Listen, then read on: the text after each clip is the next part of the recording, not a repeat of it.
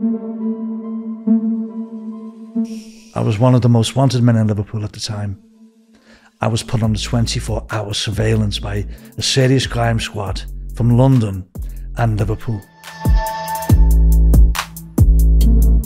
And they said, Come on, Teddy, we're going down the docks. We're going to do a whiskey heist. And the glass had gone right through my arm, chopped my fingers off. My arm was hanging off here, here. You're going to end up with life. If you carry on like this, you're going to end up doing a life sentence. We've made the headlines of the whole of the Liverpool Echo. The biggest headlines, one of the biggest robberies that would ever happen in Liverpool. It's like an alarm, but it screams crazy to scare you away. That was going off. The alarm was going off in the post office, and we could hear the police sirens as we were getting into the car. Were smashing all over us.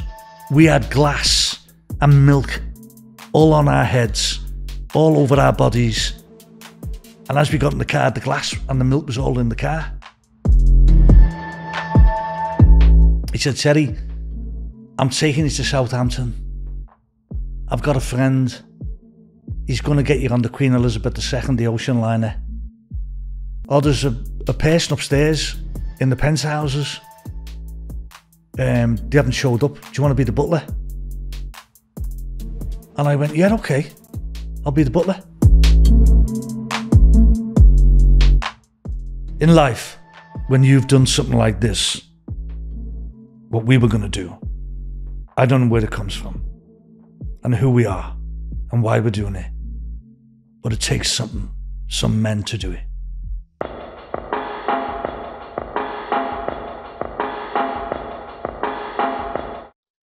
All right, Terry Moogan has flown from California to be with us today. He's never ever told his story before. This is an absolute exclusive. He's had people biting at his heels to tell, to getting him to tell his story, but he's refrained. So we're deeply honoured. Terry is a man of respect all over the world, especially in the city of Liverpool, as you're about to hear.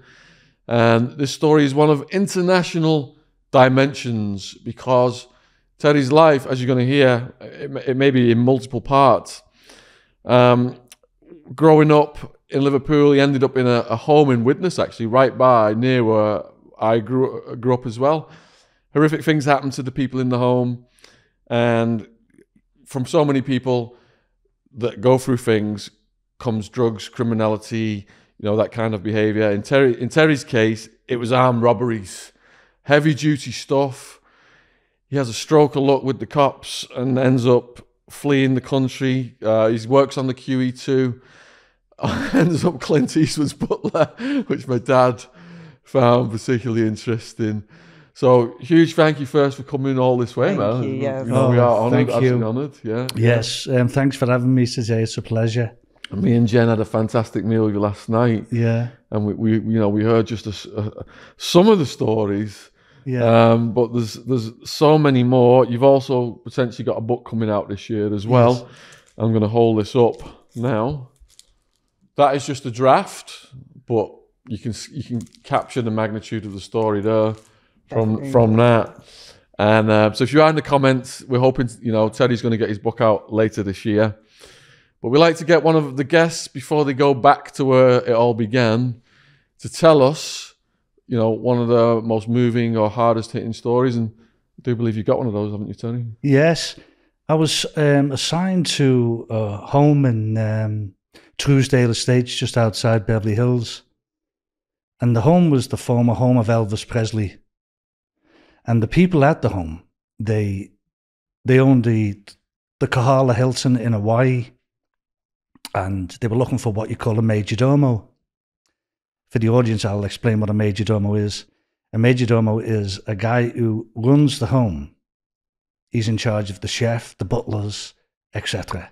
He, and he puts a curriculum together, and he just he's quiet, he's nice, he's very experienced. He's got multiple challenges with all the chef and everybody, who they are and what they do, entertainment. And this particular home I went to, it was very unusual. I I only got interviewed by the secretary, and she was the one that hired me and said, you know, you'd be suitable for the job. And I took the position, and my living quarters was inside the home. And I was wondering, you know, where's the owner? And she said, oh, he's in, he's at the Kahala Hilton in Hawaii. And I was wondering, you know, where's Mrs. Weinberg? Where is she? So oh, the secretary, oh, she's down. She's a, on the other side of the house. The house is about 6,000 square feet. So we carried on. I had the chef and we had the butler. We had a maid. And I, I was writing the curriculum. This particular day, I was told to come and meet Mrs. Weinberg. I walked down this corridor. And I always remember this corridor. It was like um, the movie out The Shining. and it had all the flickering lights and everything. I was walking down, I was going, oh my God, this is like going to get your head chopped off. That's how bad I felt. And these big doors, and the secretary opened the door and said, come in. Said, this is Mrs. Weinberg. And she was in bed.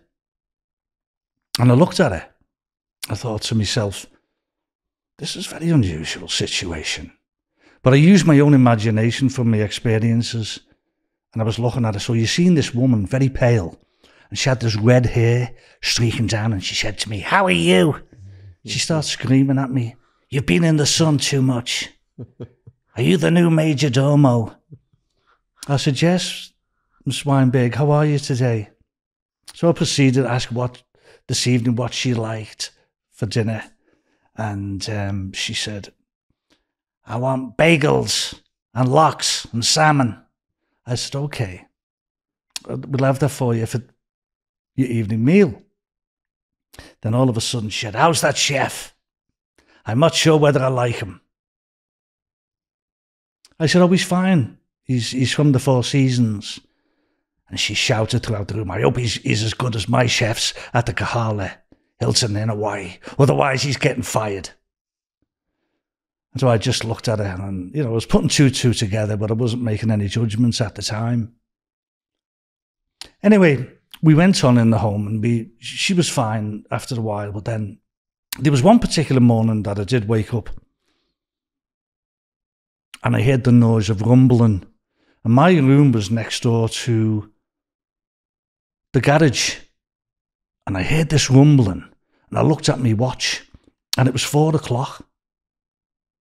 So obviously you think, you know, someone's going to steal the car, some, you know, from East LA or somewhere like that. They're going to come in and they're going to do something. I was a little bit like, okay. So I gets up, put my pants on, my shirt on, went out, and I just seen the smoke coming through the kitchen. And I went, oh my God, what's that? And I could smell it. And it was like fire, but it wasn't fire smoke, it was something else. So I ran out to the front door, opened the door, and I went round the back of the house. And I had a key, and I opened the garage to let the smoke out. All the smoke came out, and then I slowly looking at the car, and I thought to myself, what's going on here? You know, somebody tried to steal the car, or is there a short wire on the car, or something like that? And to my amazement, I seen a a pipe, and the pipe was going from the exhaust into the window of the car. And I just seen this pipe going all the way and I was going, what's that? And then, as the smoke was clearing, I realised Mrs. Weinberg was in the car. And she had the pipe in her mouth. So I ran. I opened the door and I dragged it out. And I laid her down. And I was shocked. Oh. So I went back in the house to call the police. And then automatically with that, they call the fire engine and then they call the ambulances. They all come together. And obviously, you know, she tried to commit suicide. And then to my amazement, I just stood there and they were asking me questions, asking me lots of questions. I didn't say too much. Sort of like, you know, it was um, more empathy than any judgments. And but one thing did happen when they were her oxygen. One of the policemen had said to me, and the, the paramedic, he said to me, Do you know how old Mrs. Weinberg is? Said he. And I said, No, I'm not sure. I said, approximately, she could be like 43. And she's lying on the gurney. She's going to the hospital to um, Cedars-Sinai. And she takes the mask off and she shouts, 44. and I just looked at her and I went, Oh my God. I sort of gave up. And that was one of the significant experiences that I had in Beverly Hills. Did you ever find out why she did try to commit suicide? Well, obviously, she was mentally ill. And then that story went on. And as I write in my book, in the end, it cut, turns into tragedy. Mm. Wow. All right, let's go back to where it all began then in Liverpool. Well, I was born in Scotland Road. Scotty Road. Scotty Road, uh, yeah. Yeah, my mum and my dad, they had seven of us. My dad, yeah, my dad was a lovely man. My mother was lovely, lovely people. But, you know, it's, it's Scotland Road. What can you expect? And we moved out of there and we moved up in between um, Walton, Anfield and Norris Green. We were right in the middle. And I was about eight years of age this morning. And I got up and I just went out at three in the morning, got dressed, and I went out. I don't know why.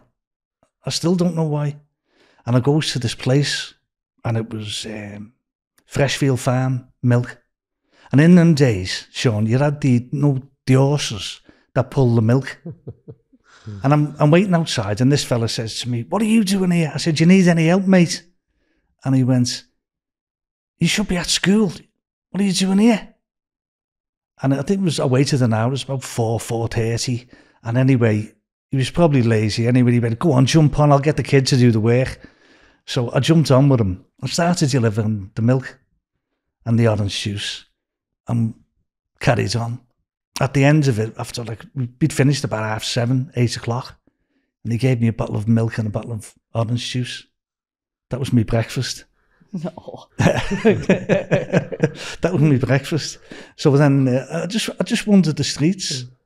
It was like I was wandering the streets. So I walked down to the Anfield Cemetery and I went in there and I I hid the orange juice in the corner there. And then I went home and my father was like away, he was in the merchant navy trying to support the family. And what happened was the the school board, where is he? What, what is this kid? You know, why is he on the streets? And well, everyone was at school. I was the only one on the street. And um, so anyway, the, the following day I got up the same thing. I did the same thing. And I went and uh, got the milk, delivered it and that. So Friday came and he said, make sure you come Friday. He said, um, you can help me collect the money. So I went round with him and I collected all the money with him. And I seen this bag. He has a bag and it was just full of like half a crowns at the time and threepences and sixpences. And I looked at it and I went, wow, look at that.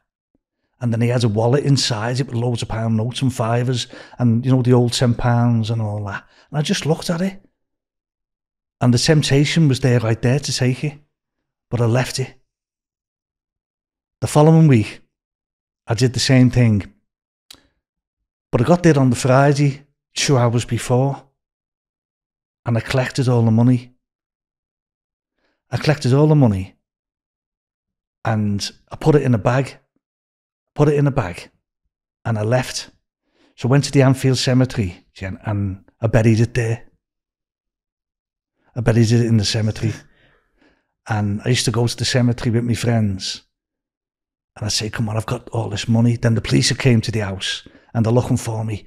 We want that bag. Where has he put it? And they took me into custody. And that day, I never said a word to them. I always found the police to be, you know, in Liverpool. We were always against the police anyway. So I, was, I just went against them. I said, I don't know what you're talking about. I think I was eight. Oh, yeah, I was eight. 1965, actually. So what happened was um, I was targeted then. That was my life. That was the, the life of crime that I was about to go into. Did you manage to keep, uh, keep the bag Yeah. hidden? Yeah, yeah, we kept I it. remember where you planted it. Yeah, yeah, it was in the cemetery. So um, I formed a gang. I had a gang. John Lally, um, Franny Jones, and my old friend, God bless him now, he's passed away, Ronnie Gibbons. And as I told you last night, Ronnie was the the brains behind the Brinks job in New York for the eight million, and he'd done the movie on him. So when we got the gang together, we started. We, none of us went to school. So our next move was something else. We still had the money in the in the cemetery, but our next move was, what are we going to do? Where's the money floating? So it came on. It was the co-op. It was a Friday night, and we died the co-op all week. So after everybody getting paid on the Thursday and people getting the pensions and they were getting the money, Friday would be like a big day for them to go shopping. So you know we knew the the co-op would close at six, so we, we went in at five thirty. Goes in, got Franny to the distract the cashier to go down and say, "Where's the can of beans?" Franny would take the woman down the side. John would be outside with um, Gibbo. They'd be outside, and then I just jumped over, and I had a bag with me, and I just emptied the till. In them days, it was a wooden till, and just cleaned a lot out, and we put it in the bag, and then we jumped back over, and Franny would just walk out, and we walked out, and we just bump right back to the Anfield Cemetery. We buried it where the milkman's money was, and then what we did was we took about twenty quid. We went down to another shop, and we bought um, in them days you had the cigars Hamlet. Uh, We bought five of them, and we were smoking cigars. and then we took a taxi over to New Brighton, and we were smoking cigars. And then we went along in New Brighton, then we came back, and then when we got back across the ferry in Liverpool, the police were waiting for us, and they took us into custody. Oh, your So first John, arrest. John and Ronnie, they were a little bit older than me, so they got charged. But I got released because I wasn't. I was too young. So that was another blemish. They were just waiting to get me. I didn't go to school. I had some little bits of school and that, but I was basically I was just doing my own thing. I was like uncontrollable at the time. I felt like you know there was no guidance. I just did my own thing, and we go on the streets. So there was a place down in um, Long Lane in Liverpool, and it's all the factories. So one day, I said to John, "I'm going down to Long Lane." And in days, you had um, a place called Mother's Pride, where they delivered the bread. So the fella come out and I said to him, "Do you need some help, mate?" And he went, "Yeah, go on, get in." And all the donuts and all that, and all the lovely bakeries in the back and all that. Thought this is nice, and the seat was warm, you know. And he was driving it. So in my head, I had Friday in my head when he would collect all the money. So I decided I'll wait, I'll, I'll, I'll work with him for a week or two. And then on the Friday, when we get back to the, the Mother's Pride, we'll go and I'll just take the bag and I'll take his wallet. And eventually I did do that.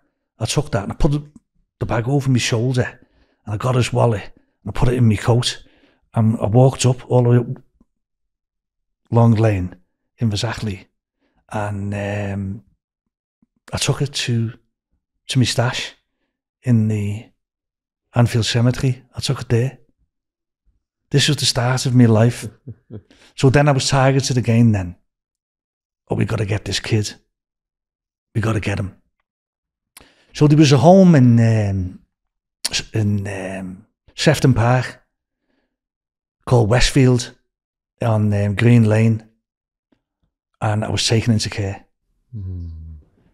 I was I was taken into care. How did your parents feel about that? I think they were part of the wanting me to, to have a better life because they'd seen the problems that I was having.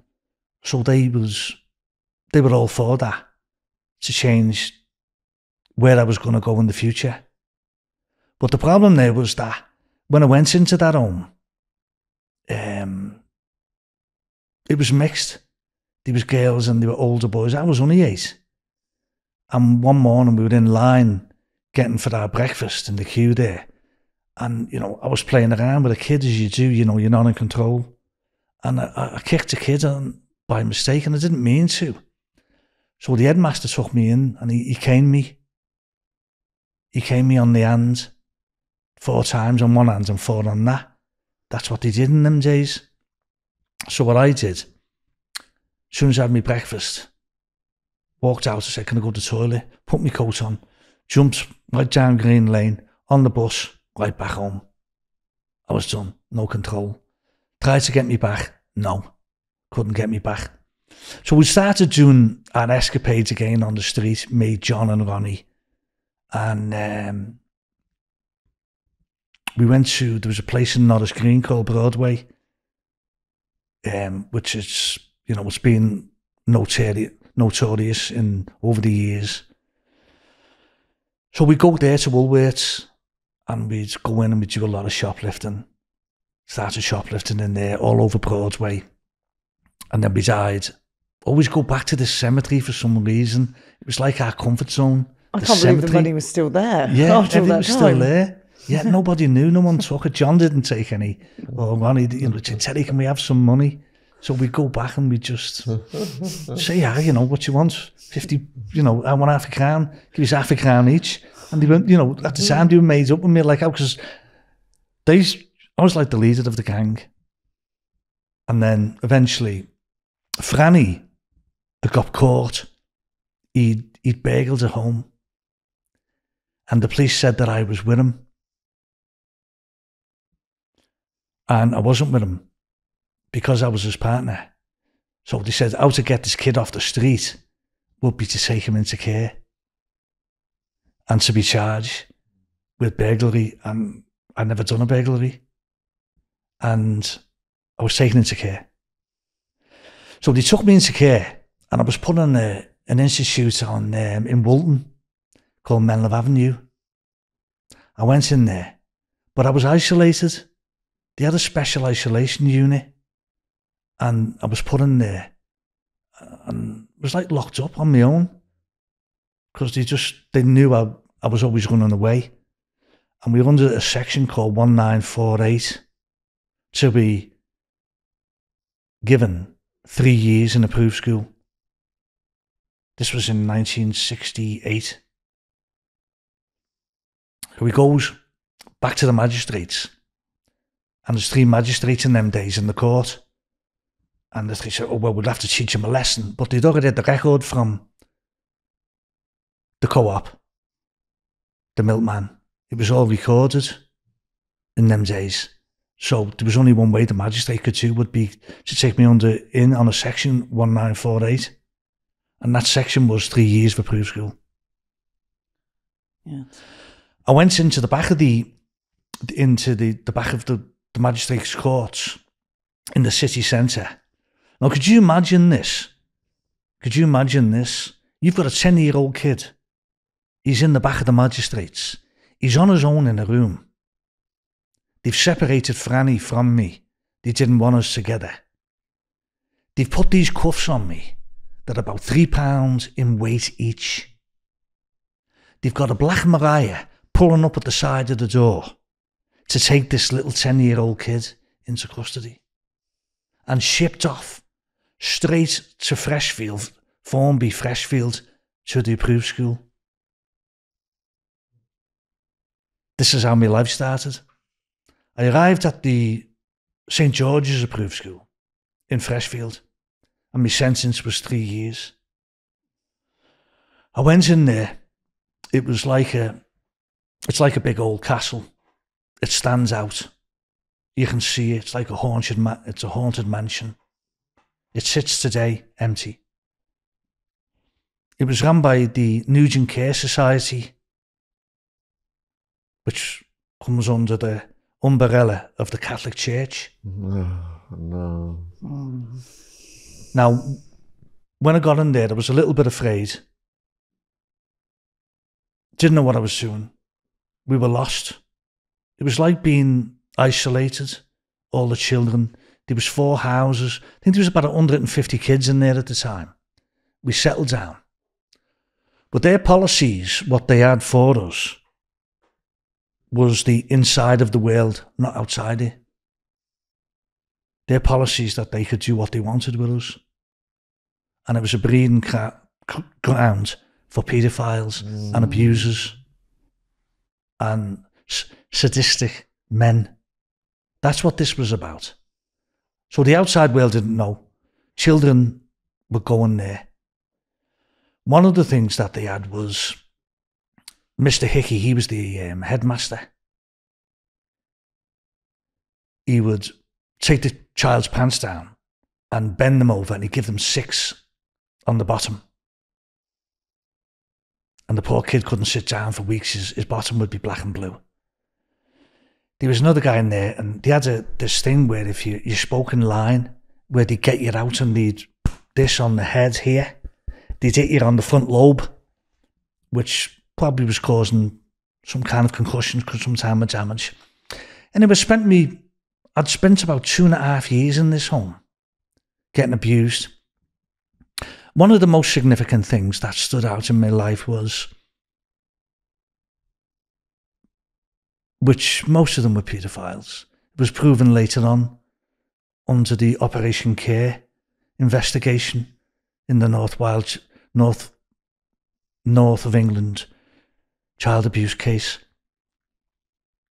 There was a guy, Mr. Matthews, he was a Marine. He was about six foot six. And what did do? They would say at three o'clock in the morning when they had the impulse, impulses for the children, they would say, okay, one child was talking, so we're to get you out of bed. And you're going to have a cold shower. so they'd lead us down. This is in the middle of the night, getting us up at three o'clock in the morning.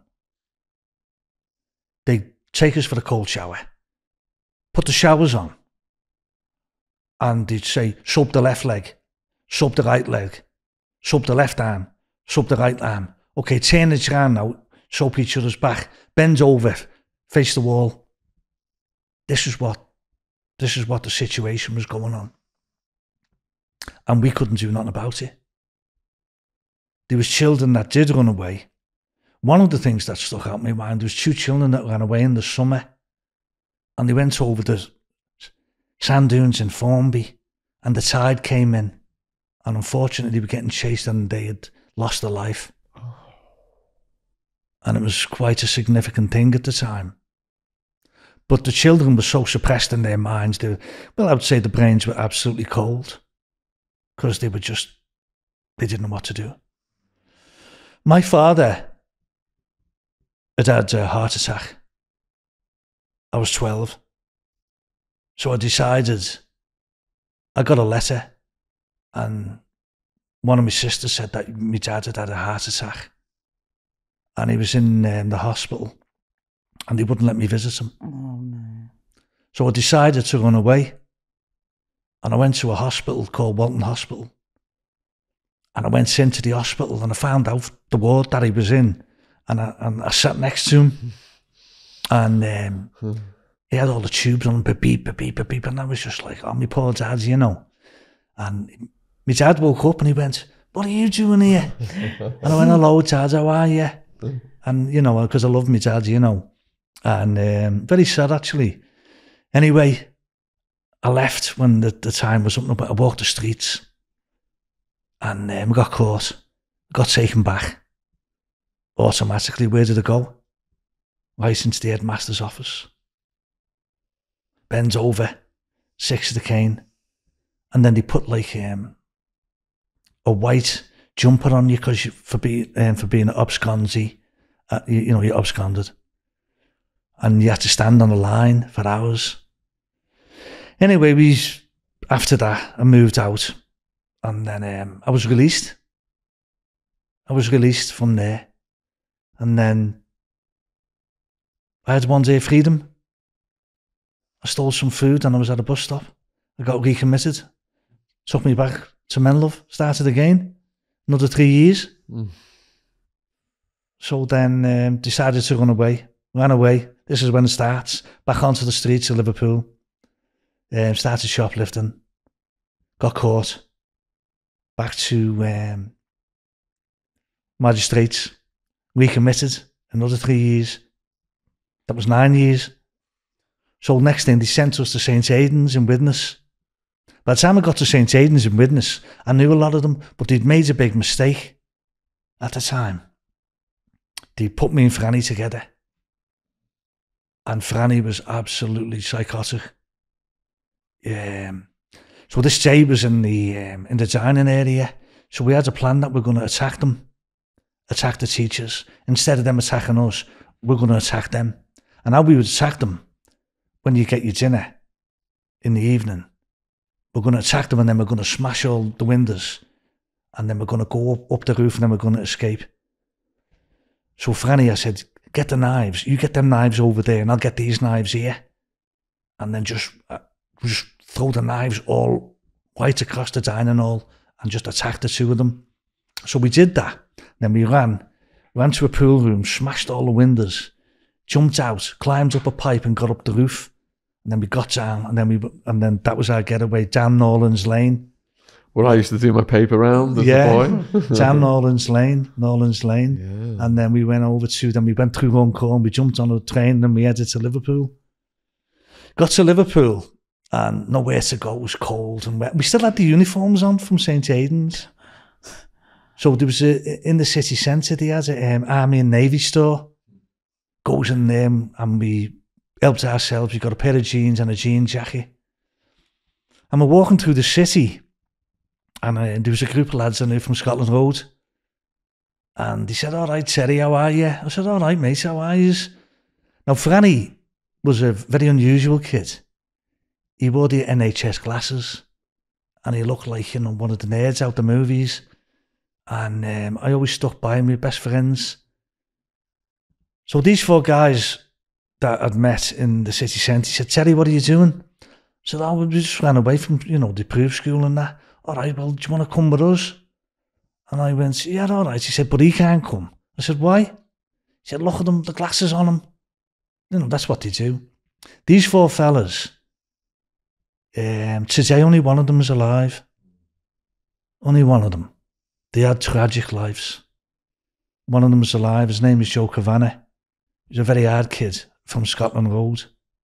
Very nice. I know Joe very well. And then me, um, the guy that was with him was um, Joey Wright. Joe Moran and Egger London. And they said, Come on, Teddy, we're going down the docks. We're going to do a whiskey heist. I thought, okay. No, we had nothing anyway.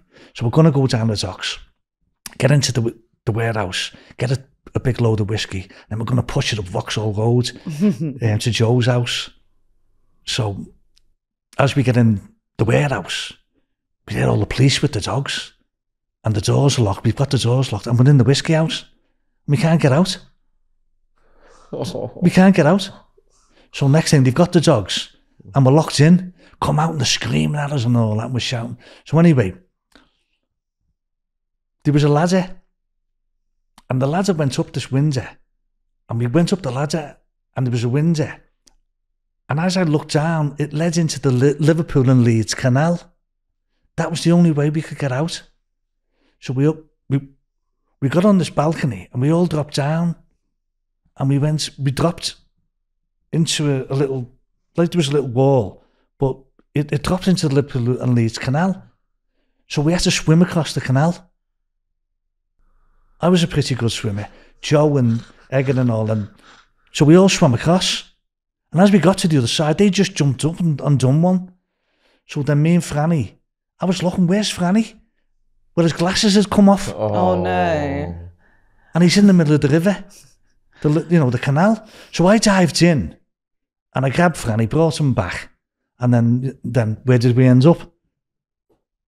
We end up in um, Anfield Cemetery. That's where we ended up. The following morning, I went to get some bread and milk from the co op, and the woman knew who we were. She'd, she'd identified us and called the police. So she was the one that he robbed Yeah. going back? Yeah, Oh, wow. yeah. Years later, she was still there, and she remembered me. What are the chances? Yeah, and she, they called the police. So they all come and were surrounded in the cemetery. So they get me and Franny and take us. Franny was taken to a, um, an isolated unit in Warrington, Newton-le-Willows, called Red Bank. And he had the experience with one of the child killers at the time that had killed two children. He was in the next cell to her. Am I allowed to say her name? Yeah, go for it. Um, it was Mary Bell. Oh. It was Mary Bell. He had the child killer. Because later on, when I seen Franny, he told me, he said, I've been in with Mary Bell. So I was sentenced to, at the time, the government had come out at the time with a short, sharp shock to shock us. So where am I going? I'm going, bump. Takes me to um, Menlove Avenue. Magistrates. Goes back in front of the same magistrates. They're always there at the same time. Well, Mr. Moogan, we're going to send you, we're going to shock you. You're going to detention. Gets three months in detention. Goes back. Same Black Mariah. Same cuffs on. Right to Menlove Avenue for the week. Isolated unit. Bump. Shipped right out to Derbyshire, to Foston Hall for the short, sharp shock goes in there, spends three months in the short sharp shock. With all it was Scousers, Manchester lads. It was a barbed wire, and it was a it was like um, military exercises, all ex-military, all ex-military, Marines and army fellas, and um, you know telling us what to do. But in it had some good stuff to it. It was like you know got you fit, very strong, lifting weights. You had to march two two hours a day. But it was a brutal regiment. It wasn't there to help you. And then we worked in these cubicles where we would sand these components down for aeroplanes with sandpaper all day and then same military exercise. So I thought after that, I'm going to get released. So when I got released from there, I was sent to back to Menlove. And I said, Why am I back here? And they said, Well, you're going to court. I said, Why have I already been sentenced? He said, No, you're going back to court. Went back to the magistrates. I got another three years. And that was because, sorry, I'm just going back, um, suffering the physical mental abuse you received at the hands of the staff and inmates begins to take its toll. That was still in Foston Hall. Yeah, that was in Foston Hall. Yeah, it was taking its toll. and Okay. then Can I ask what the physical and mental abuse you received was? Well, the physical and mental abuse was just mental abuse from um, violence, hitting us on the head, caning us. They were getting away with what they were doing. We weren't getting educated. We were under the, um, an umbrella of abuse constantly, where we were, we were, I I would say, hypervigilant. And and I think at the time then, that the anxiety and the mental situation was setting in our brains that we were becoming unstable, I would say. And this would prove later on in life. That would come out later on in life when we were examined, actually. That came out, and I'll get to that. So I had gone back to the magistrates and I was given another three years to go to another proof school. It's called St. Joseph's in Nantwich. And this was under the umbrella of the Christian Brothers. So when I arrived, I had a confrontation with some Manchester kids because I was the only scouser in there. They fall from Manchester. And they just battered me. So I took that. I took that from them. I didn't, you know, that was it. I took them. Because the Manchester guy wanted to straighten us, so I had to straighten with him and battered each other inside the home and that. And then I settled down a bit and I went, nah, I'm done. I'm out of it. I was, I was getting old now. I was getting older and I couldn't really take, so I, I, I just didn't belong there. So I done one, got off, got the bus, right down from Nantwich, right onto Crewe, bump off to Lime Street. Got to Lime Street and I met an old friend and um, Richie Harrison from Scotty Road. And we stole a car and we're going down the dock road in the car. And then a police bike comes after us. This police bike comes after us. And we're panicking that. Anyway, Richie crashes the car into a wall. And I fall out. I break my leg. And the cop is battering us, kicking us and everything. Anyway, he calls an ambulance. I can't move. Shipped back to the hospital, Walton Hospital. I get bandaged up, plaster, my legs. And then the three of them came from St. Joseph's to get me. Goes back to St. Joseph's, gets put in, in a dorm in solitary confinement for six weeks on my own. And they fed me, and I couldn't walk. Not much education, just left alone with some books. So eventually, I had to settle down. And um, what they did was the abuse started there again. I got put into um, a welding shop and um, I was trying to do some welding on these iron rods. And um, I'd done it wrong because I wasn't educated. I wasn't trained. And the, the guy in there who was, he was running the metal shop, he just punched me right in the jaw. And he punched me in the jaw and nearly broke my jaw and um, nothing was done about it. I did mention, you know, I wasn't snitching or nothing like that. I just pointed it out to the headmaster. I said, "You tell him he, he, he hit me, and if he does it again, he's gonna, he's, he's had it." You know, we couldn't, even though we could fight back, you know, you couldn't do that because then we would pay the consequences. They wouldn't, because they were in control. That was the umbrella that we were under. So I decided to run away. All right, I'm off again. So I was off again, and I ran away. Went, and I get I got caught in um, Liverpool, and then they brought me into custody, and then I escaped from Menlove Avenue. How did you escape? I smashed all the windows, and um, I put the sheets together, and I tied down from the bed. See, in Menlove, you had these iron bars, and we tied the sheets, me and this kid. We smashed all the windows, and then we just got down, and we were gone. Boom, gone, gone. Yeah, all escaping. The Great Escape from from Menlove Avenue. Yeah, not many kids did it. So gets to Liverpool. What happens? Gets caught again. Gets caught again. Only one alternative. Gets caught again for shoplifting. One alternative. Borstal. Ooh. Borstal. That's the only thing. Anyway, then before the Borstal, I'm sent. I'm, I was. I think I was the youngest kid, and there was a, um, a remand centre in Risley. I get sent to Risley. I think I was 14 and a half with all these men. I get sent to Risley, and I'm on a section. I, I, I don't. I, don't recall a section, but it was Borstal.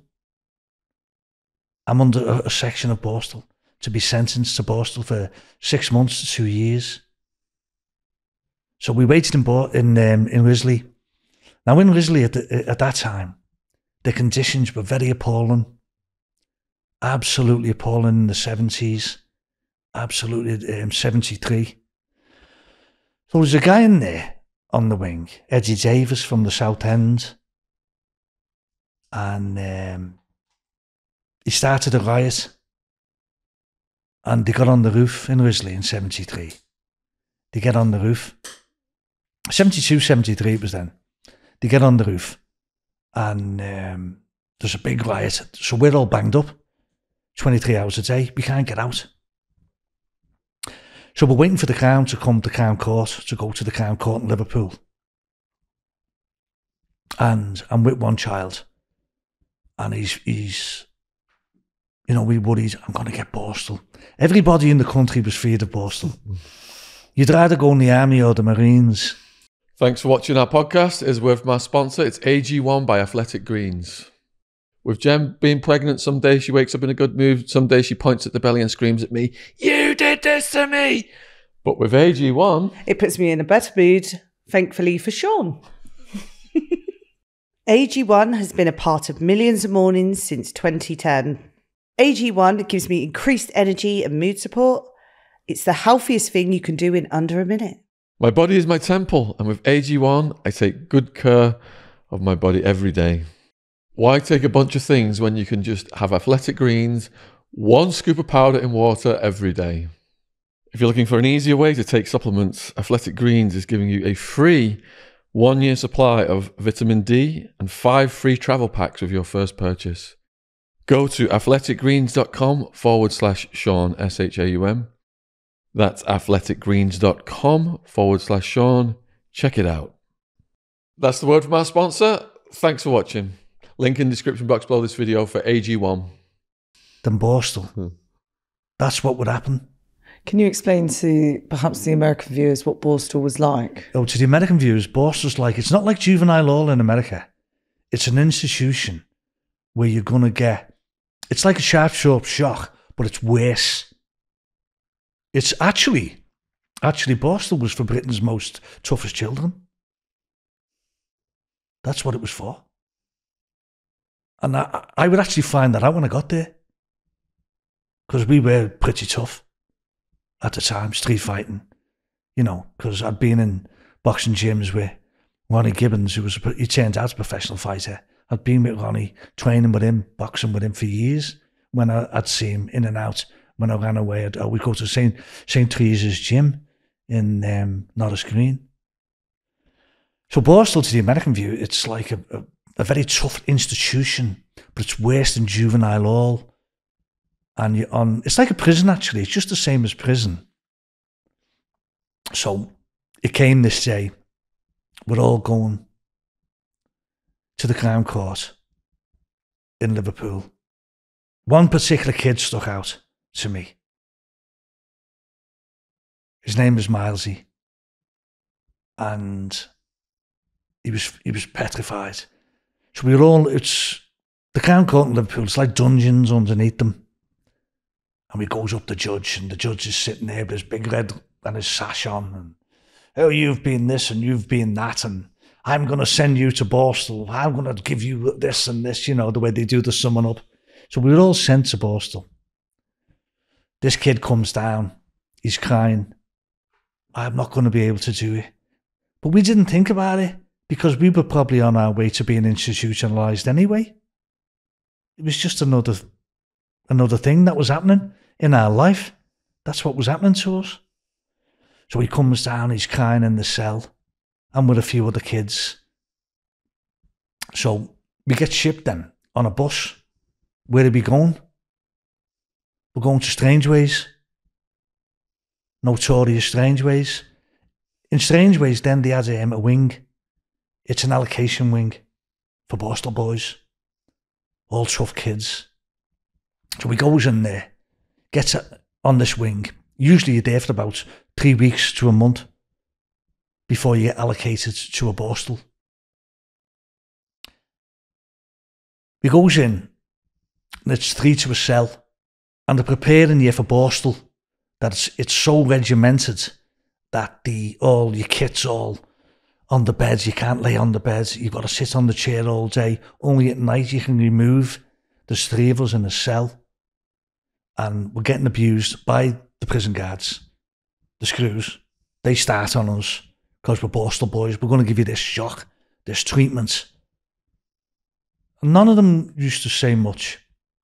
So the first day there, the next night, I woke up the morning and I looked at Milesy's cell and it was sealed. And I was looking at it going, why is that sealed? What's going on here? Anyway, sorry to say, he'd committed suicide. This was one of the first experiences that I'd had before I actually got to Borstal. This I, this was the where the brain had just gone, the fear had gone in and said, well, you know, this was the first experience I had. And I remember that and it stayed with me most of my life, thinking about the kid. Anyway, it was September, I remember, and we were shipped off. Shipped off to Borstal. It was 72, 1972, 73, one of them years.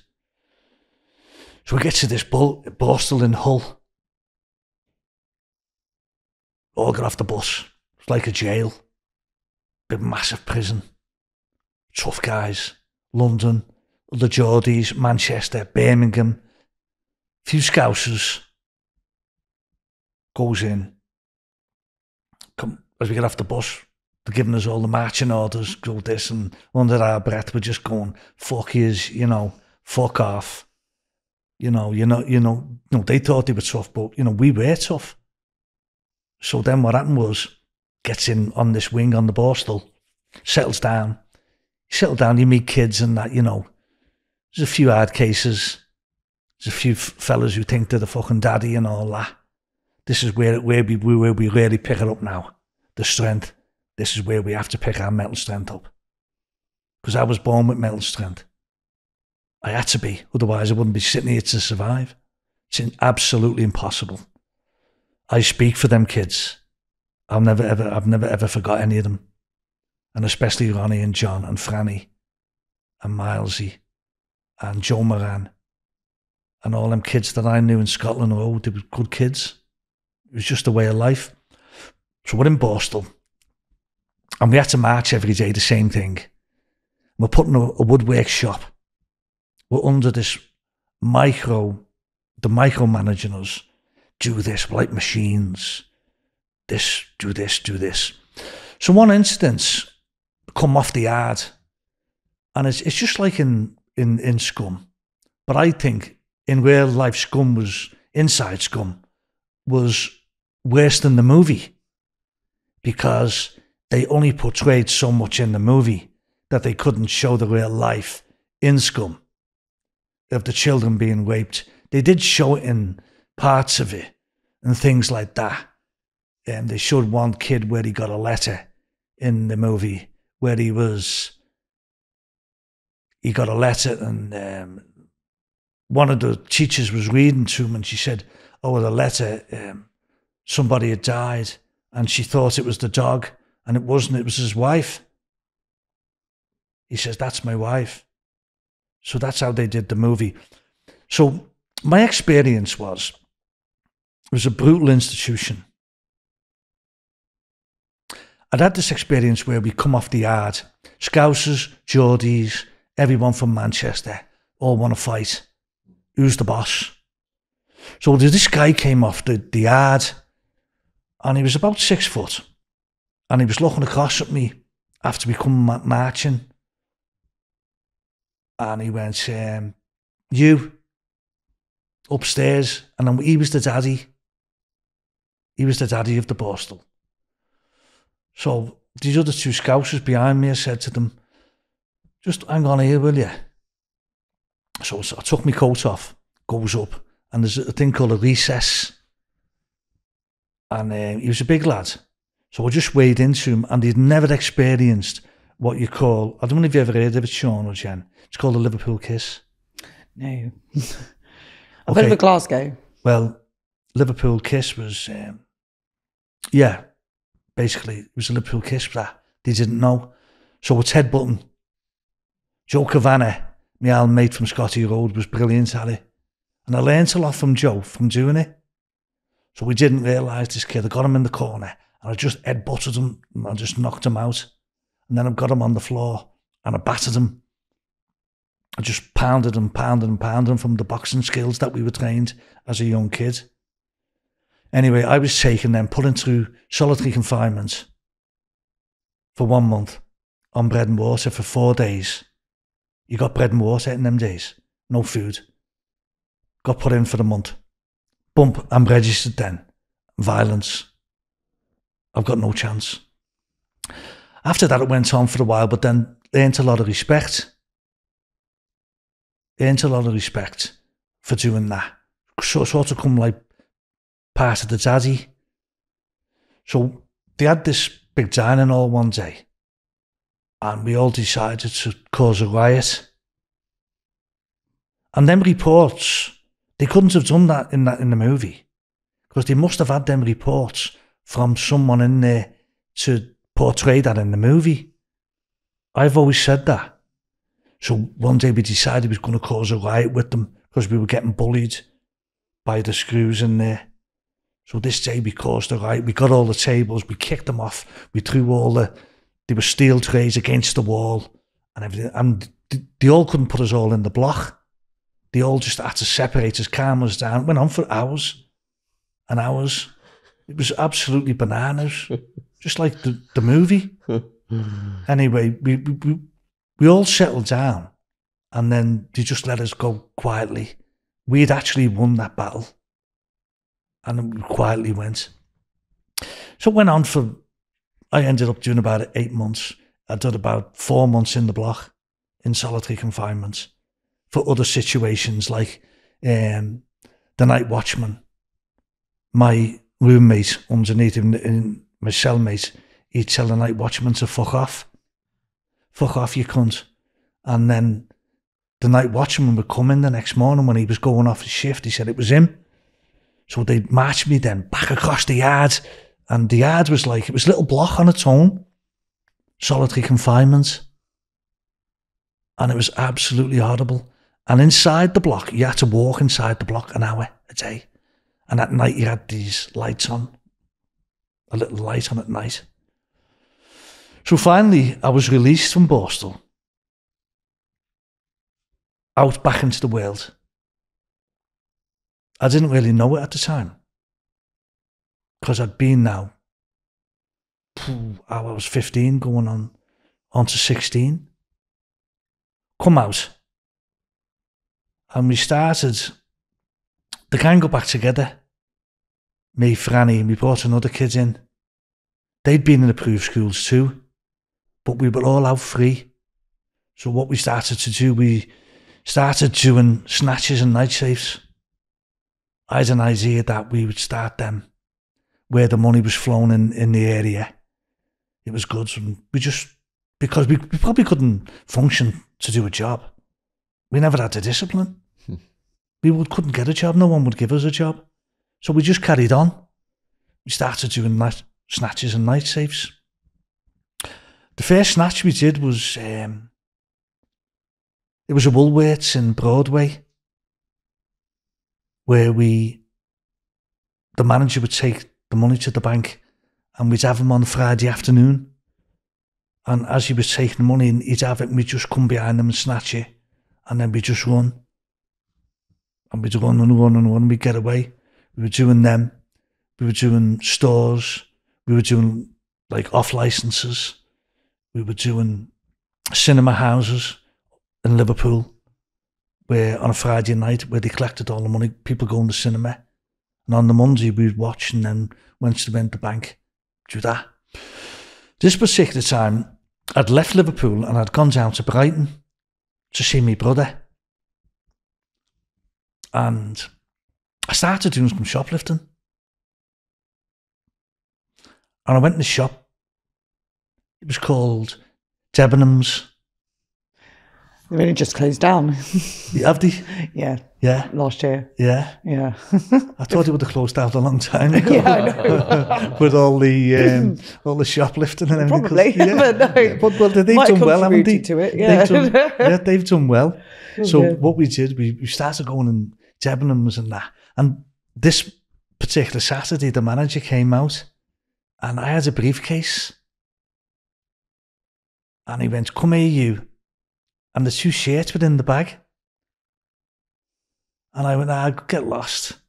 And they actually took the briefcase. They took the fingerprints off it. And I'd been arrested in Brighton before.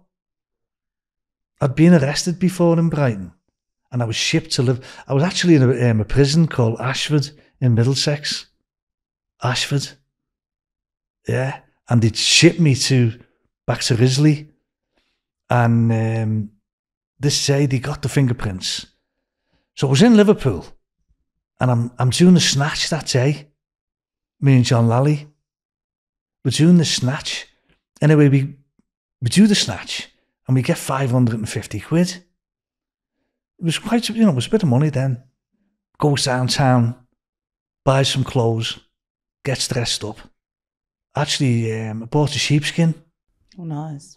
And next thing we go to a local area this this Friday night, and it's um, goes in, having a few glasses of lager, and all of a sudden I'm surrounded by four detectives, and t- there was a sergeant and another police officer with him, and I went, "Uh oh, they want us for the the snatch that day."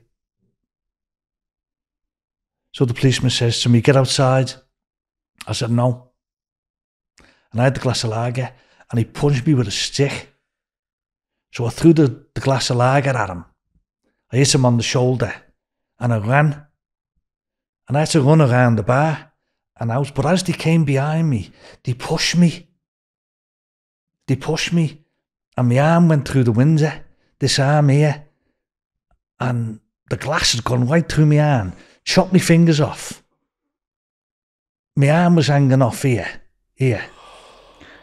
Yeah, you showed me last night. It's like a shark bite. Yeah, showed you that, didn't I? Mm. And then what happens is the artery had burst. The artery had actually burst, so I was conked out. And the, and then the cop started kicking me. So I woke up in Walton Hospital. I just had emergency surgery to save my life. But I was, when I woke up, I was cuffed to the bed. I've just had emergency surgery to save my life. And then all of a sudden, I'm handcuffed to the bed.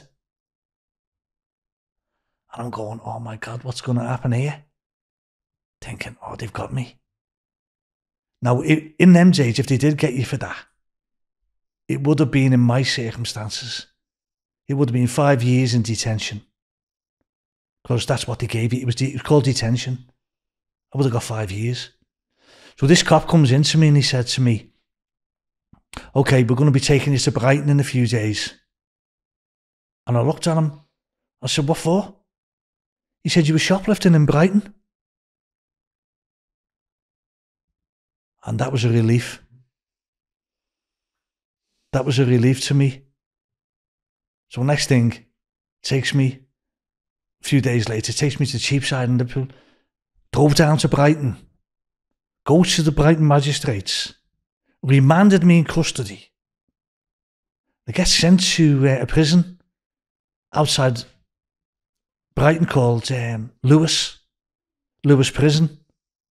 Goes in Lewes Prison on remand for the Crown for two shirts. Two shirts. So I'm in the prison and I'm doing physiotherapy on my arm. Doing physio. And this guy is, he's bringing me me breakfast and that because I couldn't, couldn't do nothing with my arm. I could only walk. And I'm getting all this physio. And I'm, the physio sa- says to me, how would you like the guy who's coming helping you, the fella? I went, yeah, he's all right. Said, um, said, that's Gordon Goody, the bank robber.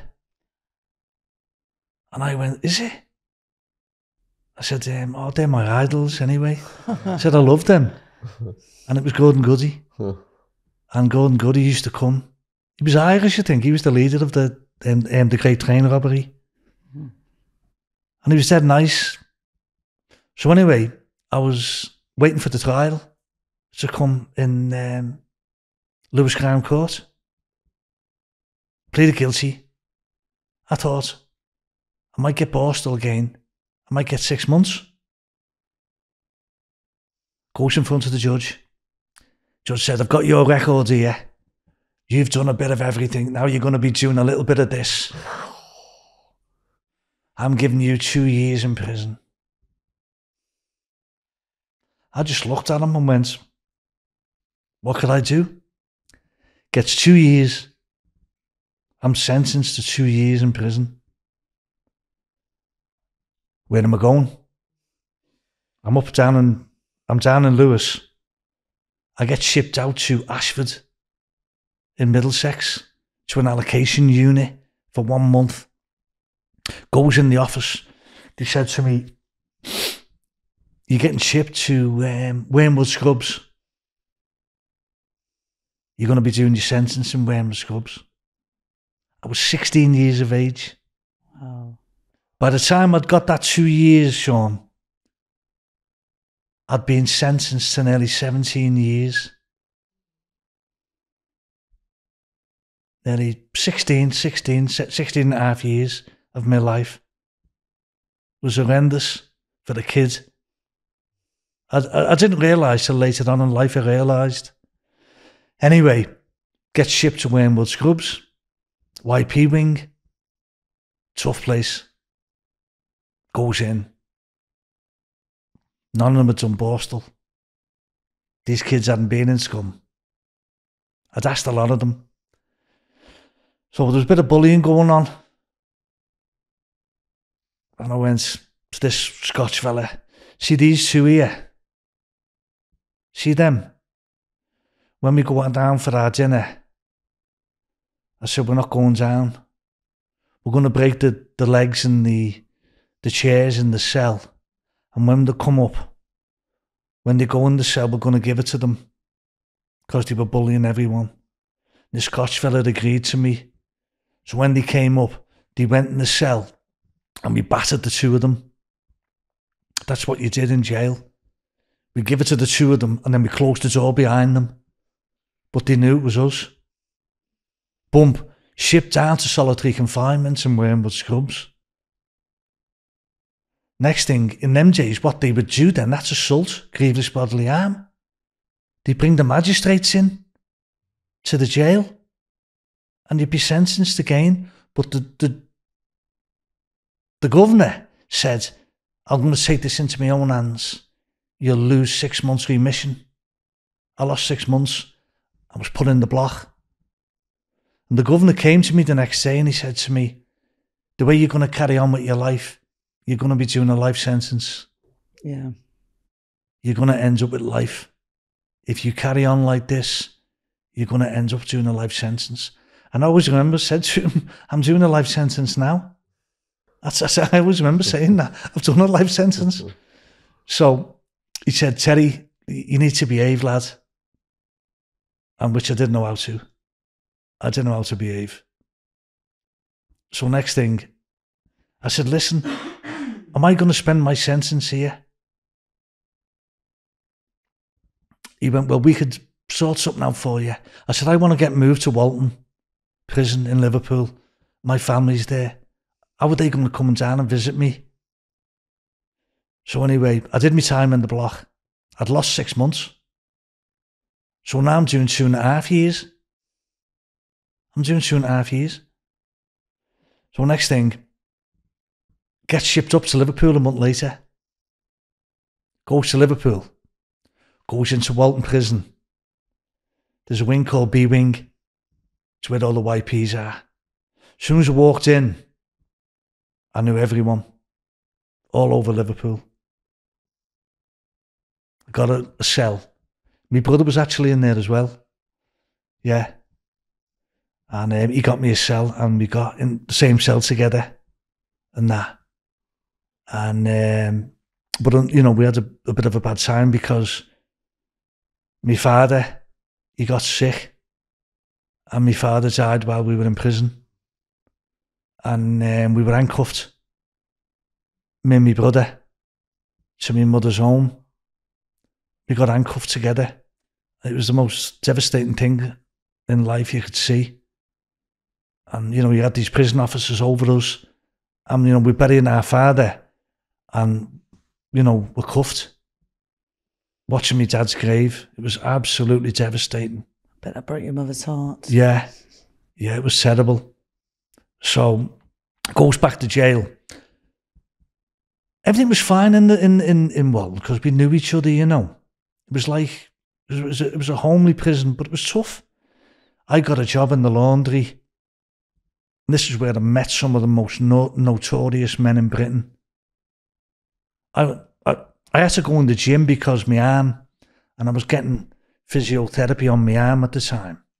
But I was just doing laundry. But they must have had me file and said, I think you're tagged. Watch him. Keep your eye on him. So I goes in and I was doing the laundry with these fellas. But then I was going to the gym. Goes in the gym. This big fella's there, six foot four, massive guy. We're doing circuit training every day in Walton. This massive guy, I think he was on category A at the time. He comes in with these screws. Oh, he must have been, because he was guarded everywhere. It was Paul Sykes. it was Paul. So I got to know Paul. And he was, he was all right, like. And got to know him in the jail and that, you know, every day going and then I always remember this day, he was arguing with the screws. He picks the weights up, he throws them right across the gym, about 400 pounds. They go right across the floor. Absolutely bananas. I'll fucking do the lorries and all that. So about eight screws came in, took him back to his cell. And I was just looking at him like that. Fucking nutter. So it took eight screws to get him down. Oh yeah. Oh yeah, Paul was a big guy. He was a boxer. yeah. Yeah, he was, but he was all right. And I, I don't know what things have been said about him in the past, but to me, he was, not, he was, he was all right. So I carried on in my life in there. He put a guy in a coma for a month, didn't he? Yeah, yeah, that's when he was boxing. Yeah. That's when he was boxing then, Shaun. Oh, Yeah, when he turned professional. Mm-hmm. But he was too old then. Mm. He actually come to Liverpool when I when I got out. Went to see I went to see John Conteh fight. John Conteh fought at the stadium, and I went to see him. And he come over and he said hello to me, and they're all looking at me like that. yeah. Um. Anyway, I'd, I'd done my time in Walton, but I had, a, I had another bad situation in Walton with a prison officer. Early in the morning, we were given the water to the prisoners. So we were let out early. But for some reason, this officer, this screw, he didn't like me. And he decided not to open me up this day.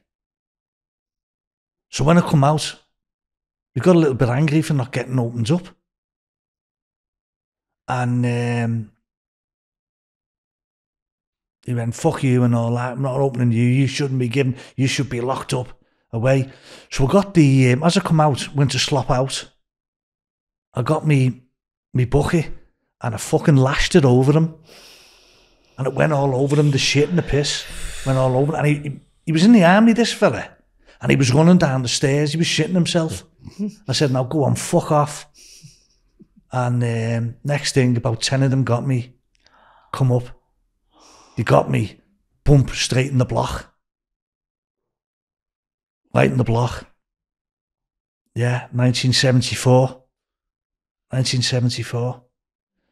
Um, I got done for assault, lost 30 days remission. Spent 30 days in the block. Yeah. Then um, time came, got on with it, just carried on, Liverpool, finally released. So eventually I come out, I come out of Walton. And I always remember the day it was. It was March the 8th, 1974. And I'm walking down the street and it was raining. And I've got the shirt on that I robbed in Brighton. I've got the shirt on my back. I've got this yellow Ben Sherman on. Anyway, I get home to my mother's house. And um, unfortunately, she became sick at the time. And she wasn't well. And my other brother was there, Alan. I was very close with Alan. And he said to me, he said, Terry, I'm taking you to Southampton. I've got a friend. He's going to get you on the Queen Elizabeth II, the ocean liner. And I was like, okay, okay. Anyway, stayed home for a few weeks and that. And um, eventually I was taken down to Southampton, taken to me. Alan had been in the Merchant Navy, my brother. He'd done the, um, the maiden voyage on the QE2, Alan. And uh, he was a lovely lad. And he was looking out for me. And I think he had a bit of you know, things in his head because when I ran away from the homes, he took me back and he didn't realise at the time what was happening. So he, he, he, he, he felt like he had to do something for me and he was. And he would have done it anyway if he, if he wouldn't have done that anyway. Thanks for watching the podcast. This is with my sponsor. We've both been doxxed in this podcast war thing. People have put our home addresses online, And anyone can find any piece of information on the internet. including your full legal name, relatives, home address, personal email, and phone number. If you Google someone, you can find out all kinds of personal information about them. Jennifer Hopkins. Yeah, Googling Jen's socials come out, a picture, li- clicking on these websites, phone numbers. This information is accessible because of data brokers who profit by selling your information to robocallers, telemarketers, spammers, and anyone else who wants to learn more about you. Stalkers, Jen. you can use my link, https dot dot forward slash forward slash aura.com. Aura is A U R A forward slash Shaun Attwood, S H A U N A T T Wood, to try two weeks for free and see how many data brokers are sharing your info. Also linked in my description box on this YouTube version, or scan the QR code on the screen. That's why I'm excited to tell you about today's sponsor, Aura. Aura will identify data brokers that are exposing your information and automatically submit opt out requests on your behalf. They'll even opt you out of junk mail and telemarketing lists.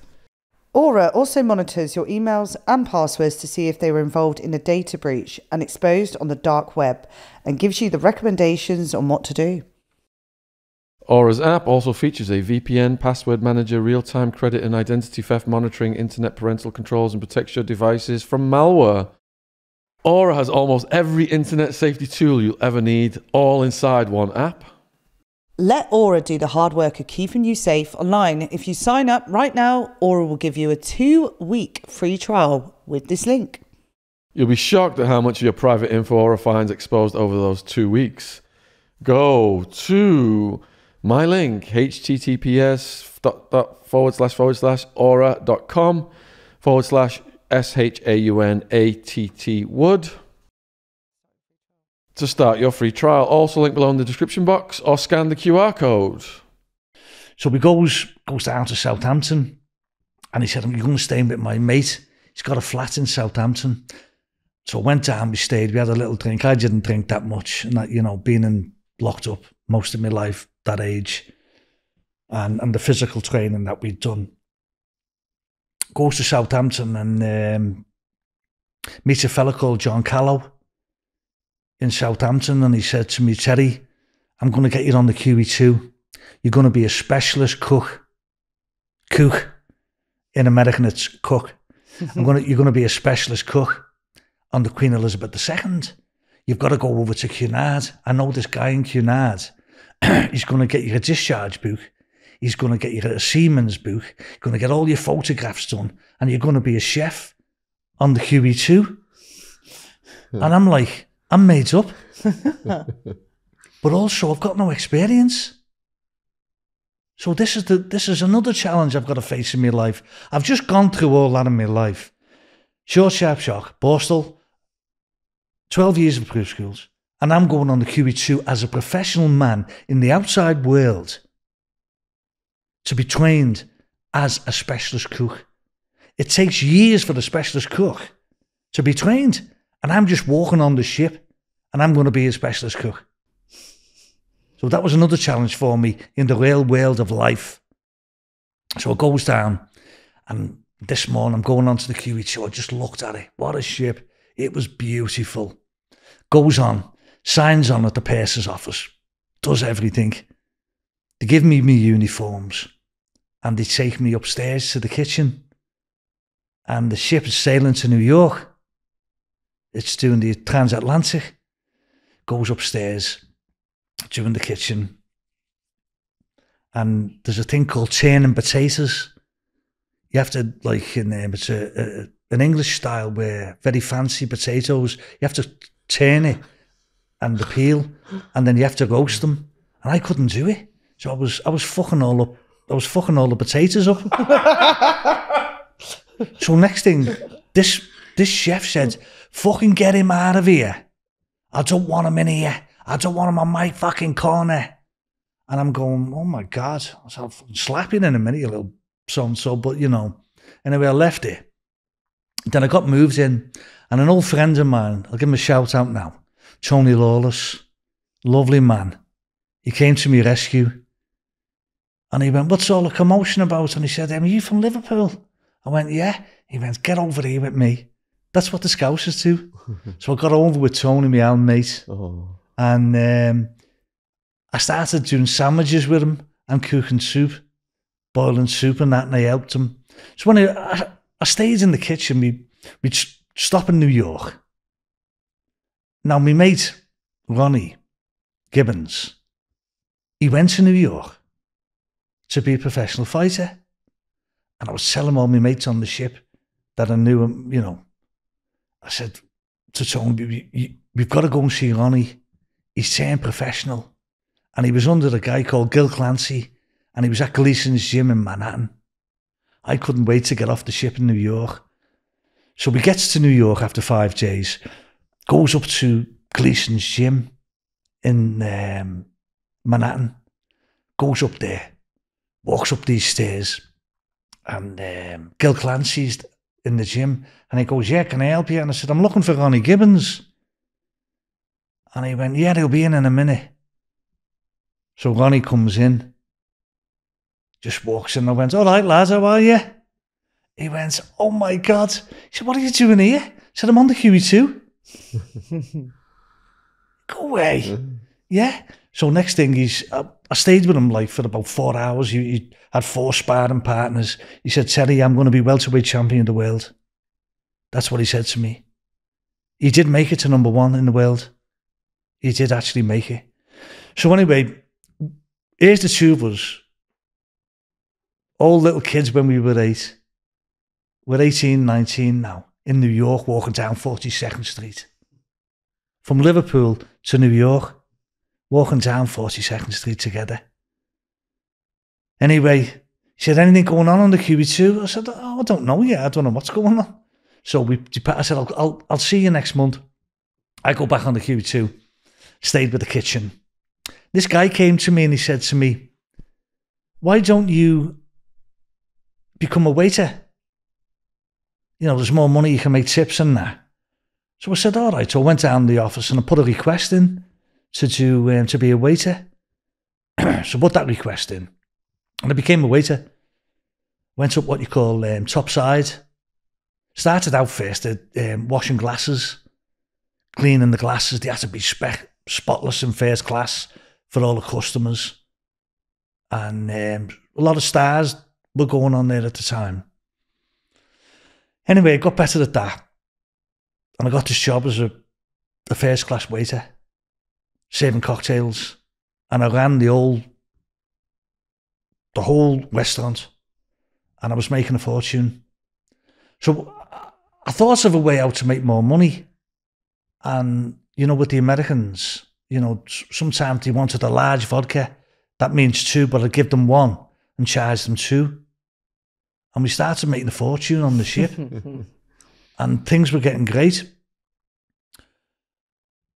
So we got to Southampton and we were getting signing off the ship for a, a month. You do three months on and three months off. And what I noticed in the corner was the wages. There was two suitcases and it was just full of £10 notes like this and £20 and it was incredible. I just looked at it, took one look and I went, oh my God, I'm having that. That's the first thing I thought of. There must have been thousands and because there was 1,800 staff on the ship. They had to pay out. So I waited for the pursers after they'd done the payout and I followed them back to Cunard. That's where they came from. Anyway, gets off the ship and I thought, go to Liverpool. I know a few fine crime families in the South End I've been in Borstal with, been in jail with. And I went to two particular ones, very well known they are, in, in, the, in the area of Liverpool. hard cases, done a lot of violence, and they knew me. And I said to them, Do you want to come down to Southampton? And when these fellas, the pursers, taking the money, the takings onto the QE2, I said, Just have it off them. I said, I'll, I'll drive, or I can take it. Because I'd done the snatches and night safes, and we were experts at that. So I said, I'll drive. And anyway, they said, okay, we'll come down to Southampton. Anyway, they didn't show up, and I was very disappointed at them. So I left it. Goes back on the QE2 and started carrying on. So we'd done a whale cruise, finished the whale cruise, a lot of stars on there. So this day goes back on, a signs on, and this guy said to me, Oh, there's a, a person upstairs in the penthouses. Um, they haven't showed up. Do you want to be the butler? And I went, yeah, okay. I'll be the butler. And the service was no difference. It's all silver service. And it's the personality. And it's just the way it was. So I said, okay. So I went up to the penthouses and I started working in the penthouses. We had two floors. And then down below we had the Queen's Grill. Was the best service in the world you've ever seen. Anyway, he was coming on. He was coming on the ship. Elizabeth Taylor. Oh. And Richard Burton. They're coming on the ship and they've been on a, a lot before, I heard. So, took care of them a few times.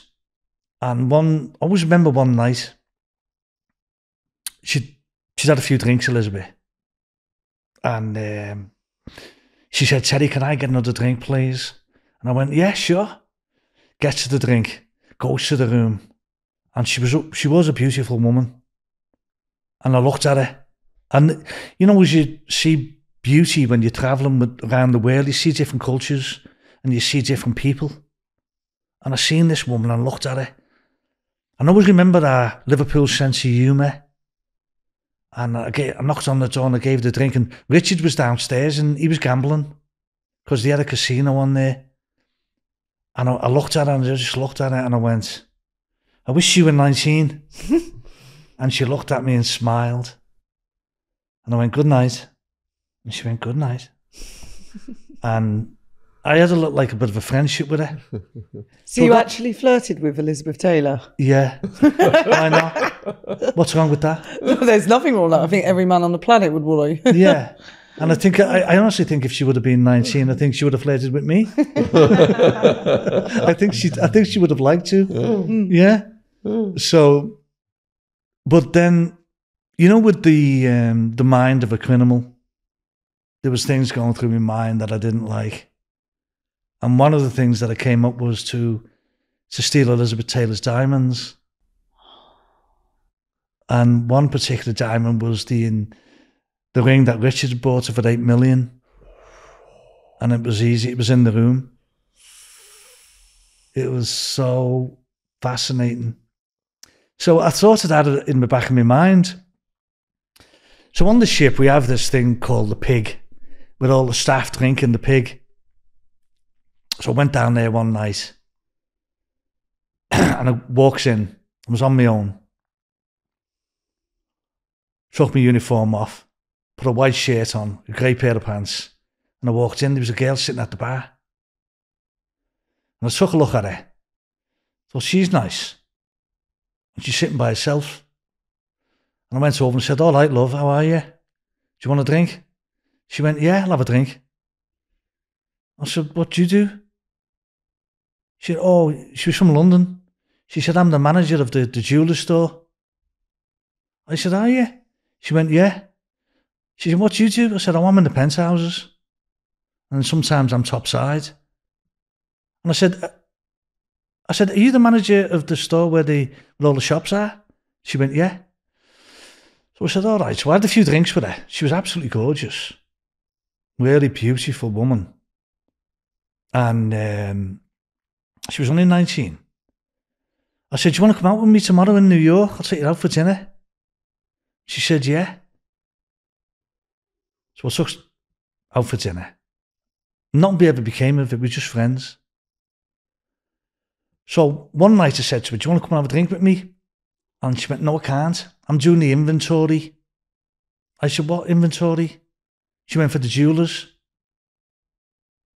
So my head starts going again. Hang on, the inventory for the jewellers. now you're talking about high class in these days. Very high class. So she told me, I said, Well, let me bring a beer up to you and we can have a, a drink together in the jewellers. Well, goes up. Goes up there. And she said, oh, We're putting all new displays in. And she's doing the inventory. And I'm looking at the inventory. I said, How much is here? And she went, About five and a half million.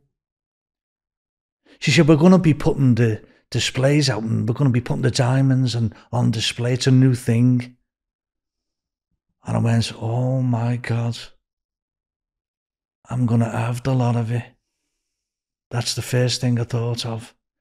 Who, who, who am I going to do it with? Soon as the ship docks in New York, right up to see Ronnie Gibbons. I know Ronnie. He's the main man. Shoots up there. Ronnie, he's training it on. Wait for me, Terry. Same old dance. Comes down. Said, listen, I've got two things here, lad. Let's go and have a beer. No, he didn't drink, and I, he just drank water, and I had a beer. And then, but they're sitting in the diner on 42nd Street. And um, they'd just done the movie Taxi Driver.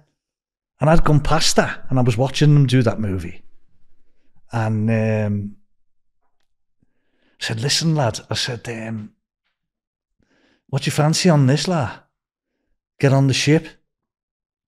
I said, there's about five million on, on in the um, in the display cases. I said, oh, you can have Elizabeth Taylor's jewelers. I said, but you know what? Elizabeth Taylor's a lovely woman, you know, wouldn't like to really steal off her. It was sort of setting in then. I thought that, you know, my life was getting a bit more better and I was doing well. So our goal was to do the jewelers. So being on the ship a while, and I was doing well, I was making a lot of money, coming home, was going to buy a house in Liverpool, and I'd met my future wife, which was Annette, and she was me lovely sweetheart. Got engaged to her, and I went back to the QE2, and um, still had lots of friends on the QE2. And so the plan was we're going to do the jewelers. There was five million on display in the middle of the night when it was docked in New York, when everyone was asleep. We were going to use a, a fire hydrant on the ship. Me and Ronnie would have masks on together, and then we had gloves, and then he would put all the diamonds into a bag, and then we had my room where I was we go to. We had different levels of the ship. We were on the bottom of the ship. That was our accommodation. That's what we would do. All of a sudden, I bring Ronnie on the ship. And I look behind me and we're getting followed. And then these two guys said, Excuse me. And I went, Yeah. He went, um, We know you. Who's this guy? I said, He's my friend. He's just coming on for some lunch. No, you're not. You, off the ship. So I walked down with him. They took him off the ship. And they said to me, When we get back to Southampton, we need to speak to you. So I just carried on with my work. Gets to Southampton in the morning. We dock at seven o'clock from Transatlantic. Four busies. I knew they were busies. I knew they were coppers, detectives, and that. But I didn't know which squad they were from. Takes me, takes me in a car, takes me to the Cunard building, sits down with me, and he said to me, um, You're a member of the Irish Republican Army. And I went, What? I said, No. Oh, yes. You've been drinking with the Irish Republican Army? Do you drink with Irishmen on the ship? I went, Yeah. I said, I have a drink with them. So at the time, the Irish Republican Army were going to blow the QE2 up to smithereens. And what it was, I was drinking with a couple of them. So they had done a check on the ship of all our criminal records and bump targeted me. Oh no. So I got sacked. They found enough gelignite in Southampton to blow the whole ship up. They got two of the guys that I was drinking with. I think they got 15 to 20 years. I don't know where the tip came from. So next thing I got sacked. Where am I again? Hmm. I'm back onto the streets of Liverpool. I'm back on the streets. I go home. Just had a lovely life on the on the Queen Elizabeth II for a few years. Bought a nice car. I was going to buy it home. So I decided to get married. I got married, and I had a big like um, a massive wedding with the money I'd saved the QE2. I was making thousands, thousands on the side and I got married and it was it was in the Huyton Suites. It cost me a fortune. Oh, it was like 400 people at the wedding. And it was like, um, if you looked at, if you looked at the Godfather's wedding and you looked at my wedding today, it was similar. Was actually similar. Because people look at my wedding uh, albums now and they say, this is like the mafia. You've got a blue suit on, velvet suit. Look at you. Look at this. 400 people, big party. After the wedding, I was on my own. So I drove down to my mother's house and I passed a, a bus stop. And there was a guy at a bus stop. So pulled the car round and he was a bit of a hard lad, this kid. Very tough guy. I don't know if you heard of Huyton Baddies. In in a, there's an area suburban Liverpool called Huyton. Huyton. Huyton, That's yeah. next to Widnes. Cr- Yeah. Widnes, Cronton, Huyton. Okay, yeah, all right. Yeah. So there's some hard kids in Huyton, really hard, Oh, hard, tough guys. It was very renowned in in England, and he was one of them. So I pulled the car up and went, "All right, lads, where are you going?" He said, um, "Oh, I'm just going to do something," and he knew me very well that he could trust me. So he said to me, "Can you give us a?" He said, "I'm waiting for the bus.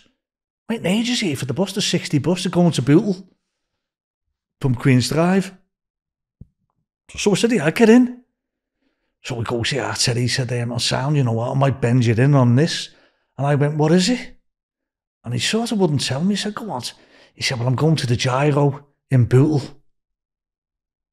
Now, the Giro is the biggest place in Liverpool where it dis- distributes all the money to the post offices in the whole of Liverpool. And I'm going, all right. So he said to me, Will you meet me here tomorrow? He tells me that, and then it's in my head. It's gone white in my head. I meet him the next day. And he sits down. He said, um, He's with another guy. And then this, he says to me, This guy, he said, This is Jacko Fitzpatrick. He's from Cantril Farm next to Huyton. And I said to him, I've got just got a flat in Cantril Farm off um, the government. I'm moving there. And he went, Are you? He said, Yeah, well, he said, I'll be in the Black Horse. I said, Okay, I'll see you in there. But he was older than me, a lot older. And he'd done the approved schools and everything. But I'd heard that he was one of the greatest bank robbers in the northwest of England. This is how I, I start my life with him. And he said to me, Terry, are you sure you want to get into this? And I went, Yeah. Oh, yeah. I'm sure.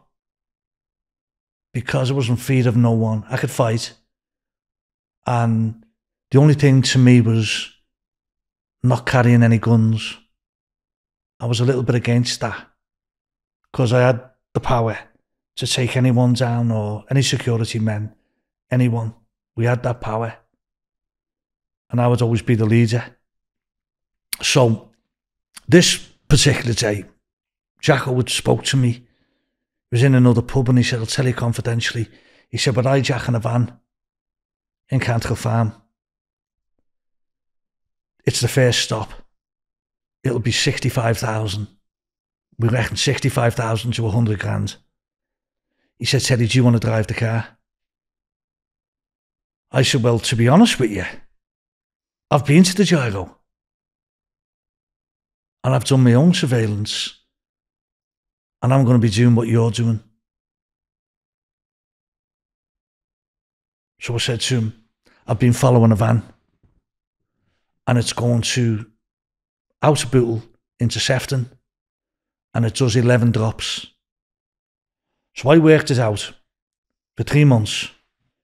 The 11 drops would be about a quarter of a million pounds at the time. So I went out.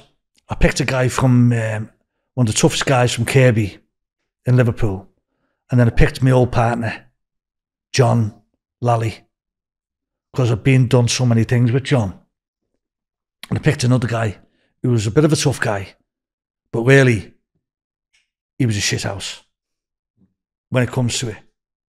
He was going to be the second driver. The first driver I had was a guy, a guy called Paul Williams. Was one of he could have been a racing driver. This guy, he learned us how to steal cars, and we had a group called the Hell, and the VH drivers, the Vic Hell drivers, in between Norris Green and Walton, and we'd rob all the you know the Capris, the Cortinas, and everything that we'd rally with them. We'd get the MGBs, and that, and we'd have the police chase us, and we'd always get away and Paul was the best. So he would be on the first driver. My second driver was Frank Glass. He's a tough guy. So we thought he was. And Heavy Man from Kirkby and me and John. I was the main man. This was set up for three months. We would strike on, it was a bank holiday at the end of April, that the following weekend, the following weekend, it was a bank holiday, so that there would be two loads of money.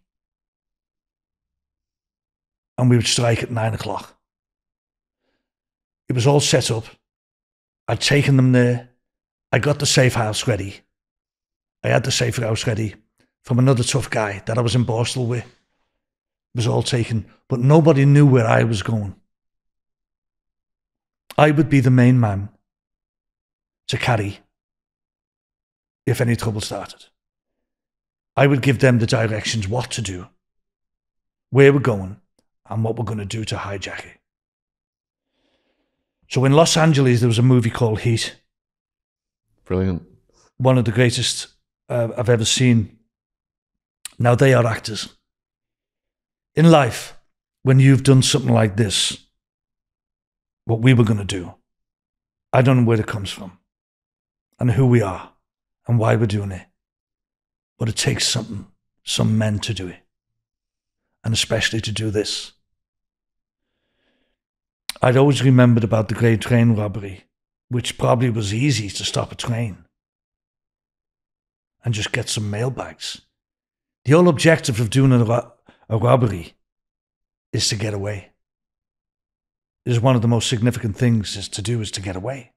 And then the men that you're doing it with is that you don't leave any forensic and then you don't leave any of this. No grassing. So we're all set. The night before, they'd already had the directions, what to do. The night before, we'd had a few drinks. That following morning, from the nervous system, I was being sick from nerves because it was it, it was a heavy job. Now, in 1969, there was a job done in in um, Liverpool.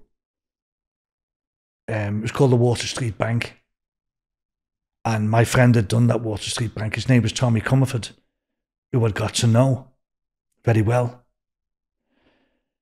And then also there was another gang from Huyton, when I was doing physiotherapy in Walton, guy called Tommy Smith, and they hijacked a, a sorting office in um, Worcestershire. And but the police were waiting for them. They got a tip off, and Tommy got shot in the arm. And Tommy Comerford had give a, a, a cigarette light, lighter to a lawyer, and the cops seen it, and they caught Tommy, and Tommy got ten years. So I knew that we would be, we were, if we were caught, we would get a long sentence. But we didn't care. And also, I was married. And I, d- I don't know why, but we, we set out to do it. It was all set that morning. No one knew what I was carrying. I never told anyone. The van pulls up. The car's supposed to pull up beside the van. All the windows are down on the van. John would get the guy on the floor in the back, put all the bags into the down windows into the back of the truck, the, the car, the stolen car. Paul pulls up. I'm watching. They're too slow. John doesn't make it. The guy gets out. He's got one bag. As he's taking it in, there's a guy standing on the door. What does he do? He doesn't go for the bag. He punches him with a heavy punch. The post office guy who's carrying the bag flies through the window, smashes right through it. The plate glass window, as big as this wall, he goes through the window. He's cut to pieces. Now, there's a line, a queue, all getting the pensions because it's double money. There's a milk float in the corner here. This goes off. And I'm going, oh my God, he hasn't got he hasn't got the bag. The guy would not let go of the bag. So I ran from behind a tree. We're all we got the masks on, we're all in black. I go over and I grab the guy. He's cut to pieces. And he won't let go of the bag. So I had a rifle down one part of my body here that was loaded. And on this side, I had a claw hammer. So I, I said, let go. And he wouldn't let go. So what I decided to do was take the claw hammer out and just threaten him. I didn't want to hit him. And I was so shocked what's gone on. We had to follow through. They would had my orders. I get the bag. It's a big bag. It's it's there's a sig- significant amount of money in there that we'll never get, but it's all gone wrong. Absolutely gone wrong. Paul's in the car. A guy comes behind the car and whams us in, and we can't get out. We're stuck. Imagine this. All the people that are getting the money run to the milk float. They get the bottles of milk and they start throwing them at us in the car. We cannot get out the car. I get out. I go round. Paul, get out. Drags him out. Get in the back. Get in the back. So I did the the Vic Hell Drive movement. The Hell Driver. Vic Hell Drivers. Put the car into reverse. Put the clutch very low. Let it out a little bit. Vroom. Boom. Push him off us. Push him off us. I got the car out. Next thing, all the bottles, as we were getting into the car, were smashing all over us. We had glass and milk all on our heads, all over our bodies. And as we got in the car, the glass and the milk was all in the car. But we got the bag. I'd actually got the bag. And one of the things is, I was going to pull the rifle out and I was going to shoot it at the, the bystanders in the air to back off us. But I'd, I didn't have to use it. I left it. We get off. Now we've got to get to the second car. They press the screamer off on what they do. They carry a screamer with them. As the one man will stand, he has a screamer. It's called a black box screamer. When that goes off, it's like an alarm, but it screams crazy to scare you away. That was going off. The alarm was going off in the post office, and we could hear the police sirens coming. And I went, oh my God, this has all gone wrong. We get to the second getaway car, was in a construction zone. I get there, I see a taxi. It's not the guy's car, the stolen car that he should have got the night before. It's his own taxi. And I'm going, what the fuck is he doing? And I look to the right, and there's a little kid mixing cement. And of all the commotion that morning, the kid's mixing the cement, and he sees these guys all in black with masks on getting in the taxi. What does he do? He takes the taxi number. Of course. He took the taxi number. So I told the taxi driver, Frank, go home, lad, you're going to get it. Just say you picked us up as a fare. Dropped me and John at the safe house. The other two went. Bump. I gets in the safe house, takes all my clothes off. It was all organised in plastic bags. Got to be burnt. New set of clothes. Got the bag. Got the bag on there. Still hear the police sirens. John's quiet. John was a quiet lad. He didn't say nothing. I done most of the work. Anyway, we sits down. We're having a cup of tea, calming down. We had new clothes on, and my plan now was the taxi driver's going to get caught. We're going to get it. So my plan was to go to the East End of London. I'd been in London with a few gangsters in Barking Road in Canning Town, and I'd worked with a few of them, and I'd met them on the QE2. So anyway, I opened the the bag has a seal on it. It has a silver seal. It's a seal on it. And on that seal, it says how much money's in there. How many £20 notes, how many £10 notes, how many £5 notes. And there was 33,000 in it. And I thought, that's not bad, but, you know, we should have... Imagine what was left in the back. Imagine what was left in there. So I said to John, listen, I'm going to leave the money in here. We're not paying no one until we Sue gets arrested. So the guy's house that we're in in the in in the um, safe house, he goes out that day, and he gets the, the Liverpool Echo. Here we are. We've made the headlines of the whole of the Liverpool Echo. The biggest headlines, one of the biggest robberies that would ever happen in Liverpool. And um, I was like, oh my God. I didn't realise. So that night, when it went dark, I had the car delivered to the house and I drove to London. Stayed in London, but I'd, I'd had some connection with some solicitors at the time that I knew were bent that I could talk to. And I phoned a guy and I said, All right, how are you doing? All right, good. Did you get on that today? Yeah, I did. Okay, what's the outcome? It's you. I said, Really? It's me?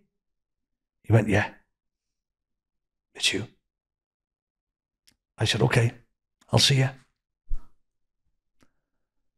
So I was stuck in London.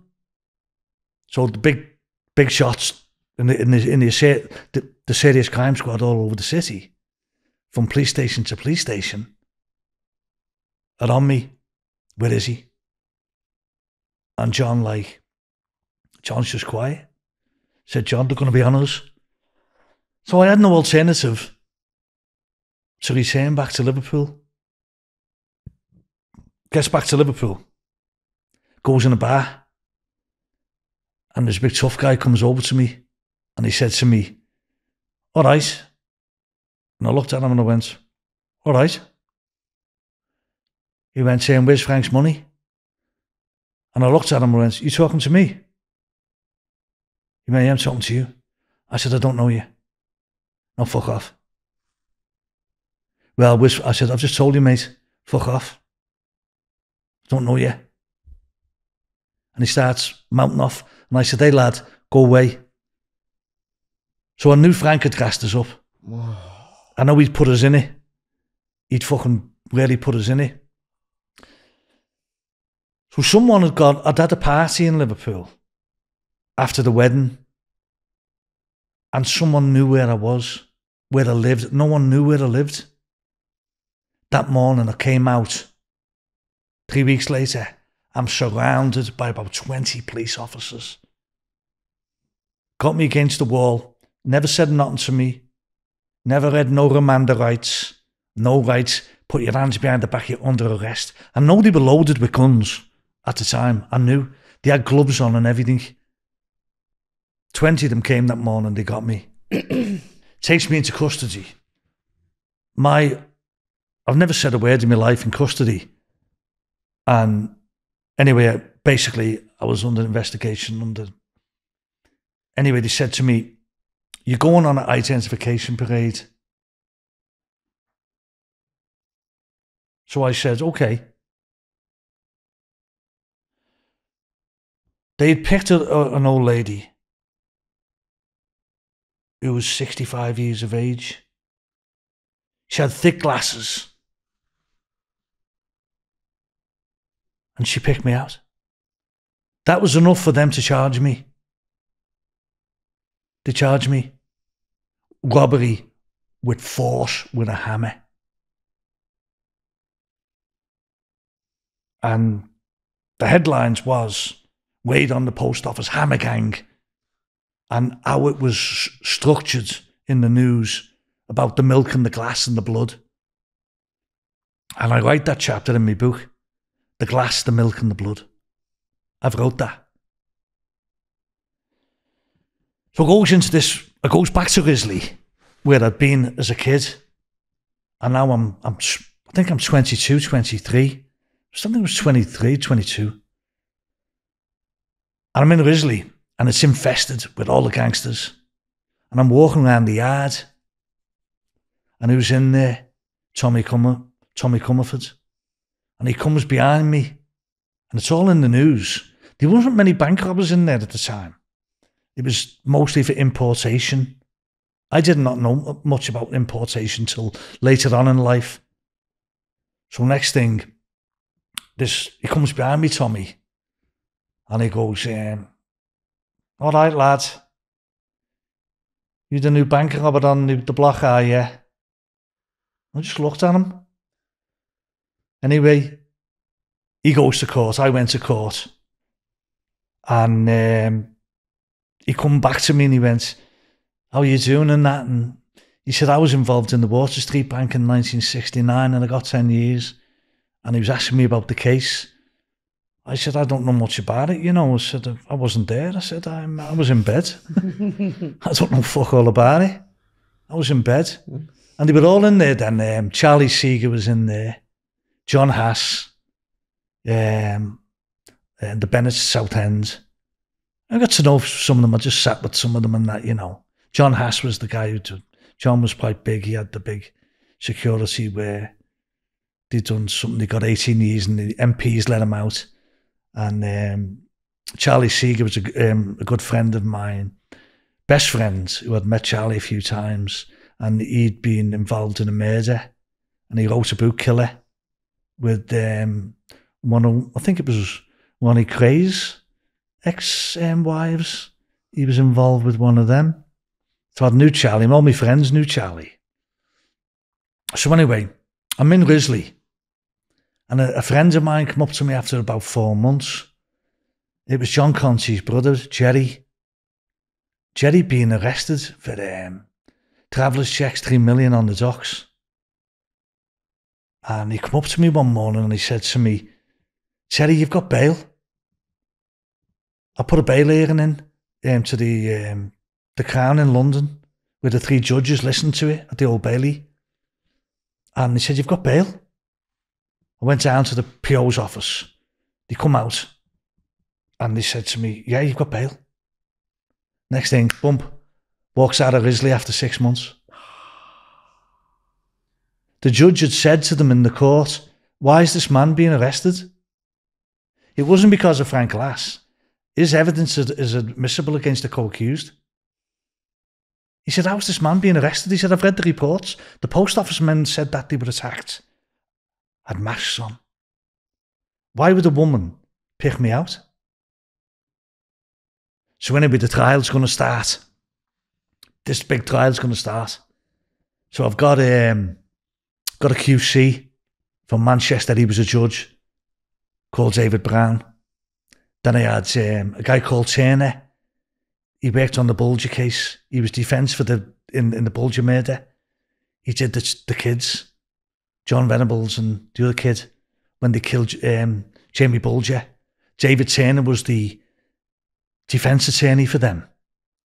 And at the time, he was a junior barrister for me.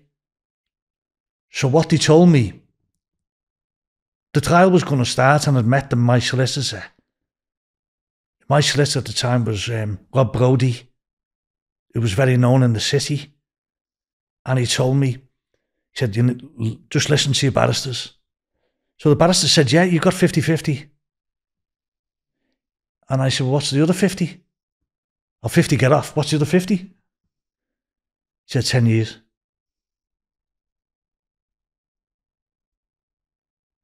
Ten years.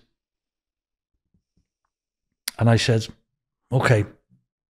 So the trial's going to start three weeks before Christmas. So what I did, I wore a blue suit, a shirt, and a nice tie. Got my hair all cut off, and I had a razor part here. Goes into with my wife into the, the Crown Court. My barrister comes out, sees me, Oh my God, the gallery's full. The court's full. Watching, going to watch the trial. He goes back in the court. So I looks over and I've seen all the coppers. They were down the end of the court.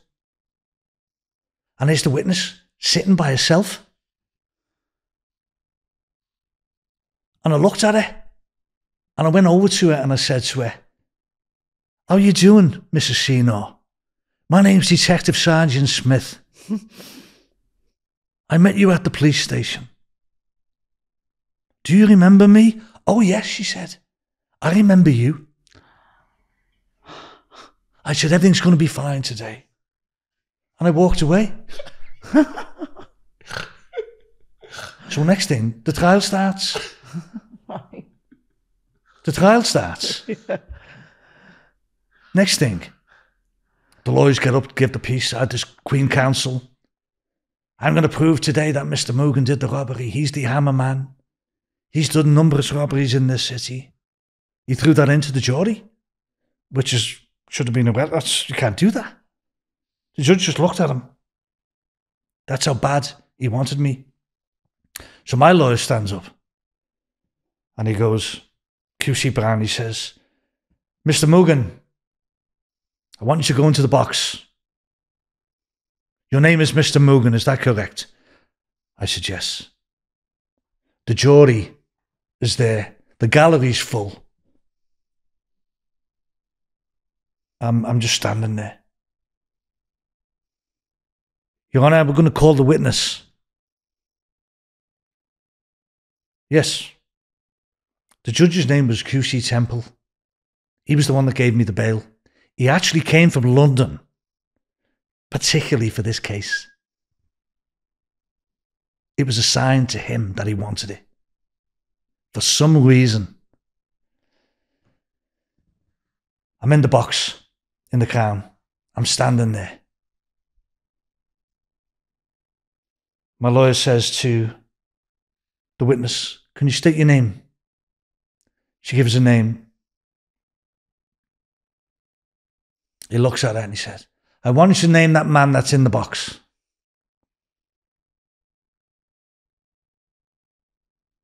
She looks and she goes, Yeah, that's Detective Sergeant Smith. the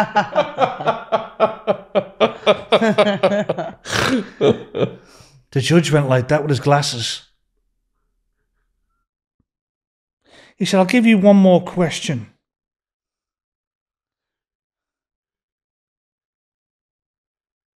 He turns round and he says to her, Was you shown any photographs in the police station? Oh, yes. Was it Mr. Moogan? She went, Oh, yes. The judge just went like that, took his glasses off, rubbed his eye. he went, I've heard enough. I'm stopping the trial. I'm stopping the trial. They came back, sent the jury out, came back in. Clerk of the court got up. Judge told him, I want you to find Mr. Moogan not guilty. Wow. I get a not guilty. Wow. How'd that feel? I walked out the court. I was congratulated by the jury and all the people in the gallery. Terry, well done. and I went, fucking well done. Ah, I went, I haven't done nothing. Frank Glass would be sentenced to three years of probation for being a, a police informer. He told them everything. But his evidence couldn't go against mine. However, when I walked out of that courtroom, I was a wanted man. Hmm. I was one of the most wanted men in Liverpool at the time. I was put on a 24 hour surveillance by a serious crime squad from London and Liverpool, and I didn't know. I did not know. And then it starts again. It's gonna all start again. Oh, God. And you're going to have to wait for part two of this series to hear what happens next because it's going to get even more mental. So if you've enjoyed this, please let us know in the comments what you think. And Terry, like like we said earlier, do you want to lift that up, Jen, the, the banner? Of course. Yeah. We are going to be, you know, Terry's going to be keeping us updated on when his book's coming out. Do you want people to go over to your Instagram or anything like that? Yeah, actually, it's called the Hollywood Butler. I like. And don't forget our sponsor, KORO, as well. Link is in the description box. 5% off. Code True Crime. Yeah. The Hollywood Butler. Hollywood, Butler. The Instagram. Hollywood I Butler. I love that photo of you. You look very. It's all black and white, beautiful. Thank you. Oh, man, give us a hug, brother. what a journey. Right, round two. Yeah. What a journey. Well done. Fantastic. yeah. are.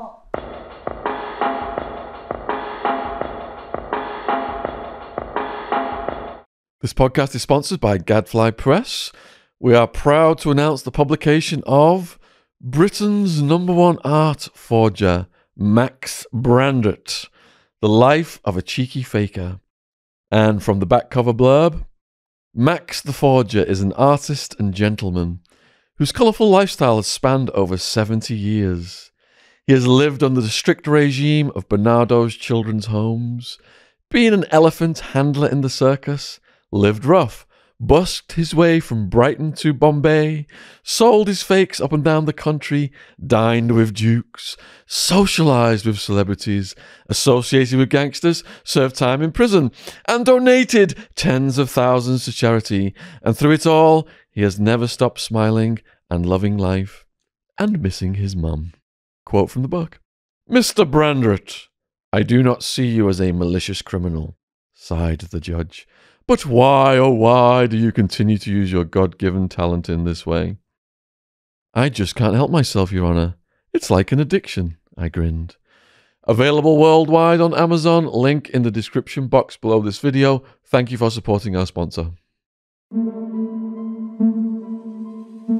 and I look to the left, and it's Michael Caine.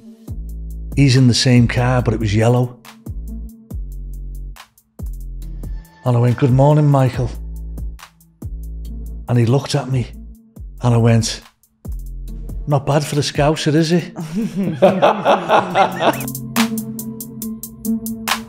and he told me it was um, a, um, a TSB that was delivering a large amount of money. So we parked the van across the street. We all got tooled up. We got our masks on, and we waited by the bus stop. These police cars are coming down. They've got the lights flashing. There, there, there, there, there, there, there. Next thing, Joey said they're turning around. They're coming after us. Big heavy gangsters that I knew, and um, we'd had a Chicago warfare in the 70s in Liverpool. He had a big reputation. He went on to have a bigger reputation when he was, you know, in, on the on the importation, and he was very well respected in Liverpool. But I didn't respect him. After this, I thought, no, you're, you're going to get it, mate. George Harrison lived next door to him. On the other side was Barbra Streisand. Down the street was Gregory Peck. Rod Stewart.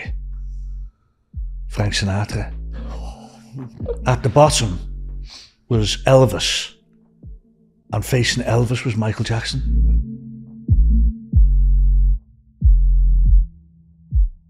On this side of my brain, it was beautiful. But on the other side of the brain, it was dark. I was on the run.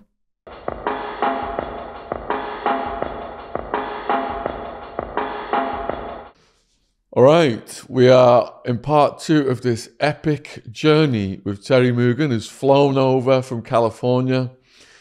Check out part one if you've not seen it. It's the early years, upbringing in an abusive care home situation, then gets into the street gang level of stuff and quickly getting professional and proficient at armed robberies. So the crimes are escalating rapidly, and we left off with Uh, we were just about to, to talk about the surveillance by the Serious Crime Squad, but you had a story about Joey. Joey, yeah, Yes. Joey. So eventually, after I was acquitted, Joey was my partner, and he'd asked me to. There was two other guys from the city of Liverpool in, that lived in the city centre. So Joey had asked me, he said, "Could we bring these other two guys in? They've got a job for us to do." And he said, "Go and get Terry." And I went, "Okay, I'll take a look." But I'd I'd heard of them, these two lads, and they were notorious, but no, they'd never been caught, and they were pretty tough lads. So I decided I'd meet them, and they they knew everyone that I knew, and so they approached me and they said, um, "There's a, a van coming um, through the city," and said, "Did you fancy having it?" So I said, "Whereabouts is it?" And they told me it was um, a, um, a TSB that was delivering a large amount of money. So I asked them the situation, and they said there's quite a bit of money in there. We've had the surveillance on it. We've had people go into the bank, a few of our friends, and it's quite sufficient money. I said, yeah, okay, and I'll yeah, I'll have a go. So next thing, I didn't know I was under surveillance, and Joey was quite a bit of a tough kid, and these two fellas were pretty good. So I said, well, who's going to take him? That was the plan. So there was a bus stop on Scotland Road by the TSB. We had the safe house off Westminster Road set up. Then we have another house up in Anfield set up by a friend, my friend's house, because I could trust him. I knew I knew what I was going to do. So we parked the van across the street. We all got tooled up. We got our masks on, and we waited by the bus stop. It was about 1.30 and it was one of the guys' jobs to jump on the guard, take him. Then I had a, I had a special way of getting the box off them. If you get them down, it's called a one, two, three pin pin down move, where you get them on the floor, and then the arm was, the foot would go on the arm here and would squash the muscle, and then they'd release the box here in the hand. That was my pin down move. So I said, "You get them down." I said, "And I'll do the pin down on them." Anyway, we're waiting there, we're anxious, and we've got these big. It's in October, and it's a cold day, so it was a good opportunity to get nice and covered up. We were tooled up to pieces.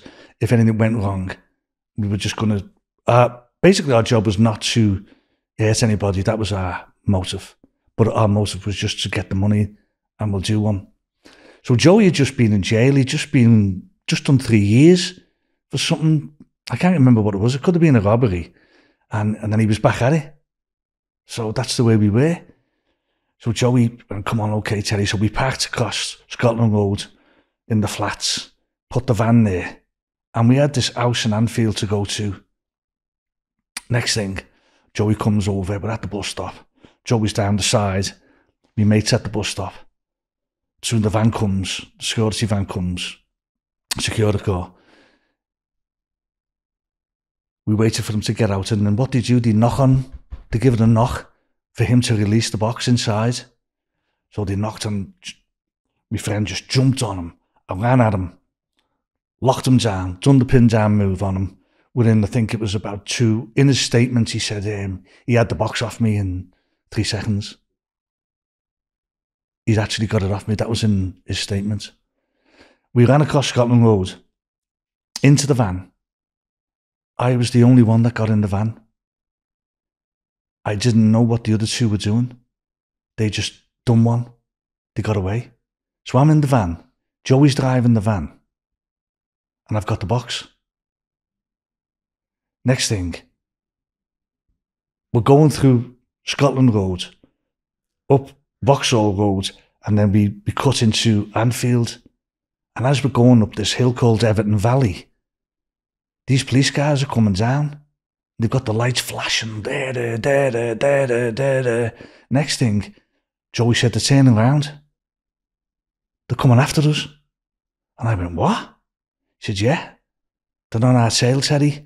And I went, just keep going, Joey, to the house. Just keep going, lad. So next thing, Joey hits a car. Hits a car, smashes into the car. He's panicking. Bump, I said, just keep going. When we get to the house, just get out and do one, okay? So next thing, we get to this um, house called Randolph Street in Anfield. And Joey jumps out. I jumped out. All the bit, all the coppers are behind us. And there must have been about 10 of them. All the pandas are behind us. So we, we runs through this house, runs through an entry. I've got the box. I gets to, Joey gets lost. I go to another house, to the safe house, to my friend's house, locks the door, takes the box upstairs, and it's the six flats in there. So I hide in the top flat, get the box, and I put it under the bed. Next thing, we're surrounded. I can't get out. The police just come in, they smashed the door down, eventually got up to the, the top floor of the flat, kicked it in, came in, grabbed me, they got me. I was I was in there alone because my friend wasn't home. They got me, put the cuffs on me, and they started battering me, kicking up me, and come on, we fucking got you now. Next thing, they takes me down, gets me in the Black Maria, boom, straight to St. Anne's Street. Can I ask a quick question? How did they go straight to you? Is there a trace or something in the box? No. How just- did they know to go to that exactly where you was? well, because they'd followed us, Okay. because I was running, Yeah. and they knew that I'd, I'd gone to that house. Okay. Yeah, yeah, they knew that I was in the house. They were right behind me. There was Yeah. about fucking 20 There's no hiding. Yeah, there was no hiding this time. Yeah. Couldn't get out of it. So next thing they get me, next thing all the serious crime squad from the city come. Ah, and they've got me now. So next thing we're in this, we're in this cell, and I hear Joey next door. I hear Joey, and he's going, Teddy, are you in there? I went, yeah, all right. He said, have you been charged? I went, yeah. He said, we're going to magistrates in the morning. I said, have you been charged? He went, yeah. Anyway, they charged us with um, robbery with force. And in the van, they found all the tools. They found an hatchet. They found, um, it was like a small handgun. And then they found a, um, a pickaxe handle and they found a hammer. So they had all the evidence. So anyway, early hours in the morning, we're getting, we got took to the um, city centre, the Bridewell and it was the most I thought, oh, I've had it now. You know, my time's I'm done. They've got me banged to rights. And Joey's like, Teddy, you know, I've just done two years in jail, you know, was you know, we might get ten years. So anyway, we go to the magistrates, straight away custody, gets put in custody. They've got us now. Anyway, we goes to my old aunt, goes to Risley, gets in Risley, and gets banged up together, me and Joey. So we're doing our just thing, just carrying on slowly. So one day, I thought it was very unusual. Joey got a visit. And they called him, said, um, Joey, right? And he gets this visit. And he goes out. And I'm just sitting on my own. I thought, wonder what's going on here. He's got a visit. You know, it's not visiting time. it was a bit odd. So when he came back, and then in the afternoon we're on the exercise yard, and he said to me, I've just had a visit. I said, I know, yeah, who's that? Who's, who's you get a visit off? He said it was um, a couple of the top serious crime squad from St. Anne Street. I said, yeah. And he said, um, I've got them boxed off. I've got it sorted. He said, I've, he said, I'm, I'm, he said, I'm giving them 5,000 quid. He said, and we're going to get out. And I went, what? I said, no, it's impossible. I said, they've been after me for years, Joey. They're not going to let me out. and I'm, I'm going, really? He went, yeah. He said, I said, no fucking way, lad. They're not going to let me out. He said, no, Terry, we're going to get out. And I started asking questions and I didn't believe it. I wouldn't believe it either. And I think No. they just take the money and run. yeah. So anyway, what happened is um, the detective, he used to do surveillance on me when I was out on bail for the um, the post office van. I had 24 hour surveillance and his name was Smith. And that's where I used that name for the woman in the trial. It was the same police officer. I used his name. That's how I, I, I knew it was him. So next thing, we go to the, the magistrates and they bring us up. And um, the magistrate was wooden. He, he was a horrible bastard. He was just, he, he just put you in custody. You couldn't get out, even with kids for shoplifting. And me and Joey goes up, goes in there, and um, he was a bit hunched over button. He had like a funny back. He must have had arthritis or scoliosis in his back. The way he, he, he leans over in the court and he looked and he had these glasses and he spoke out the side of his mouth. He went, and are these the two robbers that did the robbery? and Morgan, he's been he's been in front of me before. I know him. And, and I'm going, fuck you, you old bastard, yeah. and so what's the situation? Where's the police officers in this case? This is a very serious crime. And where are they? And the prosecution said, um, they're not here to oppose the bail. You know. What am I supposed to do? He stuck the magistrate. He doesn't know what to do. And it was causing mayhem in the court. and Joey's looking at me. I thought, fucking hell, what's he going to do here? We're going to get out here. So next thing, next thing, he comes to a decision and he says, okay, you must call the police station and tell them um, I'm, I'm postponing this till two o'clock this afternoon. Um, put them back in custody. I can't let them out. I can't let them go. I need the police here. And uh, so next thing, we goes downstairs, me and Joey. And next thing, Joey says, don't worry, Terry. I said, what happens if they show up?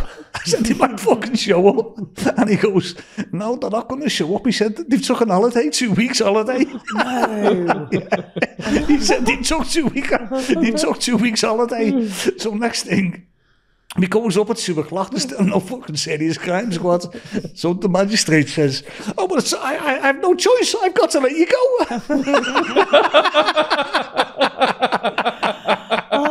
Oh my god! Oh my god! It was unbelievable. So me, so me and Joey have just done one of the biggest robberies on Scotland Road, and the magistrate has let us go because of the cops. Joey's got the cops. Joey's got the cops all boxed off. But then, so he walks out the court. Walks out the court. My wife was there, and Joey's wife was there. They didn't know each other, and um, but he was with two gangsters, Joey big heavy gangsters that I knew. And um, we'd had a Chicago warfare in the 70s in Liverpool.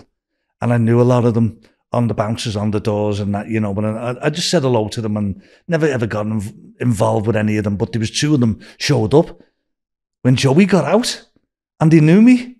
And uh, they went, all right, Terry. And I said, yeah, all right, how are you? And he said, and I just looked at them and I went, what are you doing with him? And I thought, this is a bit heavy, in it? And I said to Joey, um, where are you going? He went, I'm just going down here. And what he'd had, he'd had a plan that he was going into the Bridewell to meet Smith to make a statement. He'd gone into the Bridewell with these two guys. They were his minders. And um, I said to him, hey, mate, be fucking careful what you're doing, you know. I'm telling you, I just sensed it.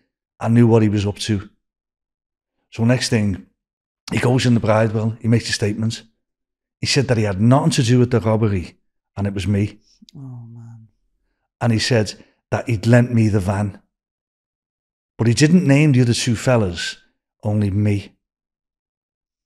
So that would put him off the hook.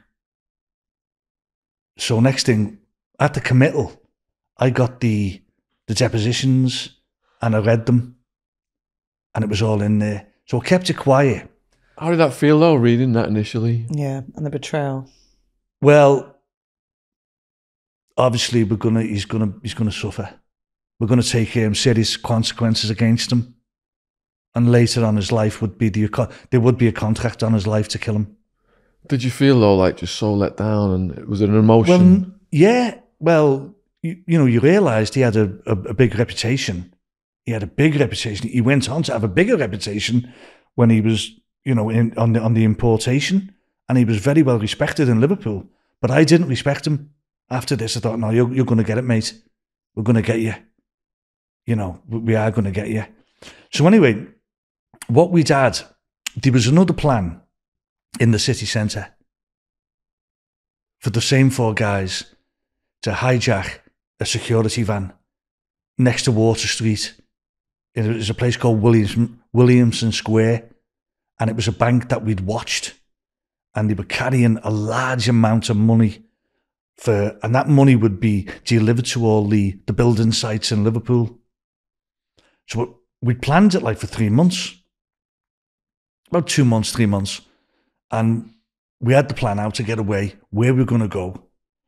But in between that, we'd been training, we'd been going to Formby Beach, and we'd do like really physical training, like fighting with each other, putting each other on the floor, running up and down the sand dunes, doing five to eight miles a day, really getting really fit if if there was ever something would go wrong in one of these jobs. That's what we always did. And we'd always go to the boxing gyms in Liverpool and we'd always do heavy training, you know. So this day, I'm on the bail and I'd lost it. I'd, I'd just actually lost my mind because we'd lost that money. And I thought, well, we'll make it up on the next one. So this morning was set and it was nine o'clock in the morning. The security, security van would arrive at William Square but he had to park outside Williamson Square. So we're tooled up. Everything. We would meet at 8.45. But this time there was no cars involved because we could run through the city. We know the back entries of the city and where we're going to go. So we decided, okay, we'd all meet at 8.45 and it was at, um, it was at a Berni's Inn, a restaurant, and it was in a cellar and we got tooled up put the mask on, and we were ready. The van came, he goes in the bank, but however, there was only three of us. Joey never showed up. He doesn't show up. The other two guys show up. I show up. There's, there's three of us. So I, you know, we didn't think nothing of it at the time. We thought, well, you know, there's three of us. We can take him.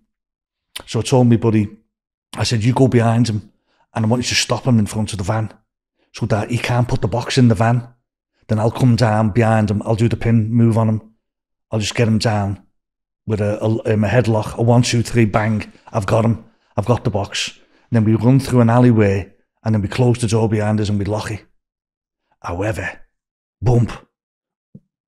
Next thing, as we're doing the robbery from both ends of Jail Street, as you come around Jail Street by the wine lodge in Liverpool, two two pandas come round and then they block the other end of the street off and they've got the, the street blocked off and they're coming behind the security van as we're doing it.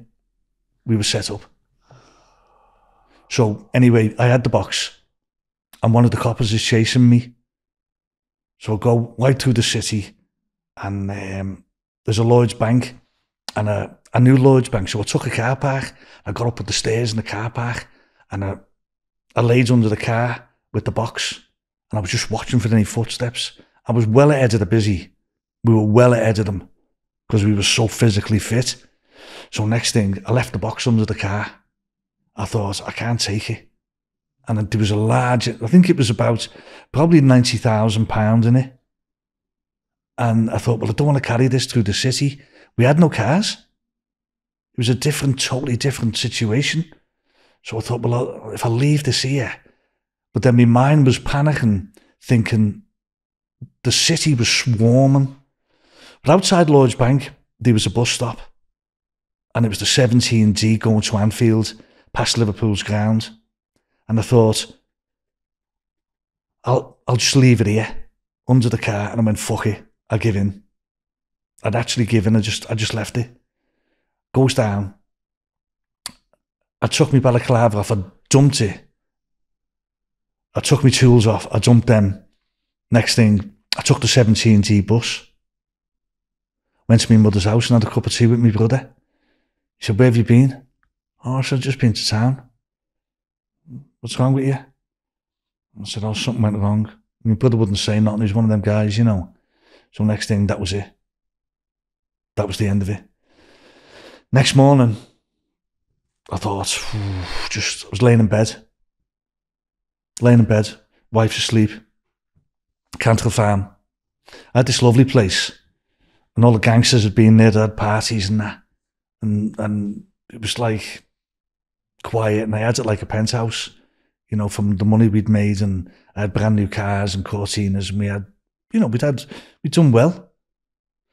So next thing, about six o'clock in the morning, bump, the door just comes right off the hinges. Bump, about six of them come in. I'm in bed and I've got the shock of my life. Copper puts a gun to my head and he says, Get out of fucking bed. You're under arrest. And I went, Get that gun away from me, mate. Fuck off. Because that's how, you know, I was crazy at the time. I said, Get that gun out of my face. I said, No, get the fuck out of it. Get up. They got me, they pinned me on the floor, my wife screaming. And I went, Oh, they've got me here. So next thing, they take me in, they search the house, there's nothing in the house. They tear the house apart, kitchen everywhere looking for money and everything. Never ever found anything. So what happened was they take me into St. Anne Street and I'm under the surveillance of getting questioned. And they're asking me, well, you're involved in this, you're involved in that. And they said, um, we're going to get you on um, quite a few robberies. It'd be approximately four of them. They said you hijacked a security van outside the Giro with pickaxe handles and you escaped with £73,000. And um, I looked at the file. As I was sitting there, this cop came in from the serious crime squad and had me, I seen the file and I looked over at it and it said Operation Transit, Terry Moogan. And as I looked at it, I went, hmm, wonder what they've got here. So I just usually, you know, we used our, our skills from when we were a kid. We just absolutely stayed silent. So I'm in, I'm in the police station. It goes on for about 12 hours. And I'm in my underwear and I've got a blanket around me. And there's just no food, no solicitors, no nothing. I thought. So the copper says to me, I tell you what, why don't you admit to one of them? He said, I tell you what, if you admit to the Giro and Bootle, we'll let you off with the other three. and I'm going, I'm going under my breath, fuck off. Get the fuck out of it. Who the fuck are you talking to? And uh, I just felt like saying, you know, you're talking to one of the fucking safest men in Liverpool that'll never say a fucking word, mate. I've never said a word in my life. So what he said to me, he said, we, we want to get you for attempted murder on the Moss Lane post office that you were found not guilty on for attacking him with a hammer. That man got seriously injured And next, I got the shock of my life. He said, We've got your friend John Lee. He was pulled in for the Bootle job on the Giro and the 73,000. He said he's admitted to doing the one in Sefton. Was he- he making that up? Yeah, or had he really done No, it? no, they got him. They got him. And so he got pulled in. He actually got pulled in on the job for Bootle on the Giro for 73,000. They thought it was me and they thought it was him because I was connected with him with the one in, in um, Sefton where he'd punched the guy through the window. And they actually said to him, We're not letting you out. So, John, we're going to get you. And he admitted to punching the guy through the window and he gets charged. So they said to me, Teddy, if you come up with this, we'll let you go. You admit with John Lee that you'd planned the Moss Lane post office hijacking. And I just looked at them under my breath and I used my self talk and went, fuck off. You're fucking joking, aren't you? So next thing, anyway, I'm in there. tw- 12 hours had gone by. No solicitor. They wouldn't give me a solicitor. 12 hours had gone by. So this big CID walks and he kicked the door. He went, Get him up. Get him up. Take him to the front of the sergeant. So they go to the front. There's, there's about six of them.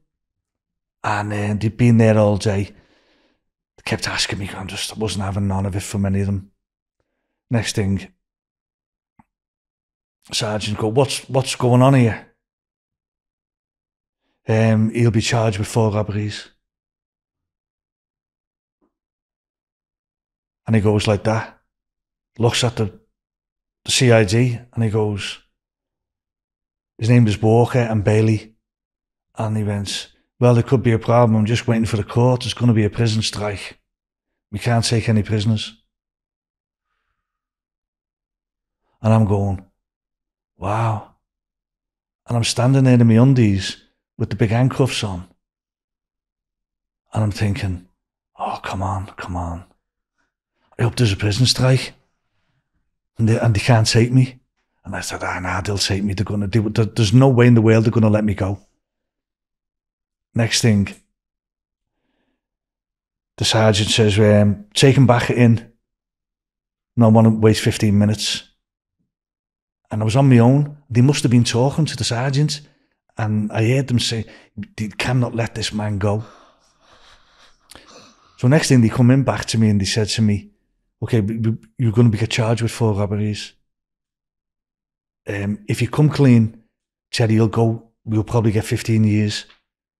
If you get you on the four year, if, if you get you on the four robberies, and I knew the four robberies, what they were talking about.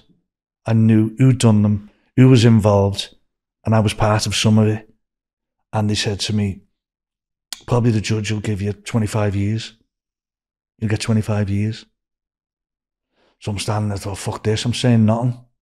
I'll take a fucking chance. I've never ever, since I was a kid, when I stole from the milkman, I never ever admitted anything in my life. And I'm, I wasn't about to start it now, even though I'd gone into the big time. And so they called me back out, and um, the sergeant said to me, um, Moogan, I want you to come back here tomorrow. And I looked at him and I went, We're giving you 24 hours bail. And I just looked at him and I went, Okay. And I had the cuffs like that, and it, the cuffs were on me, and I just turned like that, and I went to that, that to the detective. Okay, I'll see you tomorrow. Okay, can you can you take the cuffs off me? And they all started shouting at the sergeant. We no, you can't release him. You've got to you've got to get someone in power. This man's got to stay here. And the sergeant, I've told you, we've just had orders from the government. We cannot take any prisoners. There's going to be a strike. So anyway, they took the cuffs off me and it was killing them because they'd been after me for years. So it was going to get blown again. So I just thought, oh my God, this is the great escape. This is the great escape. So next thing I'm sitting there and they got a shirt and a pair of pants and they said, here, put them on. I said, all right, thanks very much.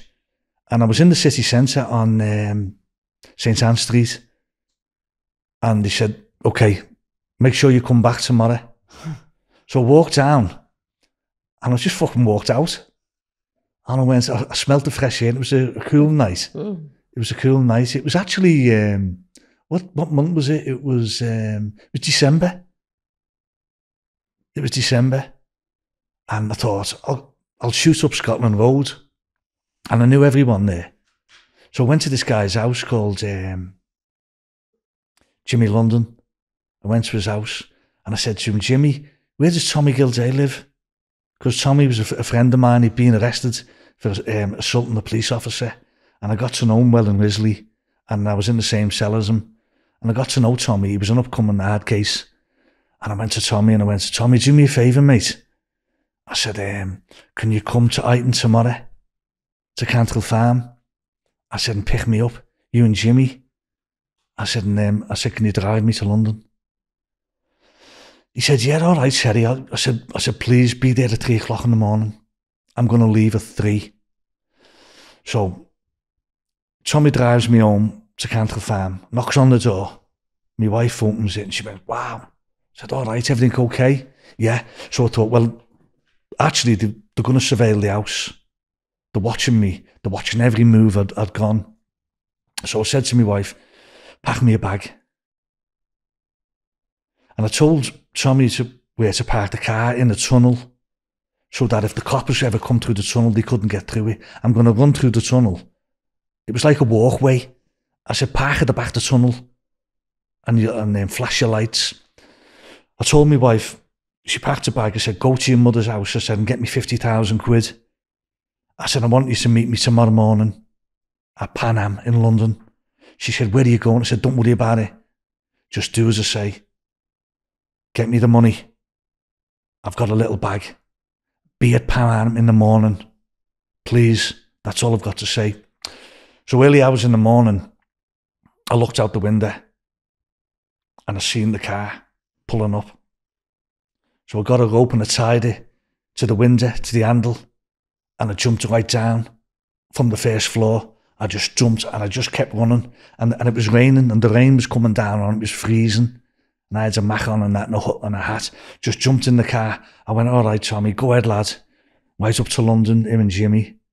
And um, I drove to London.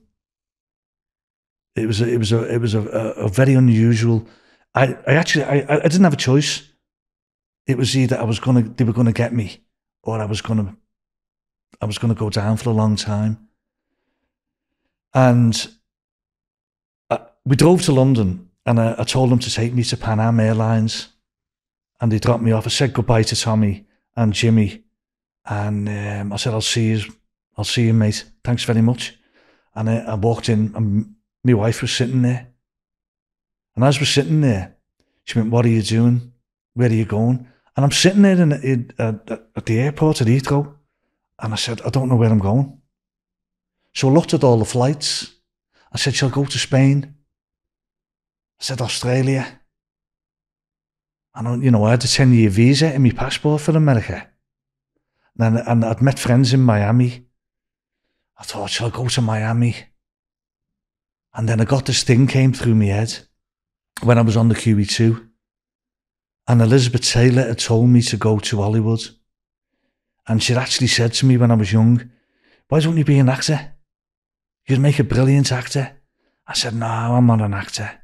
She went, Terry, even if you were a butler in Hollywood, she said they'd love you. And anyway, I looked at the flight and I went, Ah, fuck it. I'll go to LA. So I bought a ticket, a return ticket, and I said to my wife, I want you to sell everything. And I'd had a place in Southport.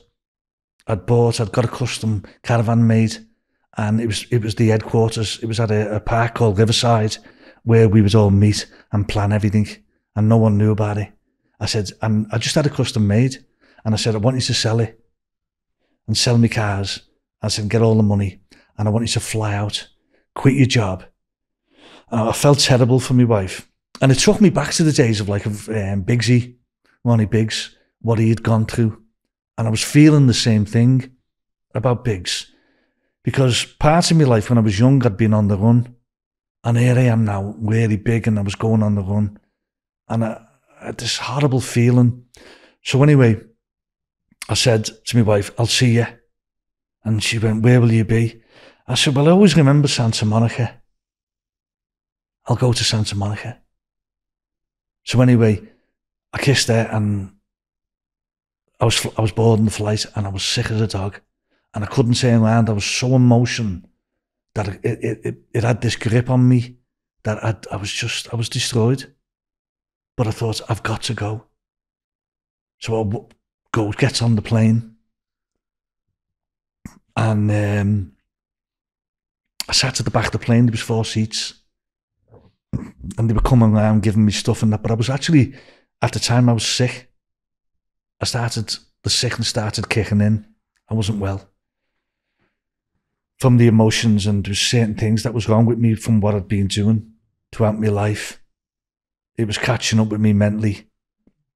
So gets off in Los Angeles, gets off the plane, and in them days it was like it was like a bubble.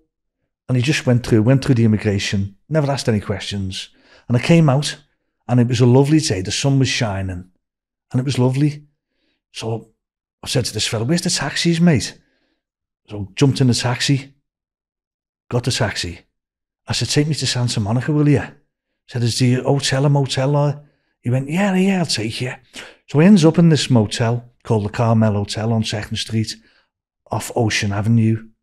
And it was a beautiful night and the, looking at the palm trees and all that. So I goes in this bar and it was um, called the Cheshire Cat. It was an English pub. And I went in, and the girl looked at me and I looked at her and went, she said, um, do you sell British beers here? She went, oh, yeah, yeah. I said, what have you got? She said, Newcastle Brown, we've got this, we've got that. I said, just give me a Newcastle Brown. And she was nice like. And she went, where are you from? I said, Liverpool. She went, well, the chef, he's from Manchester. I'll go and tell him. So next thing, the chef comes out. And I said, all right, mate, how are you? I said, all right, how are you? I said, from Manchester, from Liverpool. He said, what are you doing here? I said, I've just got here for holiday. I'm on holiday. Oh, are you? Yeah. He said, there's a British bar up the street called the King George V. He said, there's a Liverpool fella in there, he's the chef. I said, all right. I said, I'll go up there later. So I was tired and all that, exhausted. Booked into the Carm Hotel, it was cheap, It was like in them days, like, it was like $15. Banging. And I had loads of money with me. I had 50,000 quid. You know, it was good, it was good chunk of change. And then, you know, what else was coming over as well, what my wife had had. And um, so got my head down, slept. Next thing I thought, I'll take a walk up Fort Street, Santa Monica Boulevard, and seen the pub, two o'clock in the afternoon. Sunshine and beautiful. I was watching all the Cadillacs go by in the day then. All the lovely, lovely Cadillacs and Mustangs and all the big Jaguars, and it was beautiful. Thought this is the life, you know. And I goes in the pub. And I sat at the end of the bar, and there was a cockney behind the, the counter, John. He went, all right, mate, what you want? And I said, um, I've got a pint of lager. Where you fucking scarce it, are you? I looked at him and went, yeah. He said, there's one in the kitchen here. He's a fucking pain in the ass. and I went, really? yeah. And he said, I'll go and have a word with him. So the guy comes out in the kitchen. He comes out and he goes, all right, mate. And he's staring at me. And he went, I know you. He went, I know you. And you, Terry? He said, I slept in your mother's house.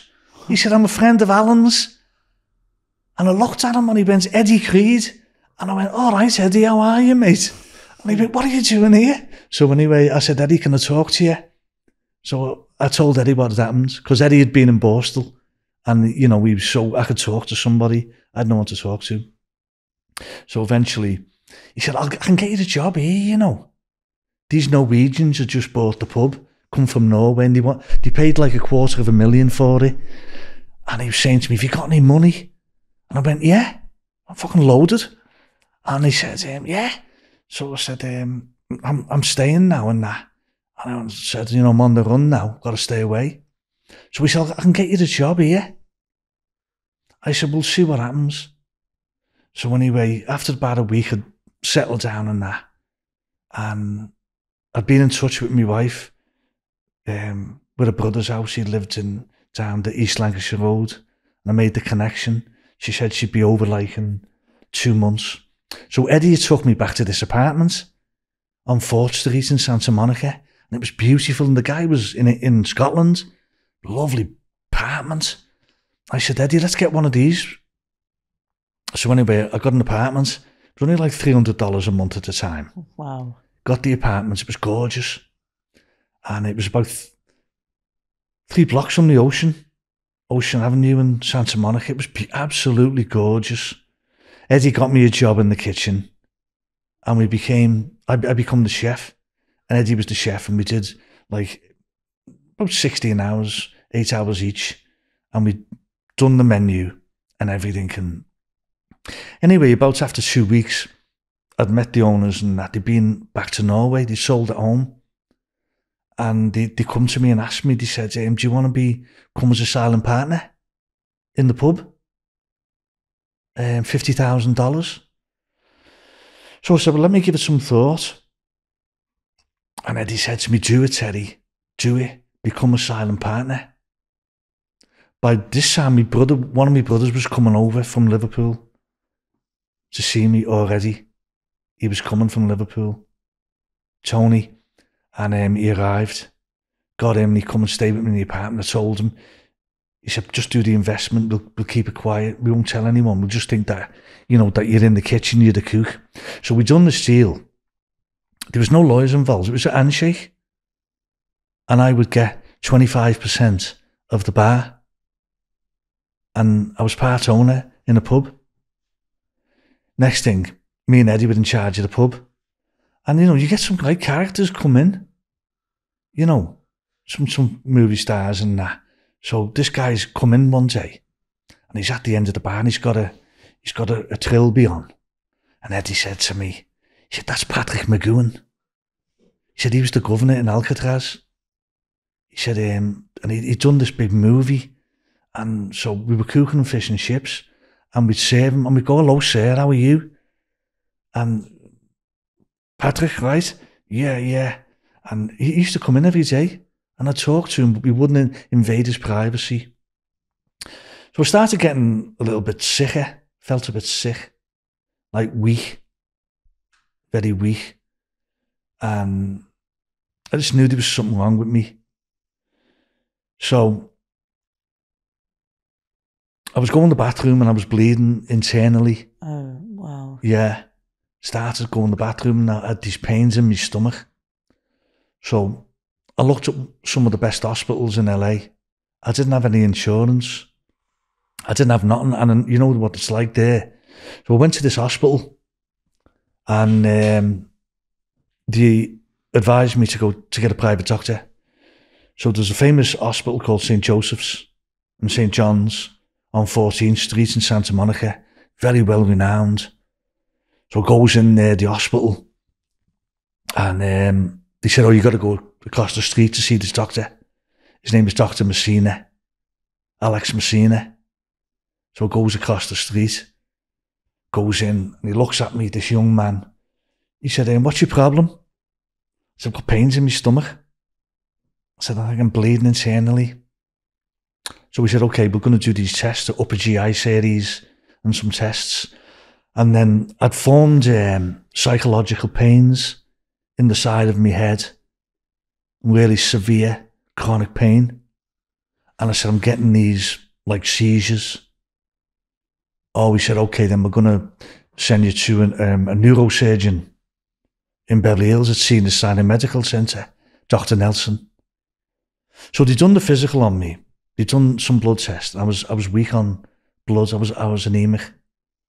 And then they'd done a scan on the upper GI. I had three massive bleeding ulcers. And he said to me, We're gonna have to take your stomach away. If if you don't seal them. So they sealed it with a drug called Carafate. And then I said, Well, what about the pains? He said, I'm going to put you on a course of Valium to calm you down. And he said to me, he was Italian, Dr. Messina. And he said to me, Why are you having so many problems? What is wrong with you? And I told him, I'd actually opened up and told the doctor my situation. He said, Well, if that's the situation, I'm going to have to give you a referral to a forensic psychiatrist. So I've gone to see Dr. Nelson, done two brain scans, one interview on a drip, and then another brain scan. And they came back. They were fine. I was in the clear. I was happy. I actually thought that I had a tumour on the brain, but everything was good. So next thing, Dr. Messina gets me fit. He gives me iron shots every week in the buttocks. It's iron, blood, to get the blood level back to normal.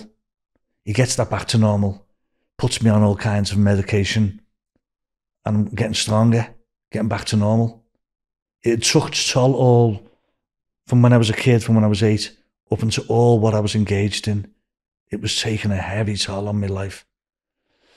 So I go to see the doctor in Beverly Hills. He was a forensic psychiatrist, Dr. Ralph Obler. And I sat down with him and he said to me, What is your problem? I said, I'm on the run. He went, What do you mean on the run? Oh, you mean on the lam? I went, Yeah, I'm on the lam. He said, What for? So I told him everything. And he said, Okay, I'm going to give you a prescription. I'm going to put you on Valium and an antidepressant. I didn't know what the antidepressant, I didn't even know what that meant. So it gets the Valium and the pain started going subsiding, getting better. I had a lovely place. Wife comes over. I buys a, bought a new Cadillac, Seville, and I bought a brand new Mustang. Got the bar. Everything's going fine. I'm getting a lovely wage in. Wife comes over. Everything's fine. Doing great. So on Second Street, you had Gold's Gym. Walked down there, so thought to start. I'll start training now again. Everything was going fine. So they just opened a new boxing gym. It was um, Muhammad Ali had opened a gym. And it was beautiful. So I walked in one day. I just walked in, I seen the ring. And um, these two black guys sitting there. And I looked at them. It was Muhammad Ali. And I walked in and went, hello, how are you? And it was his best friend, Jimmy Ellis. Jimmy was the, the WBA champion in 1972, and he was running the gym. And him and Muhammad Ali had fought each other, and they were best friends in um, Louisville in Kentucky. They were the best friends. So I said, can I come in the gym? And he went, yeah, sure. and um, I took I, I, took private lessons off Jimmy Ellis. I, had, I, was having private lessons with him. Yeah, boxing. And he said to me, why don't you fight? I went, nah. I said, and I was telling him all about Liverpool and that, you know, all the great fighters, John Conti. We had some great fighters, telling about Ronnie in New York. And that it was great. So anyway, we, we settled down. My wife comes over. She gets a job with, um, with a real estate company. And I give her the Mustang. Everything was fine. So one night, Eddie's in the bar, and in the bar, you get some nutters coming in, you know, walking up down Santa Monica Boulevard. We used to just chase them, you know, the homeless, and you know, we would just help them out and say, you know, you okay, mate? You know, we never really, but we just didn't want them around the bar. But we'd help them in a certain way, give them some water, give them like some French fries or something like that.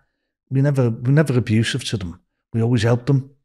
So this night it was, we, we decided we'd build the bar up and have a disco.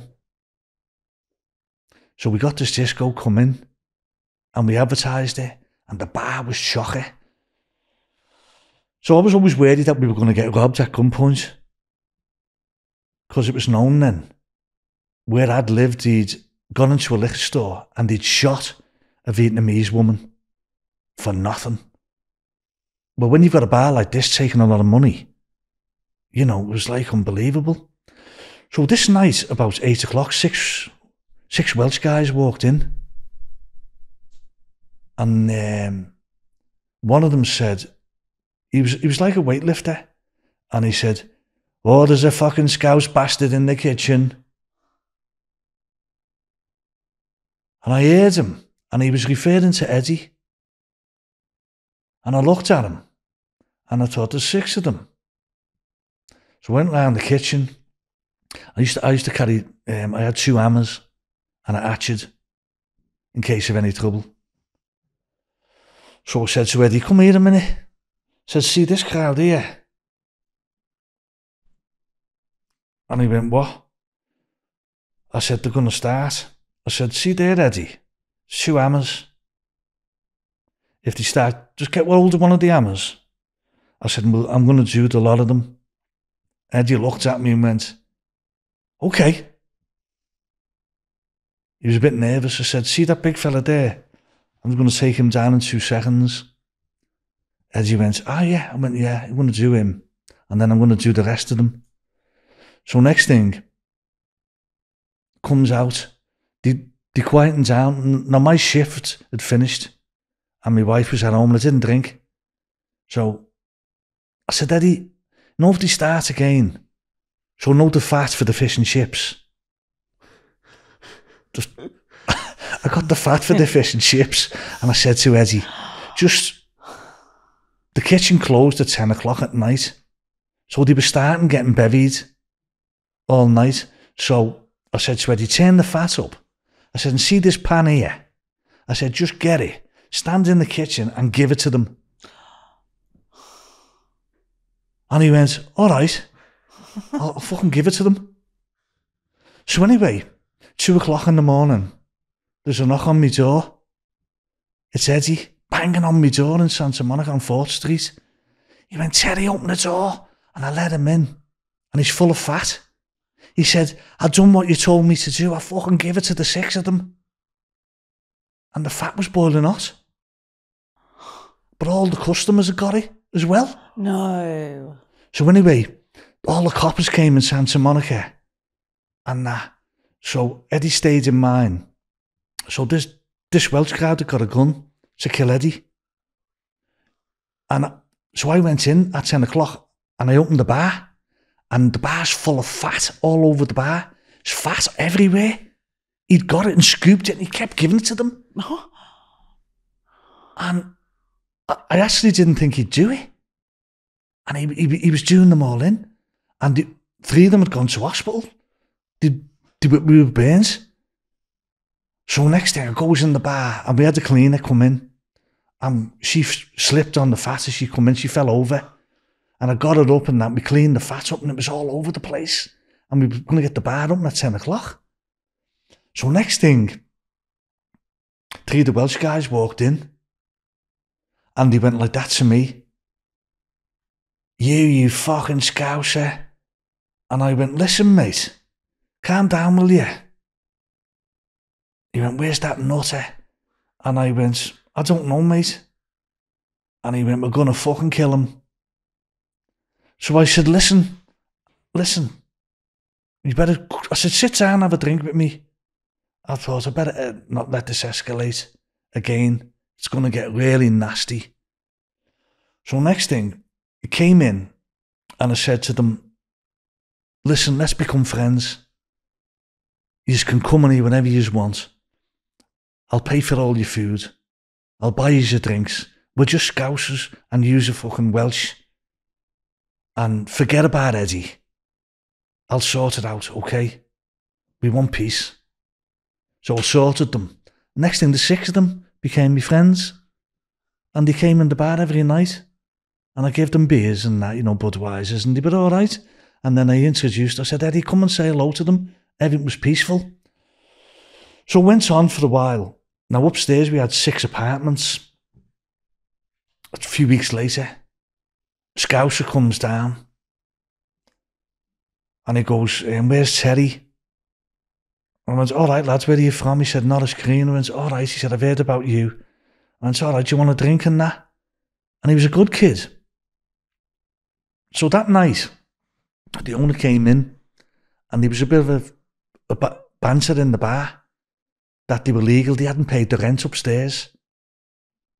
And the owner came to me and said, they haven't paid the rent. So next thing, I said, er er well, leave it for now. let them pay later. No, they're going to pay the rent and all. I said, no, leave it, Victor. Just leave it. So next thing, it was about, it got on to nine o'clock and Victor had a few drinks. And he starts going to me, you fucking scouse bastard. To me, it's your fucking fault and all this and that. And I said, hang on, mate, calm down. So anyway, I lost it. I actually lost it in the bar. So he was by a phone and, and he was arguing with me, and I was actually arguing back. That Liverpool way of arguing back at him. So I just, I stood back and I just threw a right hand and I hit him and I knocked him out. And I'd done him in. His wife had called an ambulance, took him to the hospital, and his nose was broke and his jaw was broken. And I went, oh my God. And I went home and I went, what have I done now? Next thing, I had to pack a bag. Ended up, the police gone to see him in the hospital. They'd the police.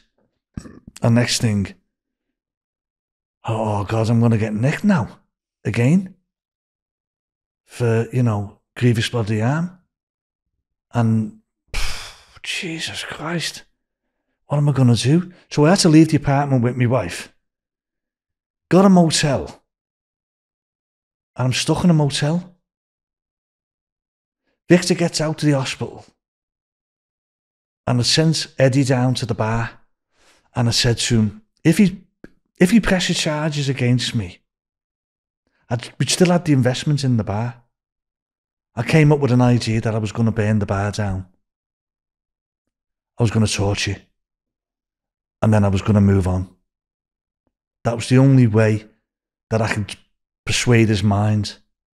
So Eddie went to visit in the hospital and he said, Has the police been? He went, Yeah. And she give Terry's name? He went, Yeah. He said, Well, Victor, you can't prosecute Terry. I'm telling you, Victor, you're dealing with the wrong person. The bar will be burned down. He's going to burn the whole bar down. So Victor agrees. Meets Victor in the bar a week later. I apologised. And he puts his arm around me and he says, Okay, you've got to leave. I've got to give your investment back. I said, Okay. Got my investment back. And I left. I left. So my other brother Alan had come over. I moved back into my apartment. And we'd gone to a place called the Tudor House. And I got a job as a baker. The manager took us as a baker, doing all the steak and kidney pies, the sausage rolls, and me and Alan got in. So we, Alan's, Alan became the head baker, and I was the assistant baker. But they brought a confectionery baker in. They brought a confectionery baker in, in the Tudor house. So we're there for a few months. I think it was 1980, late 80, the beginning of 81. So the baker was showing us all. The, he was a, he was a great baker, but he was a little weasel, and I was suffering from the my spine with my nervous system. And I went in the back to sit down. He went, um, um, I want you in the fucking bakery. Don't you be sitting down in there. And I went to him, hey mate, who are you talking to? I said, don't talk to me like that, I said. I said, I'll fucking bury you in a minute. And he shit himself. So him and Alan would work together. So one day, I leave the bakery and I go up to to see Victor to have some fish and chips. Next thing, the immigration raid the bakery and they get Alan and they get his wife. She's the cashier. So I come down after an hour and I see all these cars at the back of the bakery. And I'm looking. So I just done one. I knew there was something wrong. So they got Alan put Alan in downtown detention for- in deportation. The bail was $6,000. So the owner of the Tudor house had bailed Alan out and his wife, and they got out. So I thought to myself, what am I going to do here now? Elizabeth Taylor, the butler. I'll have to do what she told me. So I drove to Beverly Hills and I walked around. I parked the car I had. I had a big um, red Cadillac. It was gorgeous. Like a big movie star, you know. And I just parked it on Beverly Drive and that, and I walked up and down Beverly, Beverly Drive and I was looking everywhere for agencies. And um, I found one. It was called the Sandra Taylor Agency. And I walked in and said, um, do you do any butlers on that? And she went, yeah, yeah, we do butlers. And, you know, would you like to register? I went, yeah, okay. I said, is, is there any more agencies here? She went, yeah. She went, there's one down the street called the International Agency. So I, registered and I went down to the International Agency and I walked in. And this woman was sitting there. She had glasses on and that, and hair was all beautiful. And I looked, there was all film stars on the wall. And I looked at them all, and I was looking at them all, going, "Wow, this is beautiful." And um, she said, "What's your name?" I said, uh, "My name's Terry Moogan." I said, "I'm a butler." I was the butler, head butler on the Queen Elizabeth II. Oh, she said, "Here, fill the application in." Said, "I've got, I can, I can place you tomorrow in a job." And I went, "That's nice." So fills the application in, and had me Merchant Navy um, Seaman's card and my book and the and all where I'd been on the ships, and I'd done a few other trips on the ferries to Holyhead. And in, in the book, it had in the book PRS, Penthouse Room Steward, and it was done in red, which meant it was very high standard. So I took that standard and I used it to my advantage, and I told her, I said, "Look, I'm I'm one of the best butlers on the Queen Elizabeth II." So I'm sitting with her, and she said, I've got the ideal job for you. And I said, Okay. She said, I'd like you to come back tomorrow morning, and I'm going to arrange an interview for you in the hills in um, Hollywood. I went, Okay. Not thinking like who it is or, or ever anybody. And she went, um, do you do formal service? I went, yeah, I can do white gloves.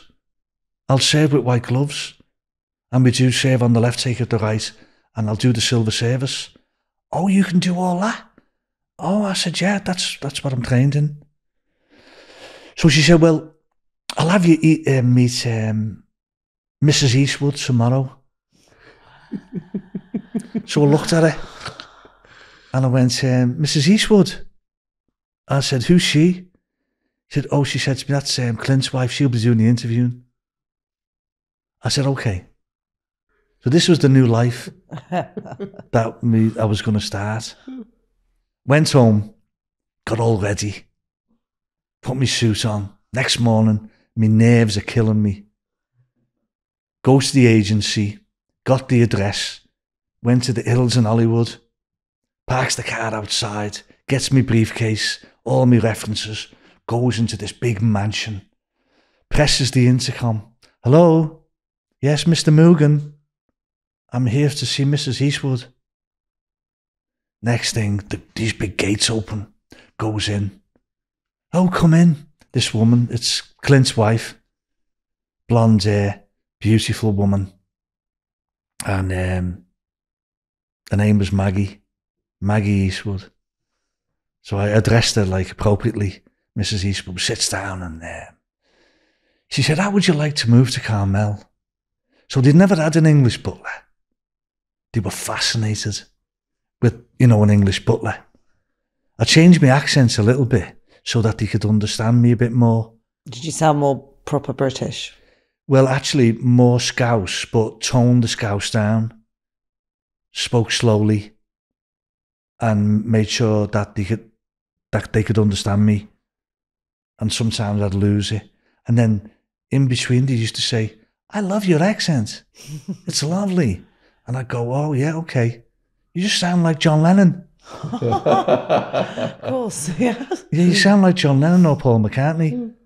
And I just looked and went, oh, that's nice. Okay.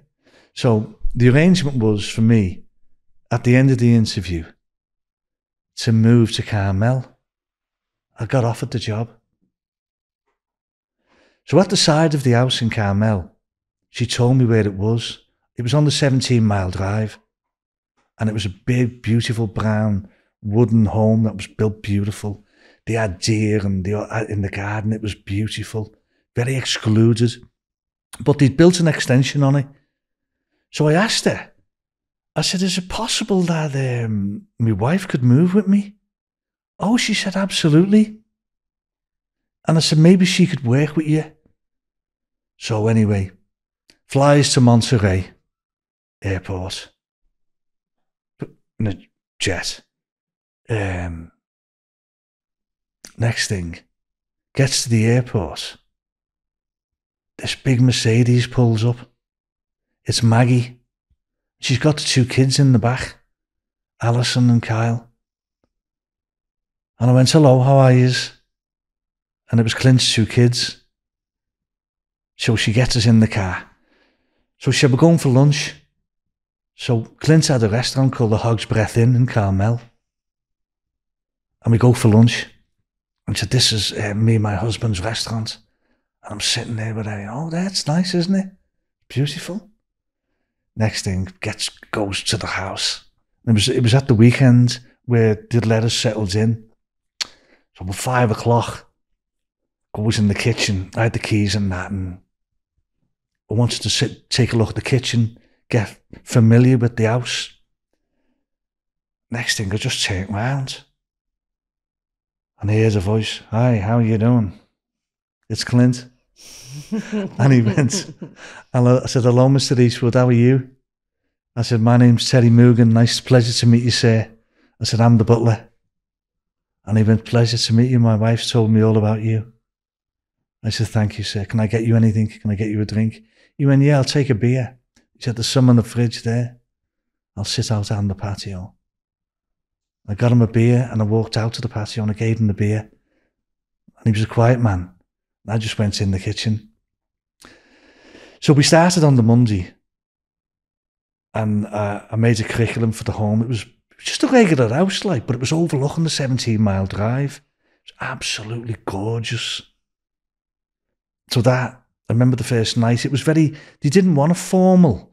Some periodically they would add formal and informal because the kids.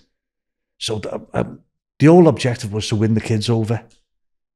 And I taught Kyle how to hit the speed bag. Clint had a speed ball in the house. And I thought I'd like to teach Clint how to do that. But I taught the son.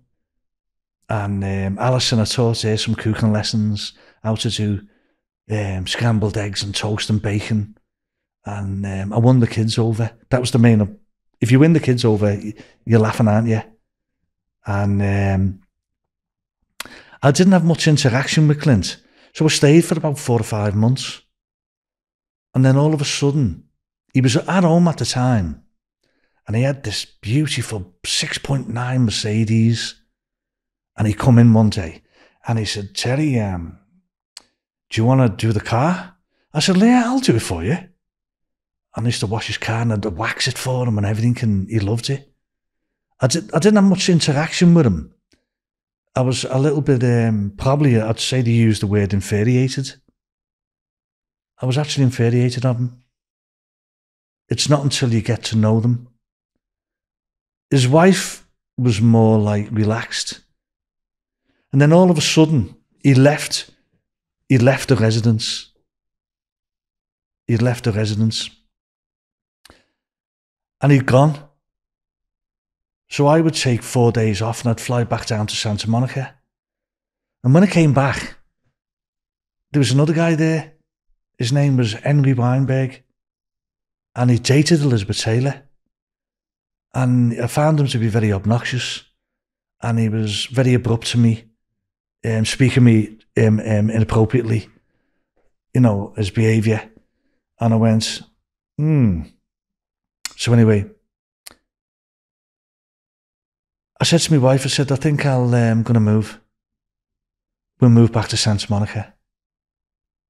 And I gave her two weeks' notice.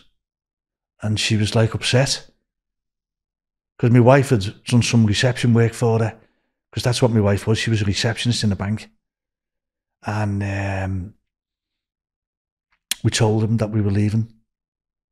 And the kid was upset, Kyle. He was doing a movie at the time called Honky Tonk Man with Clint. And it was sad because the kids were really lovely. Alison went on to be a model in LA and um, Kyle never took the acting up. He became a musician later on in life. So eventually I left. And I got a call on the landline because Maggie had my phone number. And she went, Teddy, where are you? Are you working? I went, no. And then in between, I'd gone down back down to Muhammad Ali's gym to see Jimmy. Started training with Jimmy Ellis again, getting more fit, stronger. Met a few fighters in there. One um, the welterweight championship of the world was um, Carlos Palomino, and I struck up a lovely friendship with him because I said to him, I was, I, I was at your fight in London when you fought with Dave Boy Green in 1977. He went, really? I went, yeah, I was at that fight. I said, yeah. And he was he was like delighted. And um, I struck this friendship up. So the call was from Maggie for me to go back to Carmel Valley. There was, his name was Merv Griffin. He was a, a multi billionaire. He'd owned a show called Jeopardy. He said, Oh, um, I've told this guy all about you in our country club in Carmel Valley, and he's looking for the butler. He, he said, She said to me, Would you consider it? Um, he'll meet you in, um, on his studios on Sunset and Vine. So I decided, ah, you know what? I'll just go anyway. So he got me number and he called me, and I had an answering machine, and Merv called me, and I called him back, and I set an interview up with him. So I went up to Sunset and Vine, and I goes in his office, and I goes in the office, and he welcomes me, and had a lovely suit on, dressed as usual as the butler. And he said to me, Well, do you want to fly back up to Carmel Valley in my private jet? I said, Yeah, okay. And he explained to me the ranch that he had, and it was set on the top of Carmel Valley, overlooking the valley. It was absolutely beautiful. So we arranged to meet at Van Nuys Airport. So when I got to the airport, I had my case with me, and I was looking at the plane. It was a, a little six seater. And there was a guy standing next to him. He was about 22, very good looking, American, dead tanned, handsome. And Merv said to me, Oh, this is my friend Tony. So I put two and two together. I thought, hang on a minute.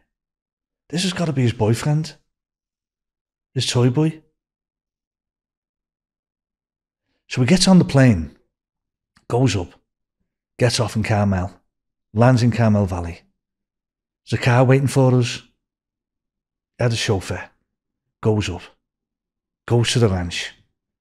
He said, Teddy, this will be your house here. Big 5,000 square feet house overlooking the valley. Goes to the main house, decorated with all, all the interviews that he'd done. The Beatles, John Lennon, all the big stars, Orson Welles. He did everyone in the world. So that night, he said, Teddy, what would I have so oh, for dinner? So they wanted filet mignon, asparagus, and mashed. Oh, actually, I did um, English roast potatoes for them, and they'd never had that before. So he asked me to join them at the table, which I thought was nice but unusual at the time. It wasn't my job to sit with anybody at the table. I wasn't part of the family. I was the butler. So I joined them at the table. And then all of a sudden, I could see this atmosphere can going a bit crazy, you know. And, you know, and Terry, you know, this, and um, me and Tony, you know, we've had this relationship for quite a while now. And oh, yeah, oh, okay. You know, like scouser, like I'm going, yeah, okay. That's nice, isn't it? So I didn't know what to do. I know where this is going. So next thing, I was there for two weeks, but I wanted to leave the next day. I wanted to leave. I thought, well, I'm, I'm stuck here. So I left, and he said, "Oh, Terry, you can come and sit on the sofa if you like and watch the TV with us." Oh God. so I went like that. I went, no thanks. I'll I'll I'll just go to my room and I'll watch the TV. so the next day, I was doing all the chores and I was cleaning up and everything, just as a regular penthouse butler. And I could see the bed that they'd been sleeping in the same bed. and I was going, well, I'll, you know, I'll just mind my own business. I'll I'll use diplomacy. I won't say nothing, and I'll just carry on. So a few nights later, they went out one night, and then the next night, um, I'd done um, a pan of scouse. You know, pan of scouse, just like Irish stew, you know what it is, but it's scouse. And, and it was lovely. It was lamb and, instead of beef. And I set the table lovely. And um, Terry, would you like to join us? I said, no, I'm fine. Oh, no, we'd rather you join us. So I joined them again. I was going, oh, where's this going, you know? So anyway, where it went to was we sat on the so he, he, he said I want you to sit here come and sit here and I, I, sat there with them and I was felt so uncomfortable and he said um, you never know could turn into a threesome No. and I went oh my god Just like that. just like that and he said I think Tony likes you and I went like that under my breath I'll fucking knock Tony's head off. and anyway, it went sour. So I perse- persevered for two weeks and he was flying back to LA and he thought I was coming back. Got to Los Angeles and I went with him to his office. I said, You know, you put me in a, a very awkward position in my life. I said, I can't return. So, and that was it. And he paid me. So eventually, I'd left Merv Griffin. Where did we go back? I went to the international agency. And I thought maybe I'd just stay around Beverly Hills this time. And I was close to Santa Monica because I had the apartment. Goes back to Dora.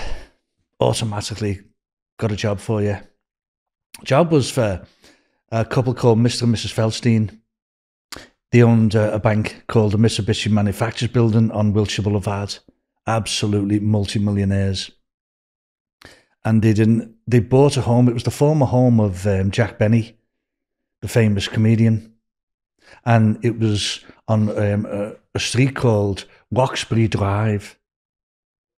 Roxbury Drive was full of all the stars: Bugsy Siegel, um, Lucille Ball, Columbo. Actually, Lucille Ball's house was next door to the Feldsteins, and Columbo's was on the other side. So he goes to get this interview, and I met them. It was it was silver service every night. They wanted silver, white gloves, very appropriately done. So I took the challenge, and the money was good. I took the challenge. Actually, she was English, but she never told me she was English. I thought that was very unusual with her.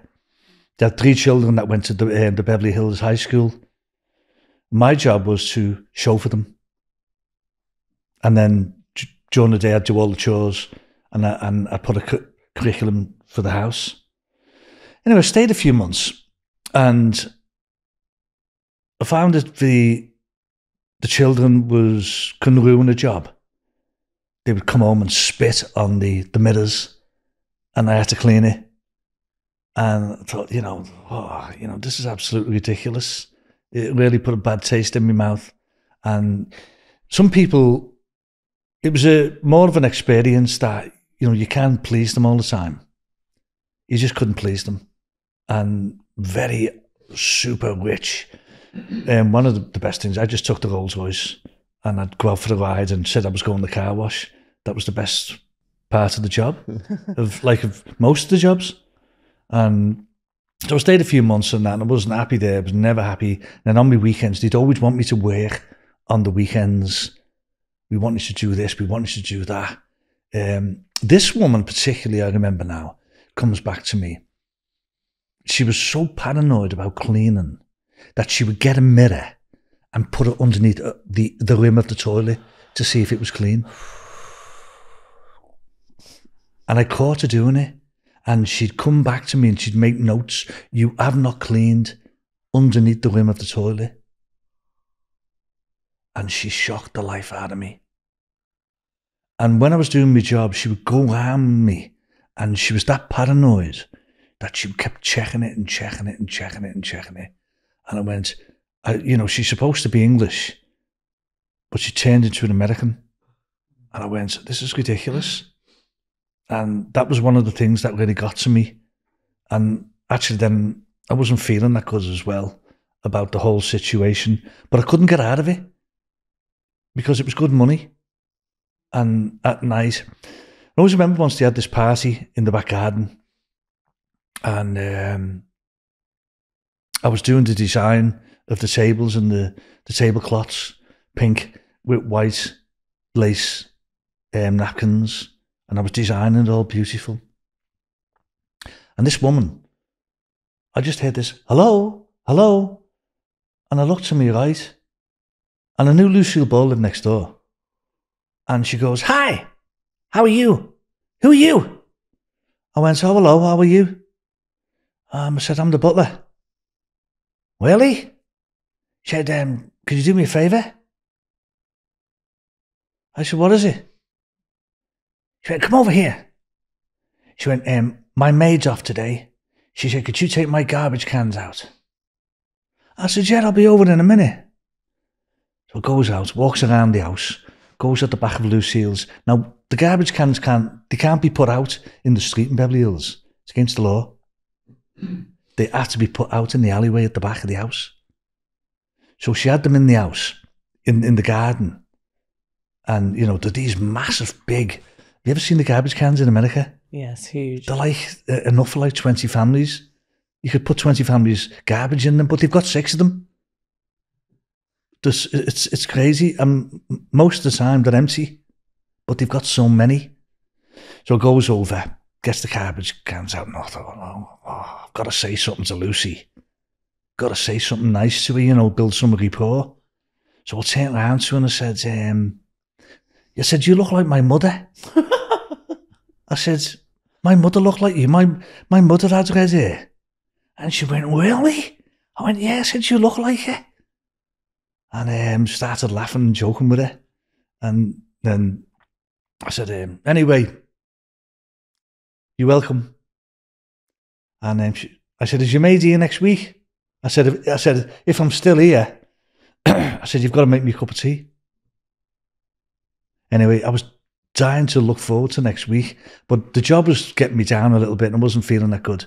I was still taking the shots of iron and I was still on the antidepressants and I was also on the Valium and I was going into a, a decline. Um, I was going into what you call a mental breakdown.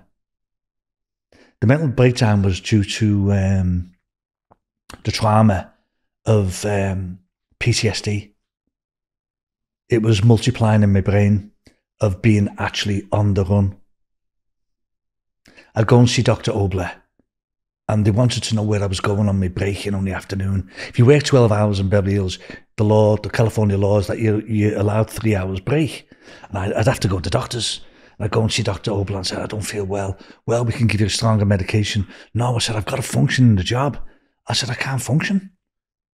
It was affecting me, you know, it was just affecting me and he said to me, um, "Well, um, it's possible then if this is affecting you that we might have to take you into hospital." And I looked at him and went, "What? What do you mean?" He said, "Well, we'd have to put you on a drug called thorazine." And I went, "What's that?" Oh, he said it's for people who are having breakdowns But you'd you'd probably have to be admitted into the hospital. And at the time, I didn't show that I was bad, but I was bad. I was having nightmares with the police. You know, the police um, putting the gun in my head, and that's all I. And it was just, it was horrible. And then it was just my life was just all come back to me. You know, it was just building up and building up. So I stayed another week or two, and I actually did say to Lucille Ball on the day. I remember it was a Tuesday, and um, I said to her before she leaned over. I knew the maid wasn't there because I didn't see the car, and um, I thought she's going to ask me to take them garbage cans out. I want a cup of tea with her.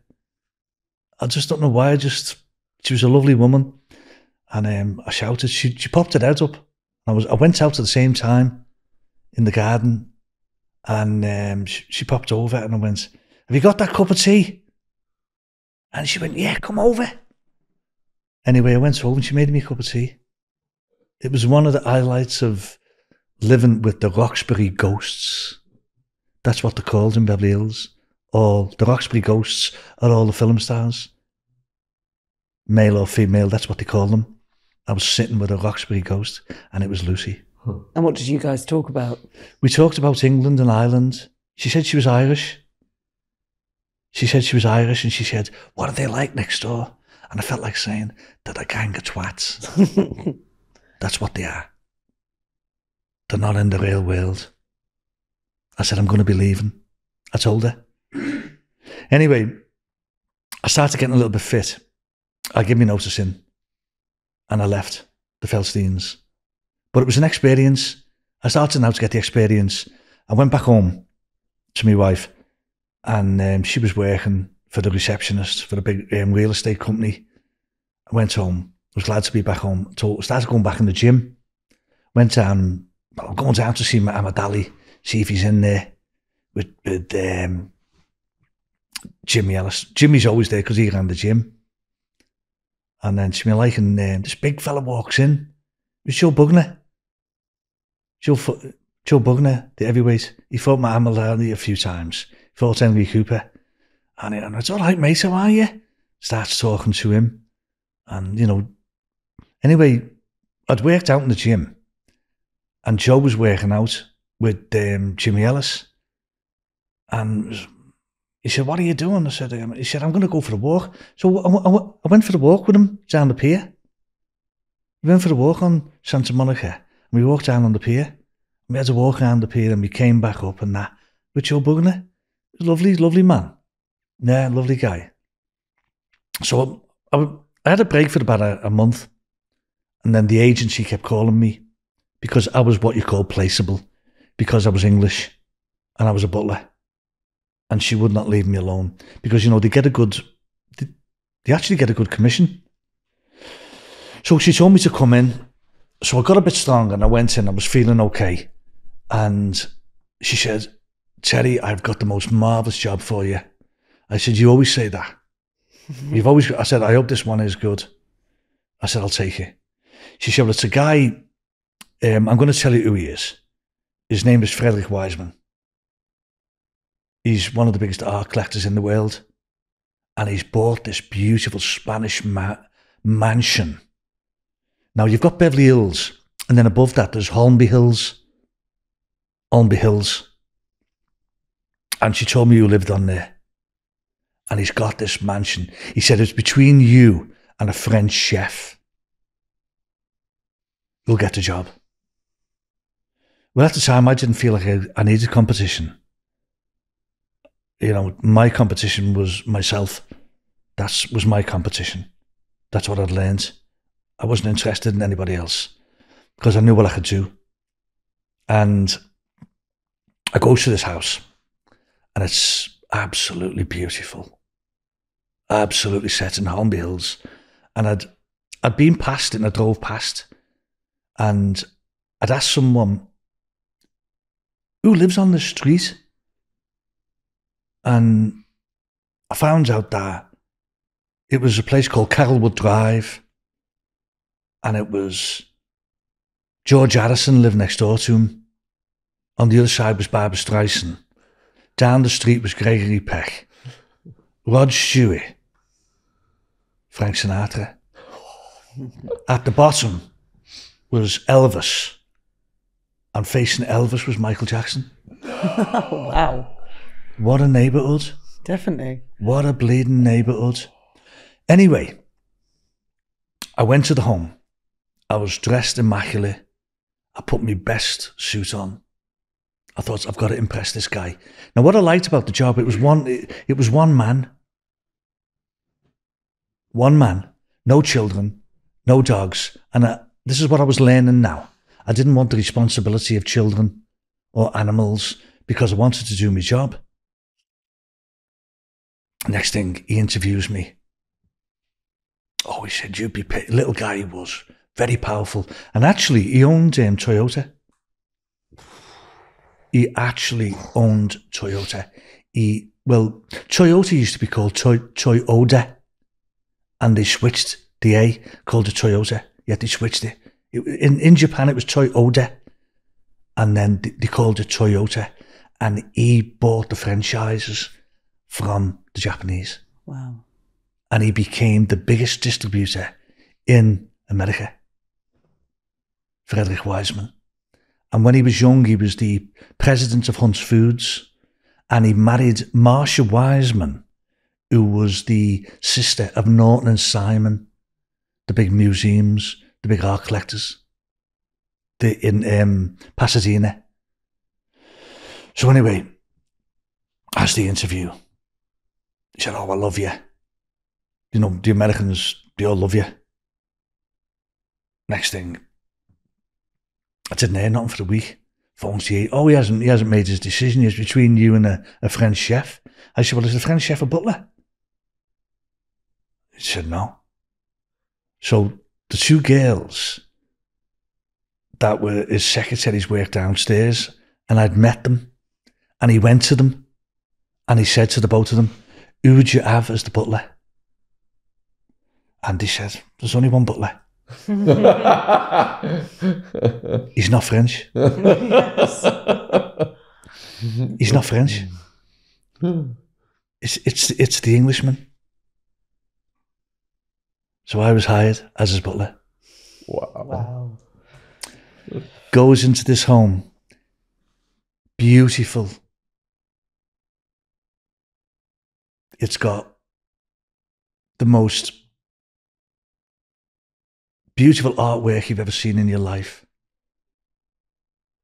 Henry Moore, Lichtenstein, um, Giacometti, David Hockney, Andy Warhol, all of them. Ed Ruscha, all the greatest artists in the world. And I didn't understand it, didn't understand the artwork, but the position that I was in, that I'd been put in, was absolutely beautiful. Anyway, I became the butler for Mr. Weisman and moved in. Mr. Weisman, his schedule, he would get up at six o'clock every morning, sitting in a little cove at a round table, eating raisin bran. And he'd have a three piece suit on with a, a tie that was very ostentatious and he, he looked absolutely beautiful. He had little glasses on, and all his hair was weaved. He'd had all a hair transplant, and all he ate every morning, all he ate every morning was the the raisin bran. Wow. And then I was left to have the home to myself. So I approached them and I said to him, "My quarters was beautiful. My bedroom." had looked over Barbra Streisand's estate. I could see the house. I could see, but I never ever looked ever. I, I just knew it was there. So I asked Mr. Weisman, I said, you know, is it possible that my wife could move in? He said, oh yeah, absolutely. So I brought my wife over and she moved in the house with me and she helped with all the chores and she helped with all the cooking. And the home, I can't explain the home. It's on um, Frederick Weisman Art Museum. And um, this experience that I had was absolutely out of this world. And for instance, one morning I got up and he was in the kitchen and we had um, a blue Corniche. And the Corniche was like beautiful. and then we had some Toyotas. And he said to me, Terry, I want to go for lunch today. I said, okay. You want the Cornish? And he went, okay, we'll take the Cornish. I said, where are we going? He said, we're going to Trader Vic's in Beverly Hills for lunch. I'd take him. I'd wait outside. Sometimes he would ask me to join him. I'd prefer not to. And I'd take him for lunch and he'd have a business meeting. And then I'd take him back home in, in the Rolls Royce. One of the best things was was the Rolls Royce. And he had a, a P.O. box on Sunset Boulevard for his mail. So I settled down in the job and it was easy, found it easy. And plus, he'd go back to Maryland for three weeks. So I had the house to myself. I've got the home to myself. Would you say that was your favourite gig? Yeah, it was the best ever in my life. So when he was away, the butler would play. and the butler did play. And I, I took advantage of it, but in a nice way, not in a, a destructive way. It was in a nice way. And what I did was, I took the Rolls Royce one morning and I put the top down. And I went to get the mail. Now, when you go through Beverly Hills, you've got all these streets, but there's one main street called Lexington. And I'm going through, it's 8.30 in the morning, the sun's shining, it's April, and it's beautiful. Takes the mail up. On the way back, I have the mail. And I wore the uniform when he was in town, and then sometimes I'd take me tie off. I wore the black suit with a white shirt and a black tie. Usually, like it was very high, highly graded. So this morning, I took the tie off, and I was driving back from Lexington. I'm driving down Lexington. And I was feeling the sun and feeling uh, um, the freedom and the position I was in in life. On this side of my brain, it was beautiful. But on the other side of the brain, it was dark. I was on the run. It, it, stalked me.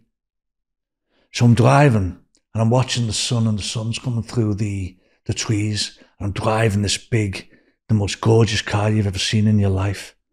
And I've got a pair of black sunglasses on. And I stopped at a light on Lexington. And I was like that with the sun, and I was like that. And I turned to the left, and I looked to the left, and it's Michael Caine. He's in the same car, but it was yellow. And I went, Good morning, Michael. And he looked at me, and I went, Not bad for the Scouser, is it? he went, Do you know what he said to me? Go on. You know what he said to me? Did you just steal that?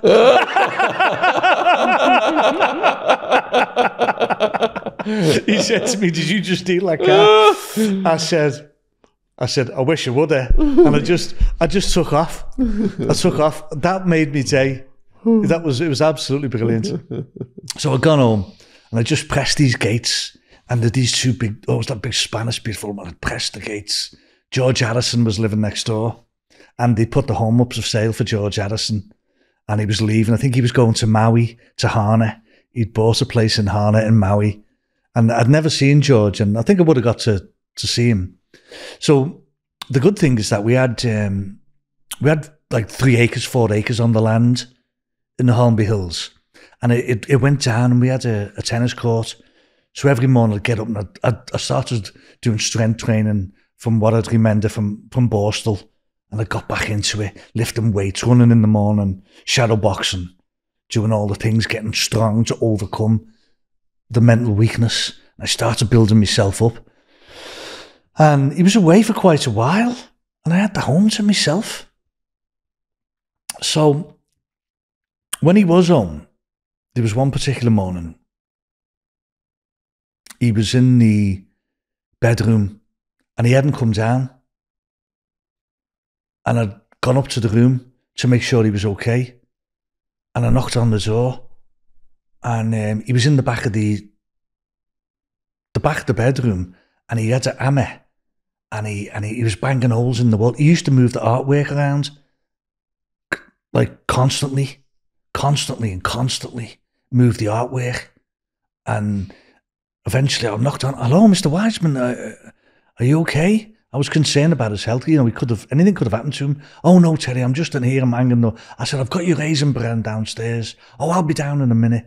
So he comes down the stairs, and he's got this. Actually, it was the same colour as that little dog there. Same colour as what you. Yeah, purple. It's the same colour as that. Isn't that beautiful? It's great, isn't it? Yeah. Sit between us. Yeah. so it was like that. So he comes down the stairs and but it had black spots on it. And it was like, you know, like a jockey. No one a jockey rides. So he comes down, he said, Teddy, out of a look. And I just looked at him. And I said, You look like a jockey. yeah, I said, I said, You look like a jockey. And he, he said, Oh, God damn it. And he ran back up and he took it off. And he put his shirt and tie on and he came back down. And he just sat there. He said, Anyway, I threw that in the garbage. And I, he put it in the garbage. So, you know, these experiences I'd had with him, and um, I got friendly with him. And one day he, he called me into his office and he said to me, Terry, um, I've ordered a Bentley from the UK and it's going to be the first Bentley that they've ever made. It was a Bentley Mulsanne and it's going to be arriving at the home. He said, but I won't be here. I'll be in um, DC, Washington. I said, okay. I couldn't wait for this Bentley to come. So anyway, gets a call at the house. It's on its way. It'd come from Long Beach in a container from England. This beautiful British racing green Bentley leather inside. I couldn't wait for it. Anyway, they brought it in a, a big truck and they rolled it out, got it out. I inspected it and, and they parked it in the driveway and I just looked at it and I went, wow, what a car that is. Couldn't wait to take my uniform off. Went in the house, said to my wife, get ready, take your uniform off. Now it came with a, a cassette, Frank Sinatra. Come with this cassette. And the fella showed me the cassette and it was my way. So I thought, um, I've got to do this. They left, they inspected the car, everything was great. Next thing, I said, come on, to my wife, gets in it. No one had had this car. No one. Beverly Hills. It was custom made. It was a quarter of a million. 250,000 quid. In them days in 83. Next thing, it gets in it, puts the tape in, and I was just driving like that. It was like a big tank. so it gets to Rodeo Drive, gets to Rodeo, and I put the music up. My wife just looked at me and, she went, I turned it up, drove down Rodeo, and all you could hear is Frank Sinatra, my way. I did it my way. I drive down there. I stopped the whole of Rodeo Drive. I went down to Wilshire. Everyone was just looking at this car in the street. Went to the Beverly Wilshire. Turned around. Came back. Came back up. And I just stopped the whole of Rodeo. And I just started laughing. And my wife was going, wow. If that would have been filmed, it was like out of a movie. It was beautiful. Took the car home. It was lovely. Anyway, you come home, and it was all to do with art. Um, he told me David Hockney was coming to the house. I'd met David Hockney. Um, I picked him up from his studios actually in Hollywood, and I drove him over, and he, he was buying art from David Hockney. Um, I, I'd met Andy Warhol. Andy Warhol had done all, you know, the Marilyn Monroe collection. He'd got them on like five five a piece, five million a piece. Then biggest like it's worth 170 million today. Yeah. Yeah, yeah. So anyway, we started to get to really know me and that, and we formed a, a nice bond together. You know, it was nice because you're probably looking at me, a young kid, and um. So one day, I told him, I said, like, you know, you haven't been in the Bentley yet, so can I drive you? Let's go. I'll, I'll take the Bentley. I said, we've got a nice CD in it. And he said, Oh, that would be nice.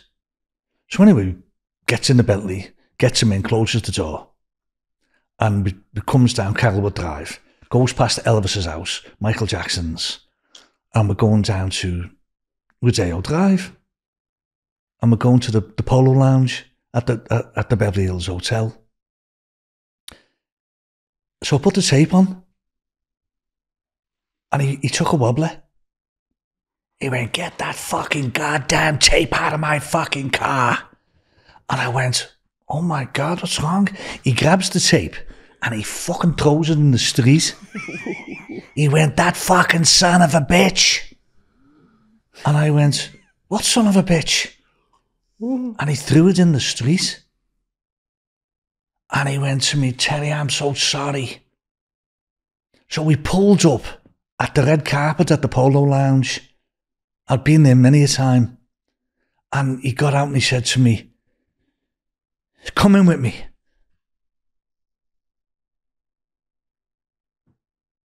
And I looked at him. I said, Is everything okay? He went, It's okay, yeah.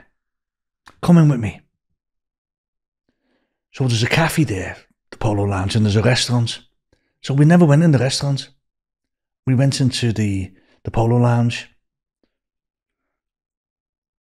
And he said, um, in 1969, I was in here, and the Rat Pack was here. He said, and I had a fight with Frank Sinatra. He said he made some words against me, against the Jews, because Weisman was a Russian Jew, and he'd made these. They were being loud, the Rat Pack. It was, um, I think it was Dean Martin's birthday and they were making all this noise. So Weisman said, Excuse me, can you keep the noise down? I'm having my lunch. And Sinatra said to him, Who the fuck are you, you little Jew? And next thing, Weisman gets up and he whacks Sinatra, breaks his nose, and gives him two black eyes. And I've done a chapter in the book. It's called All Black Eyes. That's the chapter I've done in, in the book. Wow. So Weisman was telling me the story. Next thing, the story that he tells me, Sinatra's bodyguard had intervened and hit Weisman and blackjacked him. Now, for the audience, blackjack means blackjack it could be with a kosh, where the blackjack is over the, the head, or it could be it was a phone. The bodyguard picked the phone up and hit Weisman. Weisman collapses. All of a sudden, an hour later, he's in Cedars-Sinai Medical Center with a tumor on the brain. The Rat Pack gets up, they all leave. Eventually, the police called Frank Sinatra in. And he said, no, he, he punched, he bumped my nose and he gave me two black eyes. So they blamed Weisman. There was no charges against Weisman. Or there was no charges against Sinatra. And it was left. And it was a very famous thing that had happened in the Polo Lounge. And he'd explained that to me. And that was the reason why he grabbed the tape out the Bentley. Absolutely unbelievable story that he had told me. And it was famous. And so we got along together and we'd been moving some of the artwork. So one day they were knocking a wall down in the house. They were putting Henry Moore. He loved Henry Moore, the, the, um, the great British artist. And he was a sculptor. And he said, Terry, I'm going to get this Henry Moore. I'm going to put it here. I think it, he told me it was $2 million. It's still there today. So they knocked the wall down And we had this construction site come in. So at the end of the day, I had to check the house. I had to secure it to make sure that all the doors were locked, etc. Make sure the gates and and I was good to the construction men. I'd bake them tea, give them a sandwich. So this day, it was about five o'clock. My wife was there. She was doing some chores, doing something for them, or with the secretaries. They were downstairs. So I was I was upstairs and I was checking the rooms in the house. And I come across this door and I was just checking it. And I just checked it and it was open and it should have been locked. I've never seen it open. And I opened it and there's a safe about, oh, I'd say about five foot by three foot. It's like a bank safe. So I put my hand on the door and I opened it. And I looked inside, look around, and then I took to the left and there was two big bags like this. And I picked them up. And I unzipped one of them and it was full of $10,000 bill, um, increments of 10,000s. I pull one out, 10,000, 10,000, 10,000, 10,000. And I went, wow. Pick the other one up. Piaget watch in it. Diamonds, um, gold bracelets, and two Piaget watches there. Well, Piaget probably were 25,000 each at the time. Today would be 100,000. What was my first reaction? Right, I'm having that. I'm Yeah. having it. I'm having it. I'm on my way back to England. I'm going to buy myself said. a lovely house. Yeah. What stopped you? Well, this is the thing what stopped me. I put myself in the position of that. I'd sat at the table when he was away and I'd ate the same breakfast, which was raisin bran. And I read the Wall Street Journal and I read the US Today, what he had read. And it dawned on me I was developing and I was getting more educated. And I thought, what a beautiful life this is. Here I am, the sun's shining in Holmby Hills and Beverly Hills. I'm driving two Rolls Royces. I'm making $50,000 a year. Wow. A man's given me a job. Why would I steal his money? What?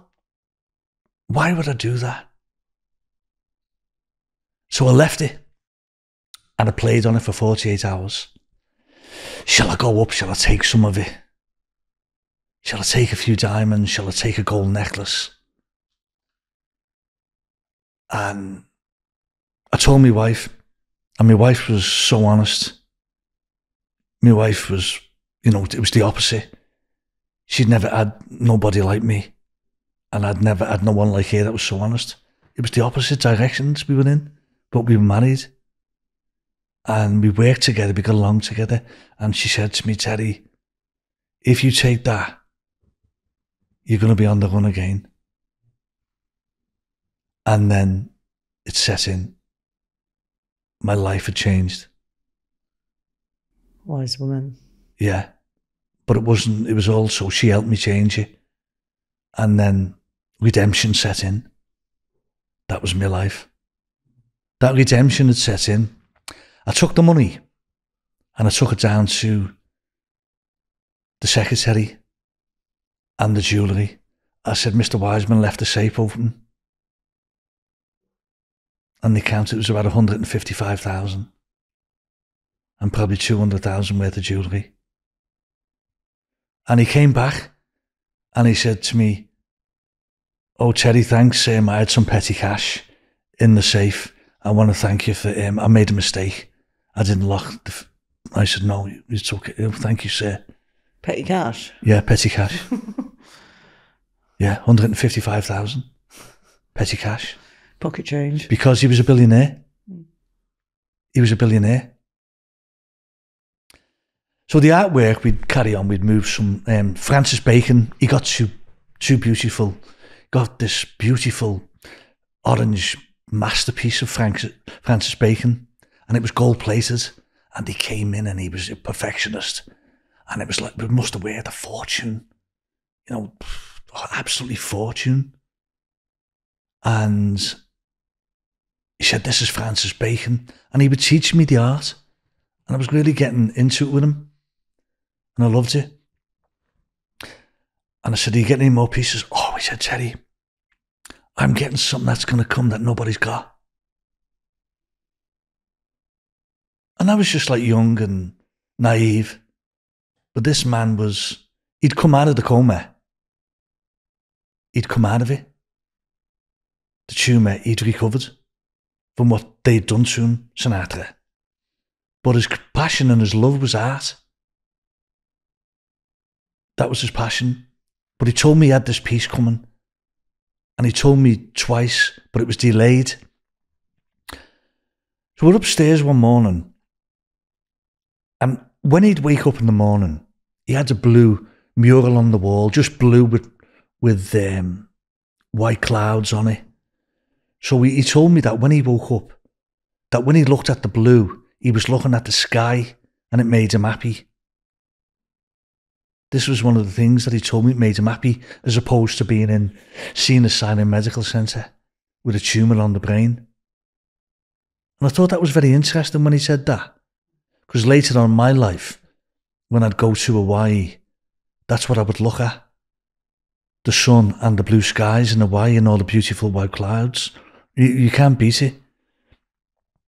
Anyway, waited a few more weeks. This masterpiece was coming. Comes in as his breakfast, as usual that morning. And he goes, Terry, I'm so excited. It's coming today. It's coming. And I'm looking, going, okay. He's all excited and I'm uneducated. At work. It's coming. Terry, when it comes, let me know, okay? It's coming here today. So two o'clock comes, the doorbell goes. Hello, can I help you? Yes, got a, um, a piece for Mr. Weisman. Lets them in. This wagon comes in. These two guys gets out, get the masterpiece. They bring it into the living room. And I'm just looking at it. I said, I've got to go and get Mr. Weisman. He's told me that this is coming. Goes down, gets him. He runs. I've never seen him so excited about his artwork. They unfolded it. And he looked at it. And I said, What is it? He said, This is the mother and child, Picasso. The only one in the world. Wow. wow. Of one of the only one in the world. And it must have been a fortune. You didn't find out how much it's set him back. I know what it's worth today. Go on. Um, today's value, Mm. it's priceless. So, it's absolutely priceless. Then I'd say 100 million, which is very, you know, Mm. it's up there. Yes. It's up there. but money didn't, it didn't bother him. Of course. What was giving him his life was the art. Mm. That was giving him his life. So anyway, he said, Terry, what do you think? I said, oh, it's absolutely beautiful, the mother and child, Picasso. So he said to me, where do you think we should put it, Terry? He said, I think we should put it over the mantelpiece. I said, it's going to guide the house. And I said, your house will be blessed. He said, okay. I went to the garage, got the ladder, got a big hammer and some wire. And it was all ready with the hooks. I measured it. Got the measure and I, and, and I put it there for him. It's still there today. that was in 1983. I'm just fascinated how you're using like a nail and a hammer in this day and age. You'd use a drill to Yeah. hang a picture. No, I the used a risk na- of it Yeah, sliding and falling and breaking. But yeah. You know, prices Probably later on. artwork. Just Later on, yeah, that's what we did. It was always with a nail and, nail and hammers. All the all the artwork that we moved was with the nail and the hammer. that's all I knew was the hammer, the hammer, the hammer from the robberies. Didn't that, they didn't fall off or No, no, no, no, solid, no. solid as a rock. Yeah. yeah. Yeah. And um, so this life I'd had with this man that was a billionaire was absolutely incredible. And I, I was learning so much. And one other occasion, he come out, he'd had his breakfast again, same to dance with him. And he got excited. He said, Terry, I'm so excited today. He was always excited. And he said to me, I don't know which car to take. I don't know whether to take the, the Bentley or the the Corniche. And he was doing this. I don't know what to do. And he said, I can't make a decision. Because he, he was like that.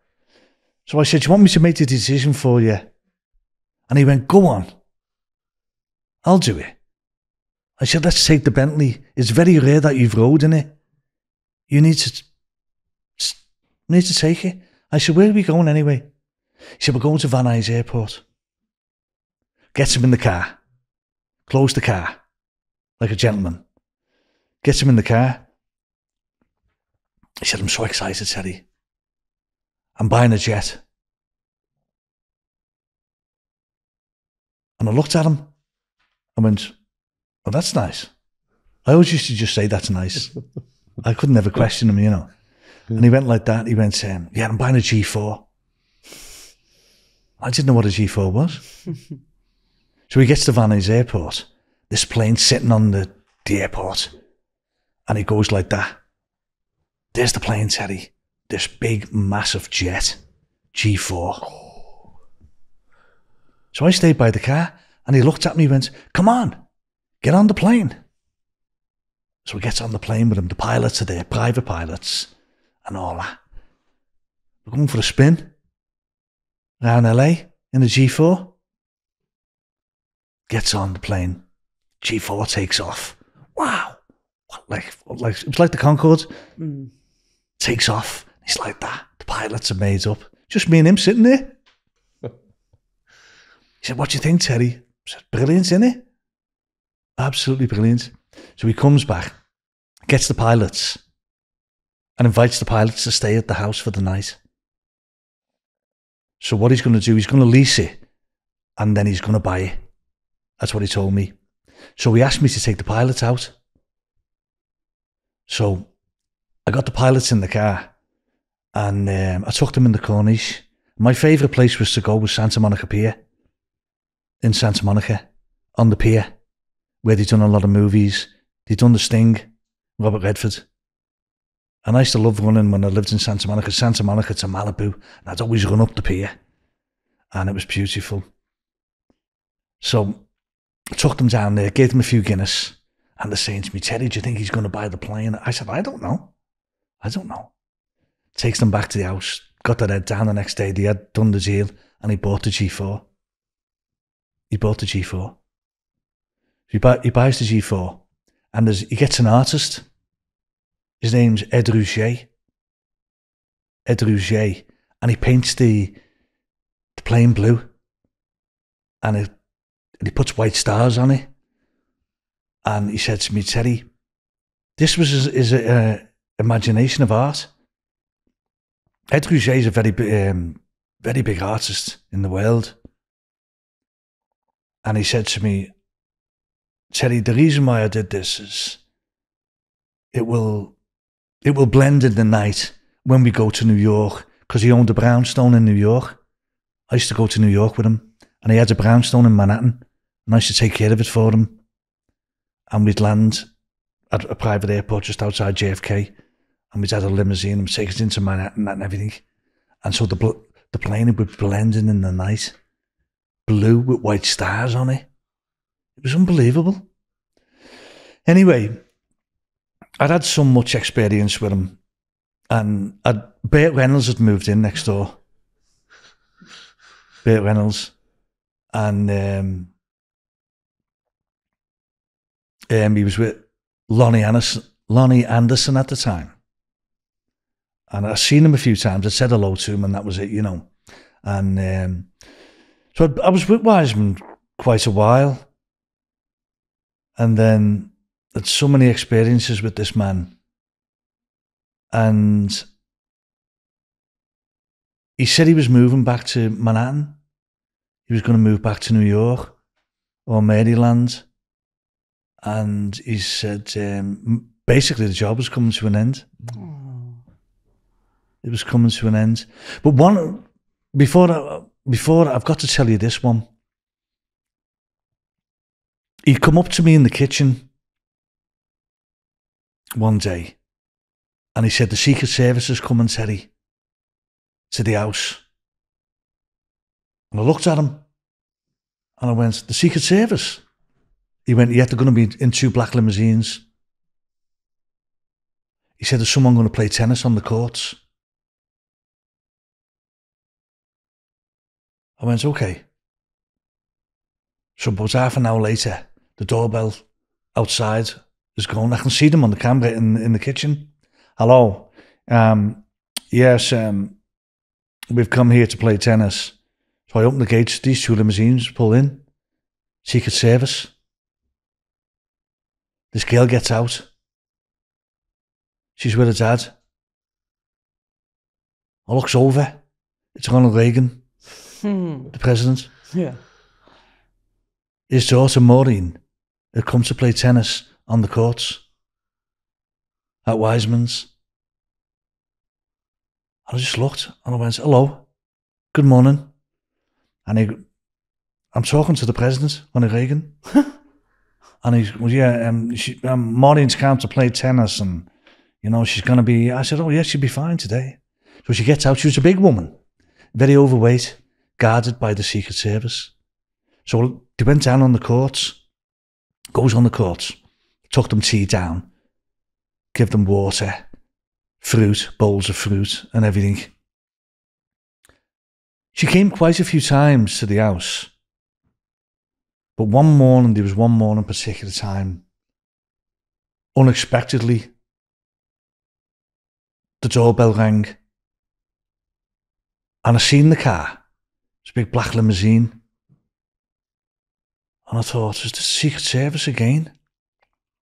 So I just automatically opened the gate. He said he had a parcel, a gift. So I opened the gate. The car comes in. Ronald Reagan gets out. And he says, um, Is Mr. Weisman home? I said, No, he's not home. He said, Could you give him this, please? And what it was was a photograph of Ronald Reagan at the White House, and he'd signed it to Mr. Weisman. Wow. And I took it, and I put it in the house. Took it, put it in the house. So I could feel that the job was coming to an end, and basically it did. That job had come to an end because he'd moved. He'd kept the house, and he was thinking of turning the house into a museum. And I finally had notice. He gave me a great severance package with um, $25,000. And I left. And I went back to Santa Monica. And then I knew the phone was going to start ringing again. So the butler was on the move again. To Hawaii next time. Yeah. Yeah. Crazy. Kahala in a Hilton hotel. The Kahala Hilton.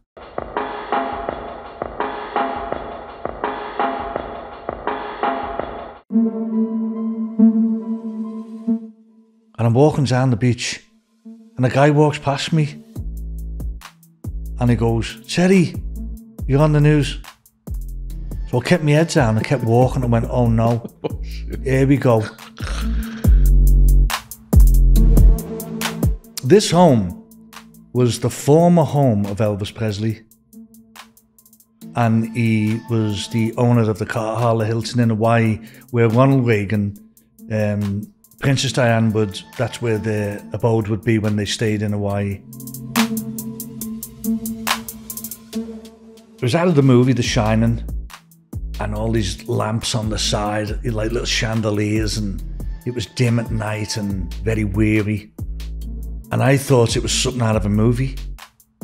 And the first thing she goes, Hello, are you the butler? Are you the major domo? I went to Spielberg and done an interview with him at his studios. And um, I didn't like his behaviour. I wake up at four in the morning and the smoke coming down the corridor. I'm going, what the hell is that? She had a mental woman in Trousdale Estates in Beverly Hills had access to a gun. And, and this guy said, Hello, this is the United States Immigration. Um, we want to speak to Terry Moogan. So I'd made an arrangements to fly back to England to face justice.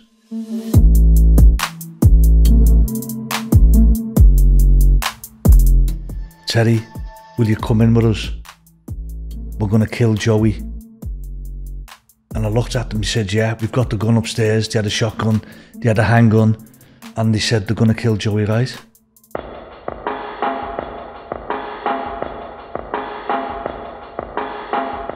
Terry Moogan, part three. We're on this epic journey now. We've gone through expert in armed robberies, heists in Liverpool, top of his game as a butler in Hollywood for the biggest names in the universe.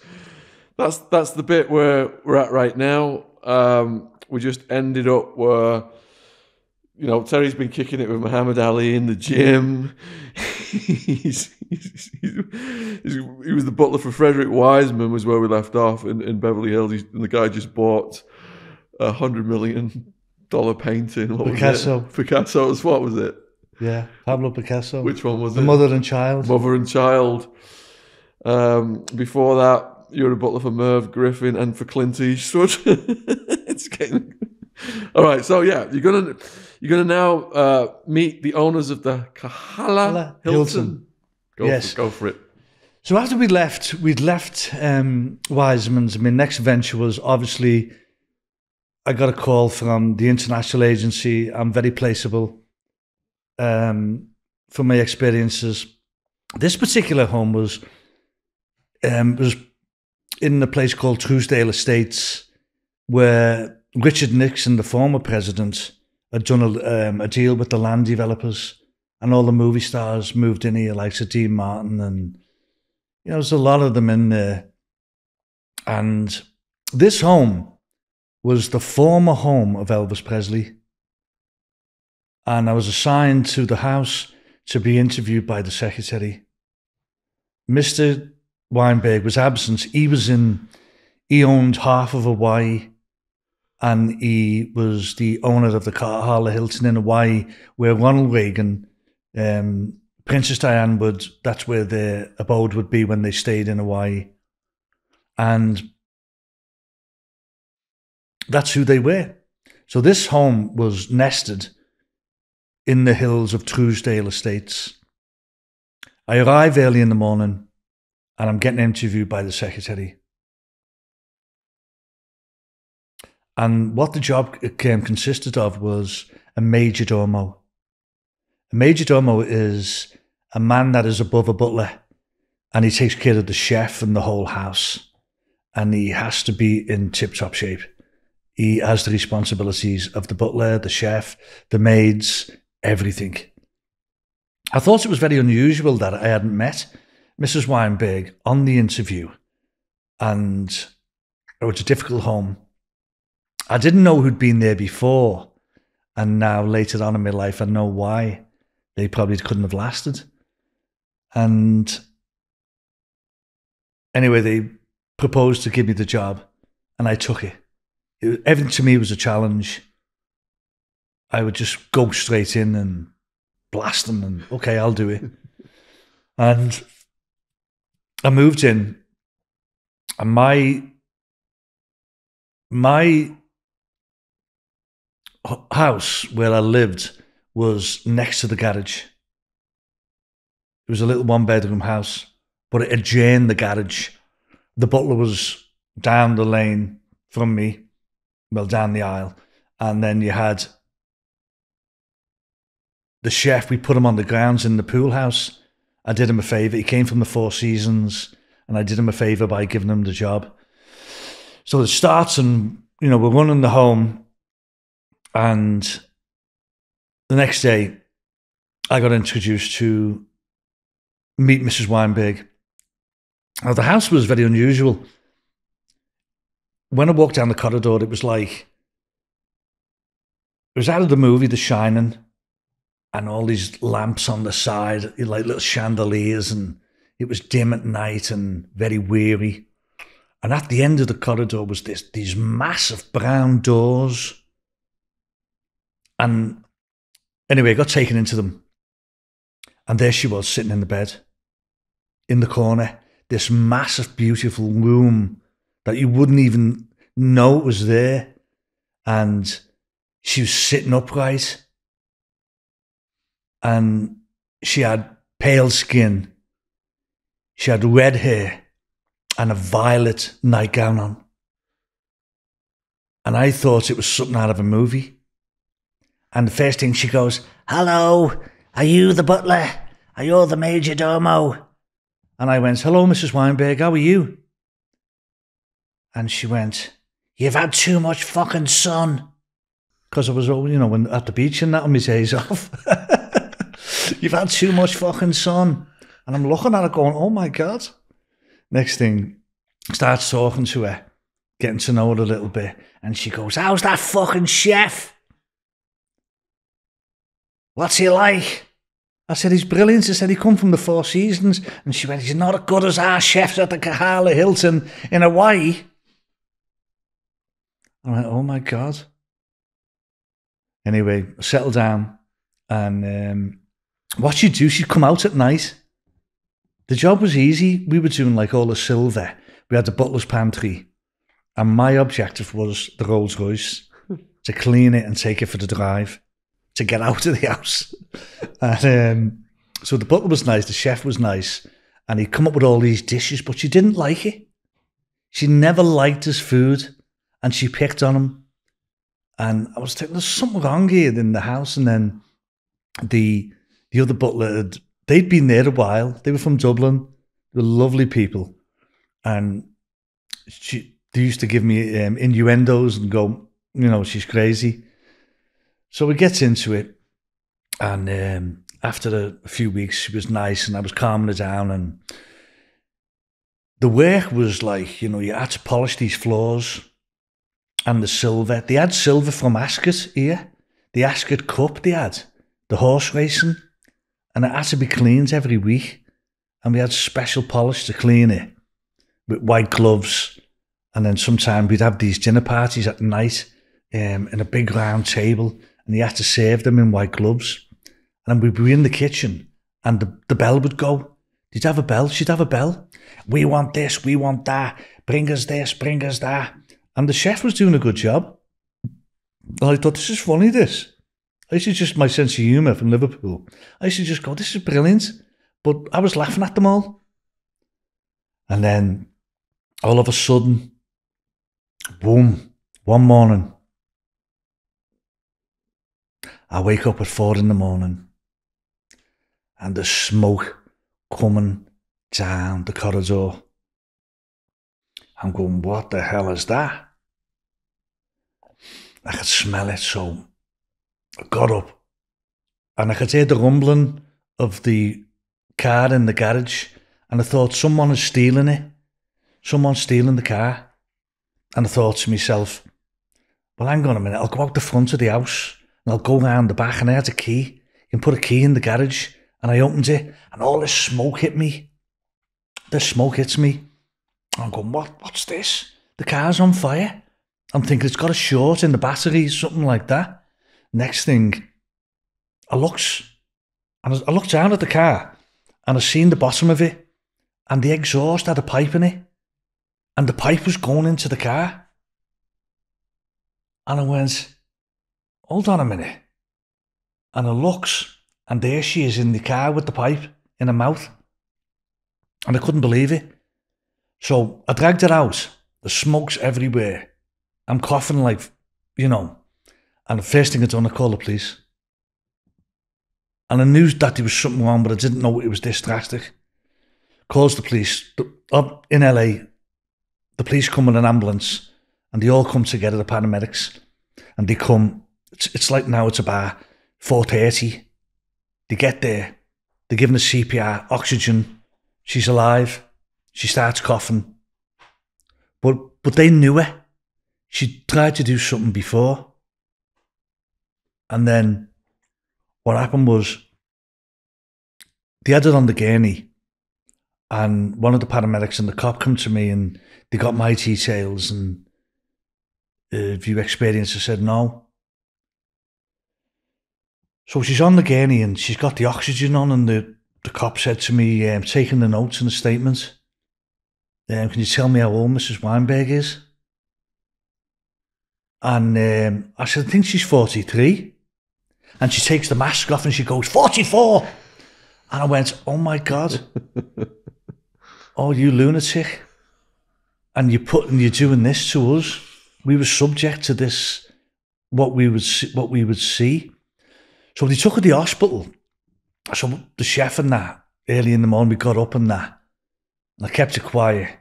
I said, she's gone to the hospital. And I, I didn't say nothing to the chef. I just said, can you do some bacon and eggs and that and give us some orange juice? And I just sat there with the other butler and that. So the other butler, he, said, I, I can't take it. So we went to doctor and the doctor advised them to quit the job. So they quit. Though she was in the hospital and she's calling me from the hospital from Cedars-Sinai Medical Centre, from the room. What's the chef cooking me tonight? Are you bringing it over to me? And I'm going, well, don't you get fed in the hospital? So she and I at medical centre. It's one of the best hospitals in the world. So I said, what do you want? She went, go to um, Nate Nell's on Be Beverly Drive, she said, and get me some lox and salmon. And I thought, okay. So I get the Rolls Royce over and I go over to the hospital. I'm going to see an asylum. She's in the psychiatric ward. I'm taking them in. I'm taking him into the woods. It's just unbelievable. I'm going, is this Scouser from Liverpool? I'm in Cedars-Sinai medical centre and I'm taking bacon and lox to a, a Jew. It was nuts. And she went, thank you, Terry. And then one night, she'd be nice to me and then she'd be going, and make sure you stay out the sun. It was absolutely bananas. So she stayed in there a while and then she was released. She came home. But for some reason, she didn't like the chef. So What nationality was the chef? he was American. American. Yeah, he was gay. He was he was he was gay, and then you know you know obviously you know when you know he's, he's gay, but I didn't judge him. I didn't mind because he was a good kid. He was just making a living. That's all he was doing. So I decided to. I just got along with it, you know, and I was making good money, and I just kept, uh, uh, you know, I just went along with it, and so she came home and one night. She come in the kitchen, and the chef was, you know, he was down by the pool, and he had a little dog, and the dog used to bark. So she, got everything out the fridge and she threw it all over the kitchen. The whole lot. I came out in the morning. All the food and the milk had been poured all over the kitchen on marble, one of the most beautiful kitchens you've ever seen. And I looked at it and I went, oh my God. I, I, me and the chef, we just cleaned it up. And she was going bananas. So the chef come in at about one o'clock and he said to me, um, I'm getting out of here, Terry. I'm done. And he left me. And he just pissed off. He didn't even get paid. Wasn't, wasn't worth it. it wasn't worth it. it wasn't worth it. So I'm left. I'm left there. I'm in, and it's Elvis's old house. And it had some beautiful pa- parties there because Elvis used to fly all the all the hula dancers in from Hawaii, I believe, in the day. And it was unbelievable, I got told. Periodically, Mr. Weinberg would come back home and I'd serve him. I'd serve him filet mignon, I'd do him lovely meals, me and the chef and that. Really lovely gentleman. But he'd only stay one night because she used to, I, I, I'd hear them arguing in the room. And she'd get his closet and she'd take all his suits and she'd dump them in, in, in the corridor. And she went, You can fuck off. You can get back to Hawaii. I don't want you in this home. And I was like, Oh my God. She'd go, Teddy, what's for my dinner? And I'd go, Okay, we've got you something nice. It was absolutely unbelievable. And it, what it reminded me of, it reminded me of the cuckoo's nest. You know, the cuckoo's nest that was done in 75. Uh, it was just like that. So I stayed and I was the only one there. And I just carried on during the day and I thought, well, you know, my time's coming to an end. And I didn't know that she had a gun in the bedroom. Yeah, she had a mental woman in Trousdale Estates in Beverly Hills had access to a gun.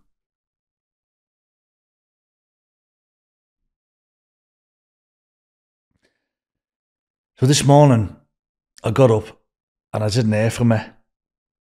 And it was very hard.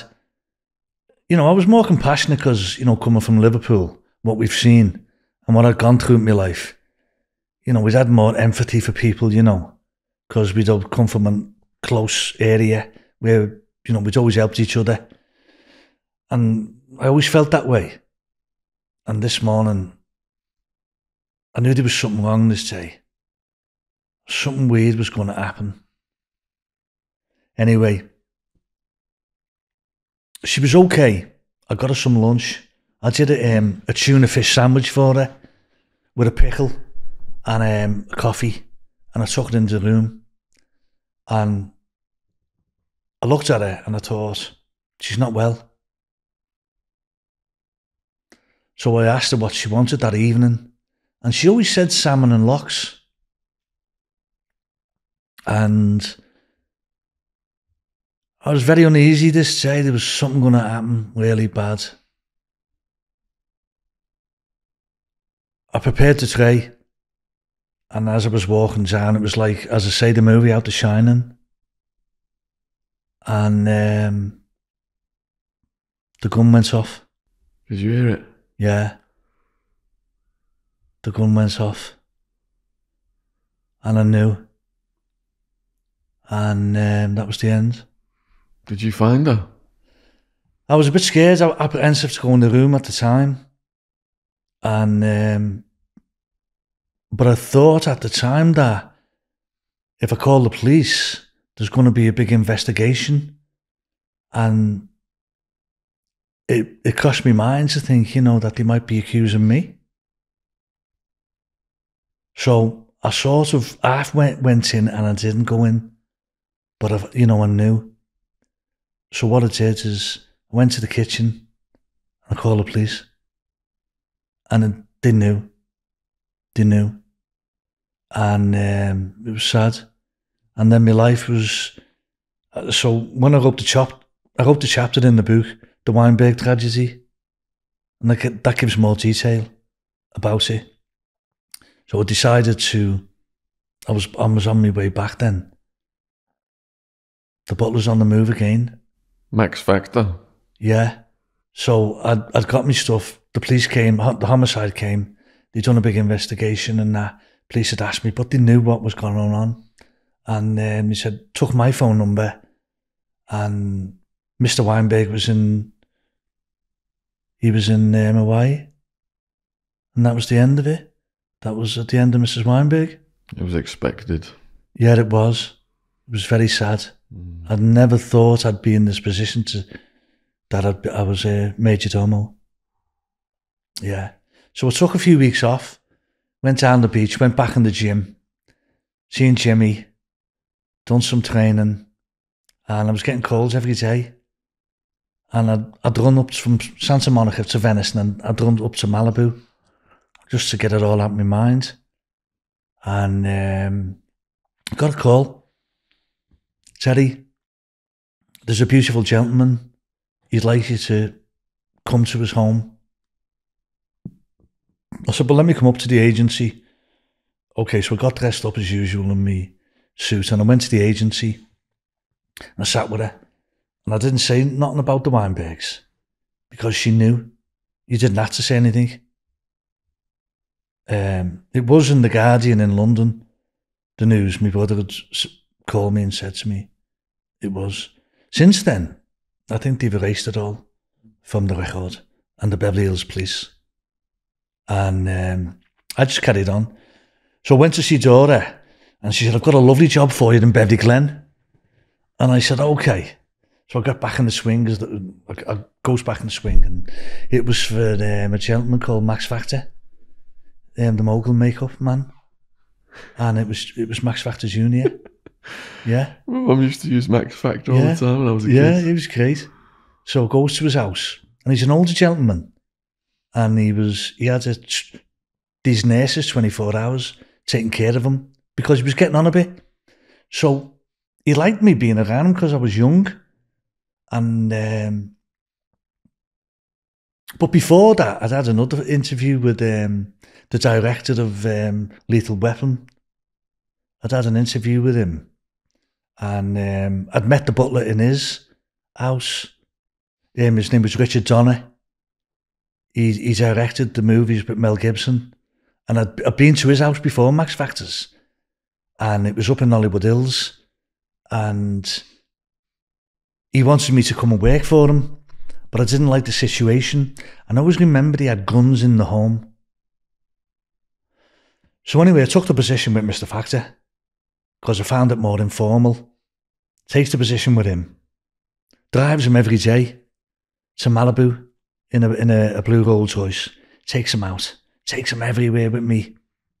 And in the afternoon, I'd sit- with him on an afternoon tea. It was more like a companion than a butler. And then the nurses were like, you know, they were nice. But they had the family, they were Russian Jews as well. And some of the family converted from um, being Jews to Catholics or Protestants because they'd come and stay at his daughters and they'd tell me. I always remember one incident, it was his birthday. And I took him down to the Tudor house where I used to work. And I took him in. And the baker then was my brother in law, David McNally. He took Alan's position up because Alan got deported. And um, we gave him sausage rolls and steak and kidney pie. And he, he wouldn't stop eating. But from Cedars-Sinai medical centre, we had a nutrition diet and we had to keep to the guidelines and we had to keep to his weight at 165. So every morning we weighed him. Every time I took him out, he was 10 pound overweight. because I, I used to love feeding him and just taking him out, making him happy. And um, and then the nurses would say, he's 10 pound over. I said, no, you just got the reading wrong. It's 163, 167. It's not 175. Okay, did you get it? And she'd go, okay, I've got it. And it was nice. But we had this, one of his daughters, Barbara, would come over and she was the iron whip. She cracked the whip on the, the nurses and they felt very uncomfortable with her. So she pulled up in this big Jaguar, this British Jaguar that they had made, and everything had to be British, you know, the Bentley, the the Jaguar, and this day. So I caught her in the corner, and she was smoking. And she got out the car, and she went in the corner, and she was smoking a cigarette. So what I decided to do was, I just went out, and I said to her, "Good morning, Mrs. Bentley." I said, um, "Can I have a cigarette?" And she went, Do you smoke, Terry? I went, Yeah, I'll have a ciggy. I didn't smoke, but I just wanted to play this game with her. So she gave me a cigarette. And then she's standing in front of me, so she's got to finish the cigarette with me. So what's she going to do? She's got to talk to me. So I built this rapport with her. And I'd asked her, Have you ever been to England and ever been here and all that? Because you couldn't get near her. And she was the heir to the throne of the Max Factor fam- the family. Yeah, all the kids worth billions.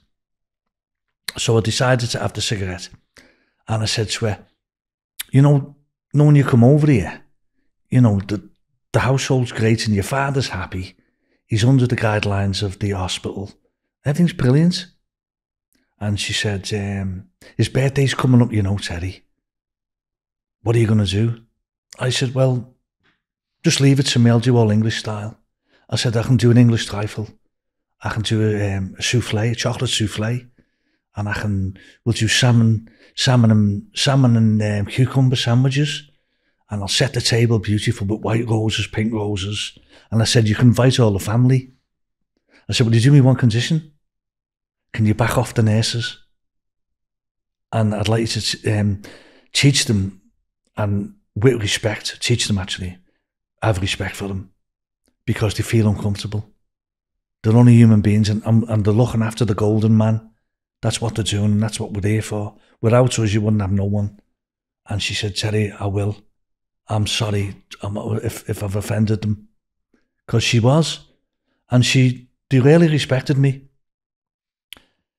Anyway, this party came and um, I'd done the table beautiful. I'd set it so beautiful, like the QE2.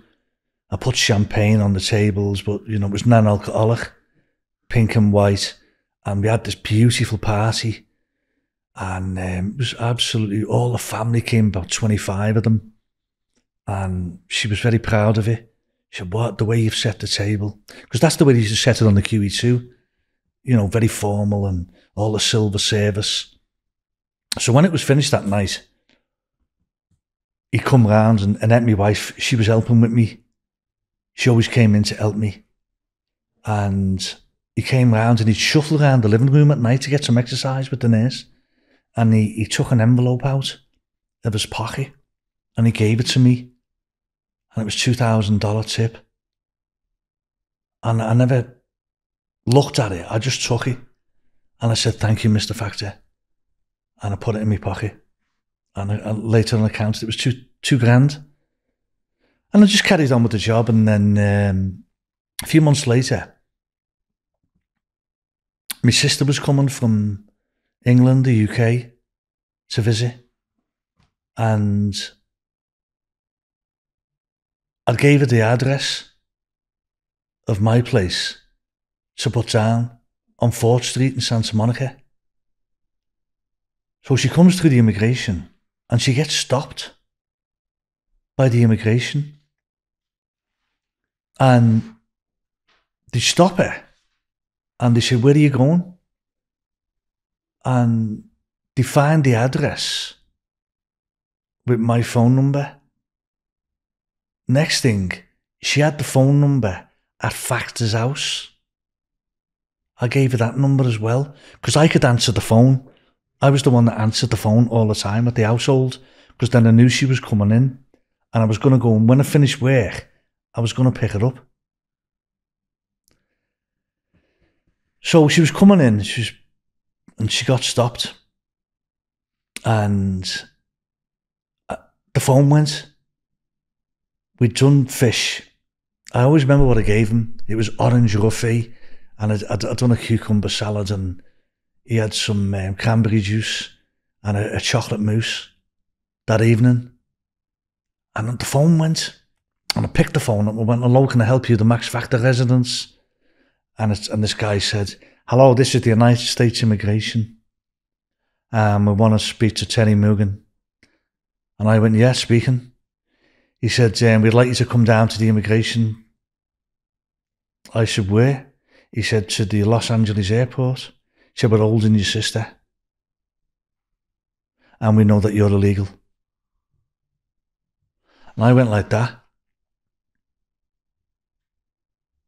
I just put the phone down goes in, my living quarters, packed the case, packed it all, got in my car and left without saying goodbye to Mr. Factor. Went down to my apartment, Santa Monica, got a net, and we had to move to a hotel for two weeks till it all quietened down. Went back to Factors, he, he, he was bluffing me the immigration officer. I found out then by law that was against the law to go to a, a private residence. He was bluffing me. He bluffed me. So I had to leave. A few weeks later, I moved moved back in the apartment. They let my sister in. They given an immigration hearing in Los Angeles. I said, "Don't go. Just fly back to England. Don't put up with all this shit here." And um, I proceeded on, and um, went back to the house factors, and he was very upset with me. And he said, "I would have sponsored you, Terry. I'll get you the green card." And then he, I just left, and then I was back to the agency again. Then I was back at the agency, and then I went back to the agency, and there was a job come up um, for an A-list actor. There was a few of them came up. Tom Bosley came up.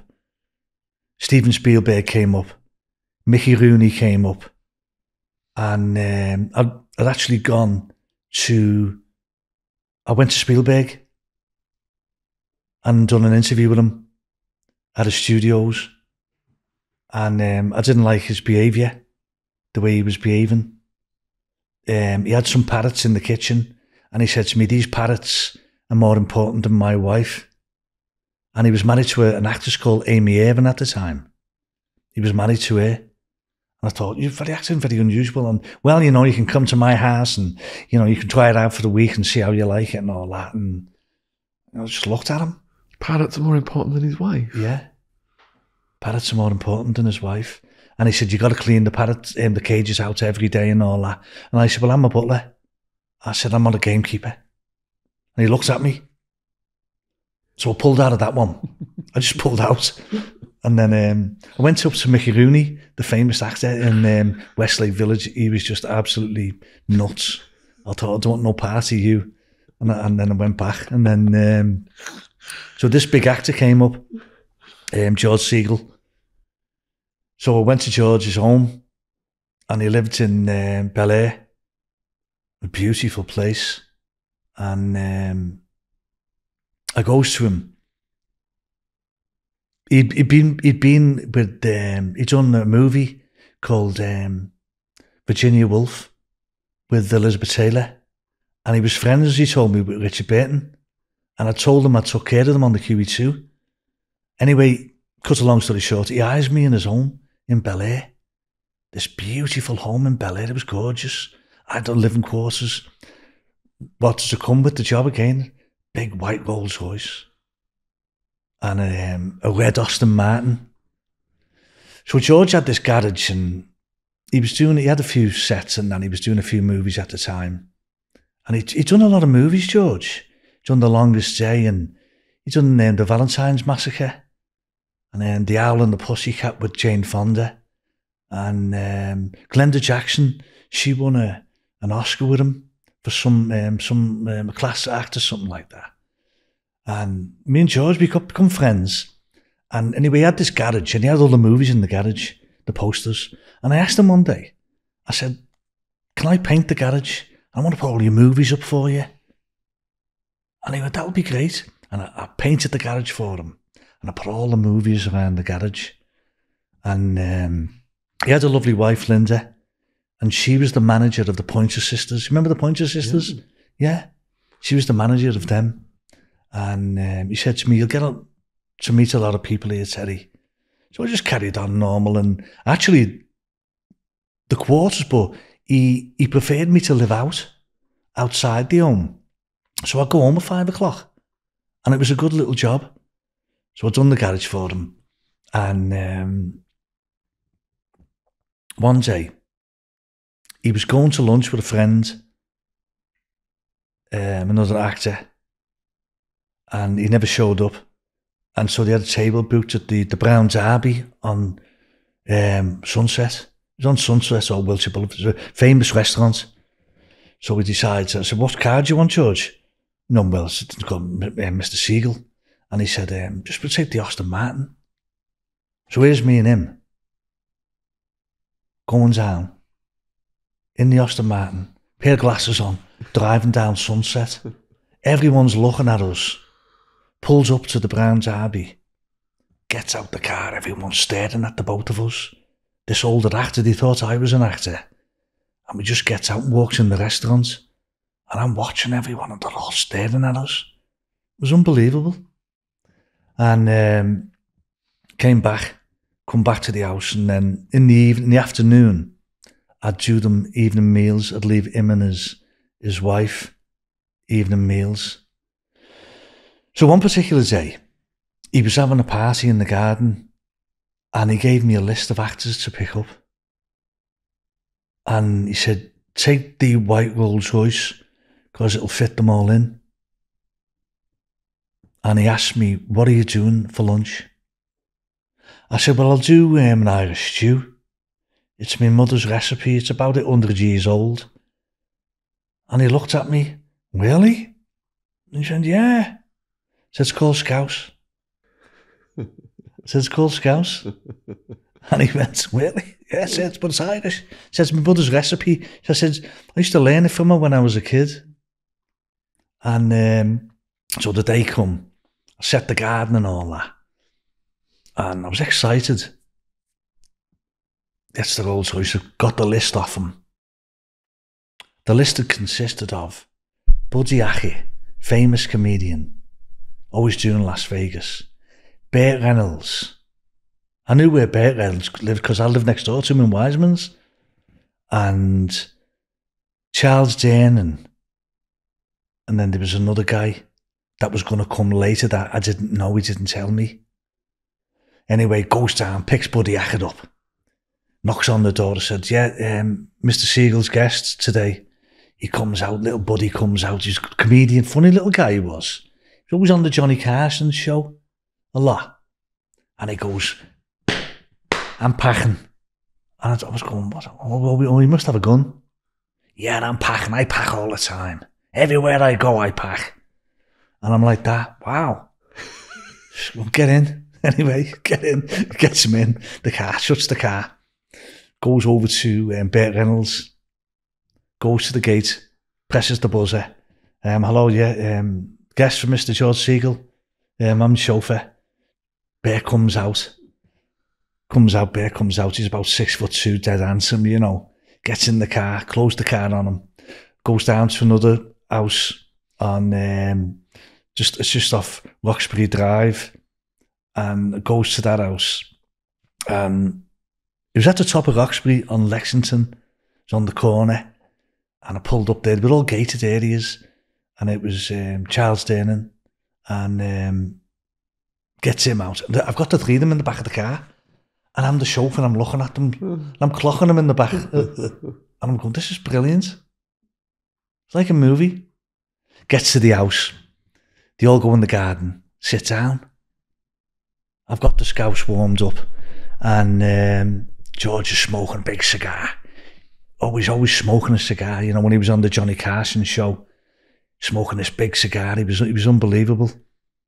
And um, done, he, he made his own, own mission one day to doing cocaine.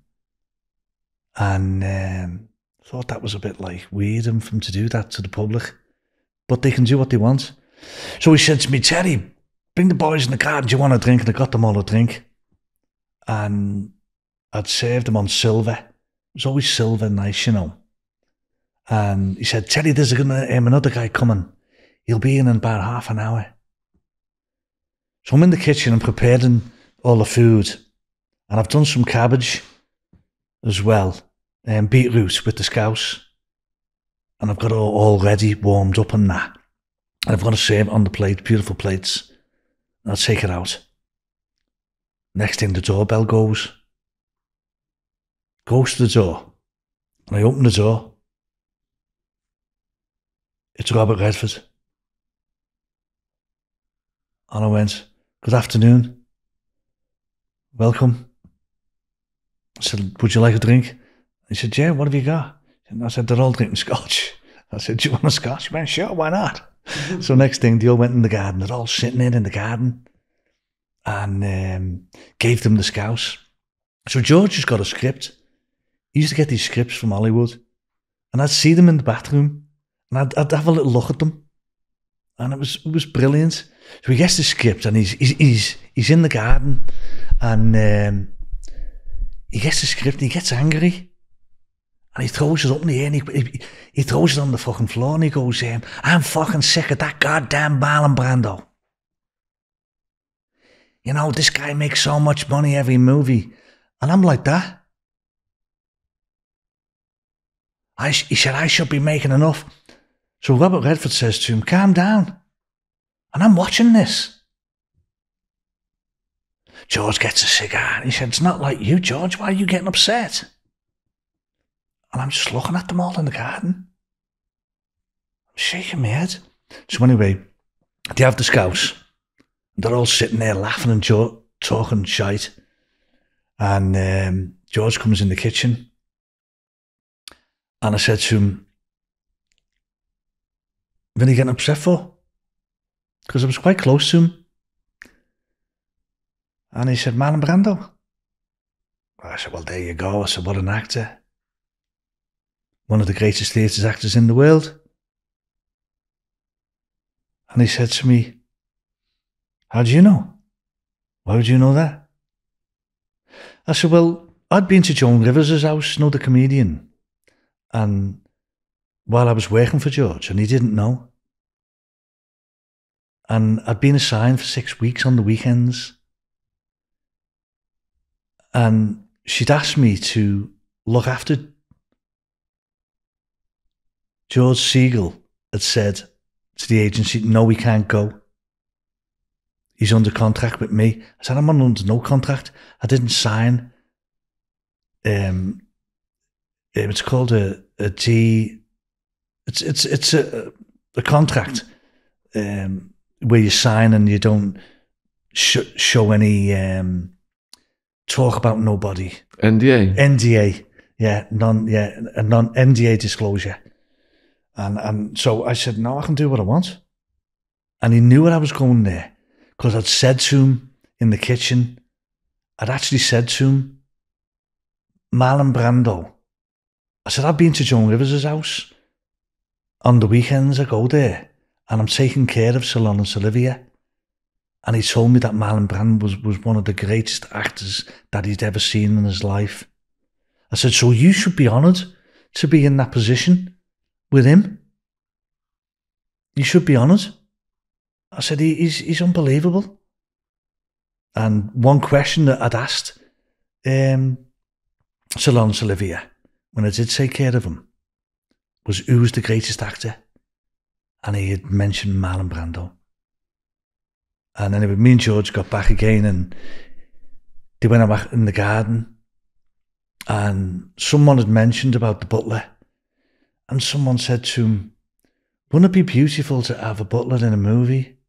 And he points to me and he goes, there he is, there. That's him. He's been around. So I looked at him and I went, yeah, I'm the butler. I'm playing my part on the screen, but you don't see me. It's Oscar performance. Robert Redford looked at him and went, George went, I told you, should have been an actor. just like that. I just started laughing and I'm going, fucking hell, the bank robber. I'll start out as the bank robber. I'll do that movie first and then the butler. oh my God. So, next thing, I stayed with George a while. And um, anyway, things were getting on top of me, but I'd always been in touch, Sean, with um, a butler um, at Richard Donner's home. I'd shared an experience with him that we would meet at a park um, below um, Spelling's house, the big producer in the Holmby Hills. And he would drive a maroon Rolls Royce, and I would drive a blue Rolls Royce, and we'd meet in a park because we'd had the same interview. And I'd met him in an agency, and we crossed swords in a shop called Gelson's in Century City, where you do all the shopping for the stars. And he was, he was, he asked me to come up to the house to Richard Donner's to meet Mel Gibson. And I said, oh, you know, I'll come up and have a cup of tea and that, you know. I said I wasn't particularly interested because I'd met a few of them. I'd met Stallone's um, butlers, um, Kevin King and Paul Kane, They were Stallone's butlers. I'd met them years and years before this, and they were my friends. And they told me all about Stallone. Um, so there's quite a few English butlers. But this guy particularly was telling me he was so engrossed with his job. We had a cup of tea one afternoon in Richard Donner's, and his wife was going to school to be a psychologist. And they were leaving the job. So, what he decided to do, he decided to take his own life. Yeah. And I was telling him that I was going to be leaving and going back to England. And I didn't know at the time how bad it was. And I was I'd only had a few weeks left. I was gonna I was returning because I'd been in touch with some solicitors and they had told me to come back at the time. The time could be appropriate for me to go back.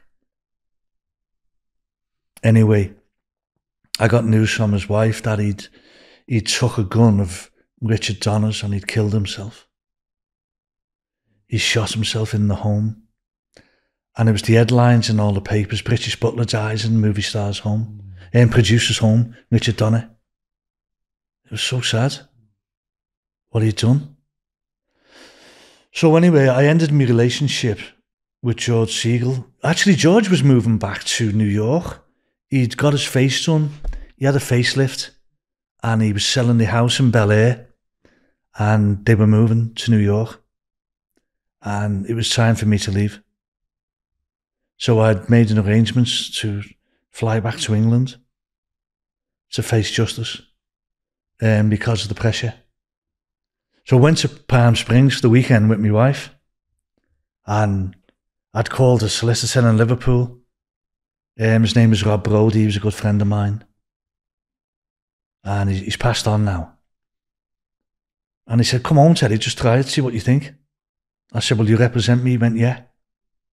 So we decided to leave Los Angeles. And I rented my apartment out to a friend. I said, If I don't come back, I can keep it. But there was a bit of, I thought I'd get about seven years to 10 years at the time. I just had this beautiful life in California and I'll be going back to face 10 years or it could have been 15 years. I just wanted to get it over with. So he gets back to Liverpool, gets back and goes to the city centre. And, and I know everyone. Goes to the solicitor's office and says, Teddy, can we have some coffee with you? Says, yeah, all right. Goes with Rob around the town and he said to me, Teddy, you've been away for six years. I don't think they've got nothing on you. I think you'd be exonerated by now. He said, I'll make some inquiries. And his advice to me was not to give myself up. That was the advice.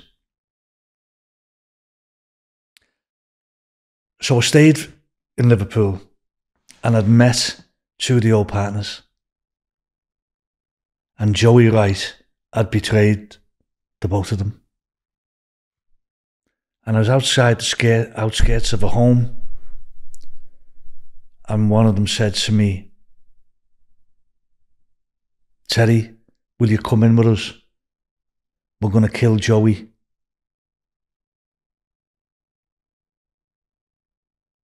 And I looked at them, he said, Yeah, we've got the gun upstairs. They had a shotgun, they had a handgun, and they said they're going to kill Joey Wright. And I sat and I looked at them and I went, hang on a minute. I've been in Beverly Hills, I've done this life, and I've come back to this. And then some of the crime families at the time had invited me to do importation. But my life had changed the day I was in Weisman's with the money and the redemption. And I'd been married. I'd been married eight years and has wanted children. Anyway, my two friends, I had to change their thinking. And I told them, they said, he knows you're home. And Joey at the time was doing massive importation. I could have got in with Joey. So what I came up was uh, an agreement with my friends that if if you kill him, that I was associated to Joey, going back on the statements that he'd made against me, and I would be a targeted. I'd be his his enemy because they knew the cops that he blew me up, and he had that connection with them, and I was one of the closest people to him at the time. So I changed these guys' minds and I said, listen, why don't we do this? Why don't we tax him? And they looked at me and said, well, that's not a bad idea. I said, let me sort it out for you. And he said, well, he, he's scared of you, Terry. We know he's scared of you. I said, well, them days are gone, as far as I'm concerned. I'm going to go back to the United States anyway. So I'd met all some of the crime families, had some drinks with them all over the city, and they were they were delighted to see me. What are you going to do with Joey? And they, they thought I was going to have a straightener with him and all. I was going to do something. And I went, nah, lad. I said, I've got nothing against him. You know, he's a he's a blow up merchant. He's a it's a supergrasser, and that was it. So what I decided to do was to go to his home.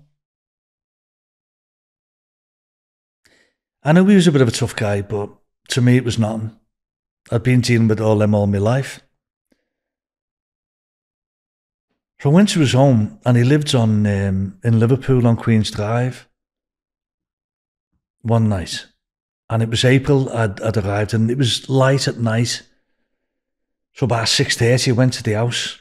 I just bang, bang, bang, knocked on the door and his wife opens it, Mary. Her name was Mary or Mary. She was a nice girl. She had two kids, young Joseph and Michael Wright. And I said, hello, Mary. I said, it's Terry, how are you? I've just come home from the States. Joey pops his head around the corner and he goes, is that you, Terry? I went, all right, how are you? And he said, how are you doing? I went, all right. And he, he didn't come to the door. He stayed where he was. And I went, here a minute, come, what's the matter with you? Come out, what's to do, lad? So he comes out. And, you know, he's put some weight on. He was a bit, a bit of a fat lad. And, um, but he could have a go like. And had a lot of bottle, fella. And I knew what he was doing through the grapevine, through others. And I kept that to myself. So I said to him, listen, can I have a pint with you? And we'll go up to Walton Road, to the Black Horse. I need to speak to you. He said, you've got a nice house, got a lovely kids, lovely wife. I just need to speak to you. I said, Joe, it's not about me. It's in your best interest to come with us. I said, you're safe. I've got no one with me. I said, Joey, I'm standing here now. If I pulled a gun out, I could kill you right now. It's not about that. I said, come with me, let's have a pint. So we walked up, it was a walk, it was only a few bus stops away. We walked up to Walton Road. And he was making a lot of dough at the time. A lot of dough in the 80s. And I'd heard that. So I sat with him. I had a drink with him. I said, listen, they want 150,000 quid. And he looked at me and went, what? I said, they want 150. I said, I'm the messenger. You've got to come up with 150,000 in cash. I said, if you don't, I think your life will be in danger. And it's possibility that your sons will be targeted too they'll be targeted. And that's all I've got to say to you. He said, I'll tell you what, I'll give you 75. I said, no. Joey, it's 150. I said, I'm going to come back tomorrow. And he looked at me. He said, do you want another pint? And I didn't drink that much, you know. I said, come on, I'll have another one. So I have another one with him. And he sits. I said, listen, lad, I'm going back to the United States. I said, your trial that you had with me, you had made statements against me. And I had to trial out with him in the pub. I said, You had boxed the jury off. You paid the jury for the not guilty. And that was my advice I gave you to follow the jury home on the bus. And I had done this for some people on the docks early in my life to follow the jury. And I'd get behind them on the back of the bus. An old friend of mine, Joe Evans, had been caught with a, a wagon load of whiskey and he was in custody. And I was pulled in with them with um, a good old friend called Jerry Bennett. And I was young at the time and I followed the jury and I got behind them on the bus and I said, make sure you come in with a not guilty tomorrow. It's in your best interest.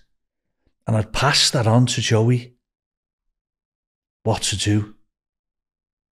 And I got that message to him. And we always talked about that, how we would box off the Liverpool jury. And it worked for Joey. They even had the glass that they planted from the security guard onto Joey's clothes for forensic. That's how much they wanted to frame him. And they put it on my clothes. But the jury still came back in and he was found not guilty. I said, but what you told the cops, you uh, exactly told the police that I had left to California, Joey, and it was in the Echo. It was an headline in the Echo. Liverpool man escapes to America after attacking a security guard on Scotland Road. You actually told them I went to, to Los Angeles. How fucking dumb are you?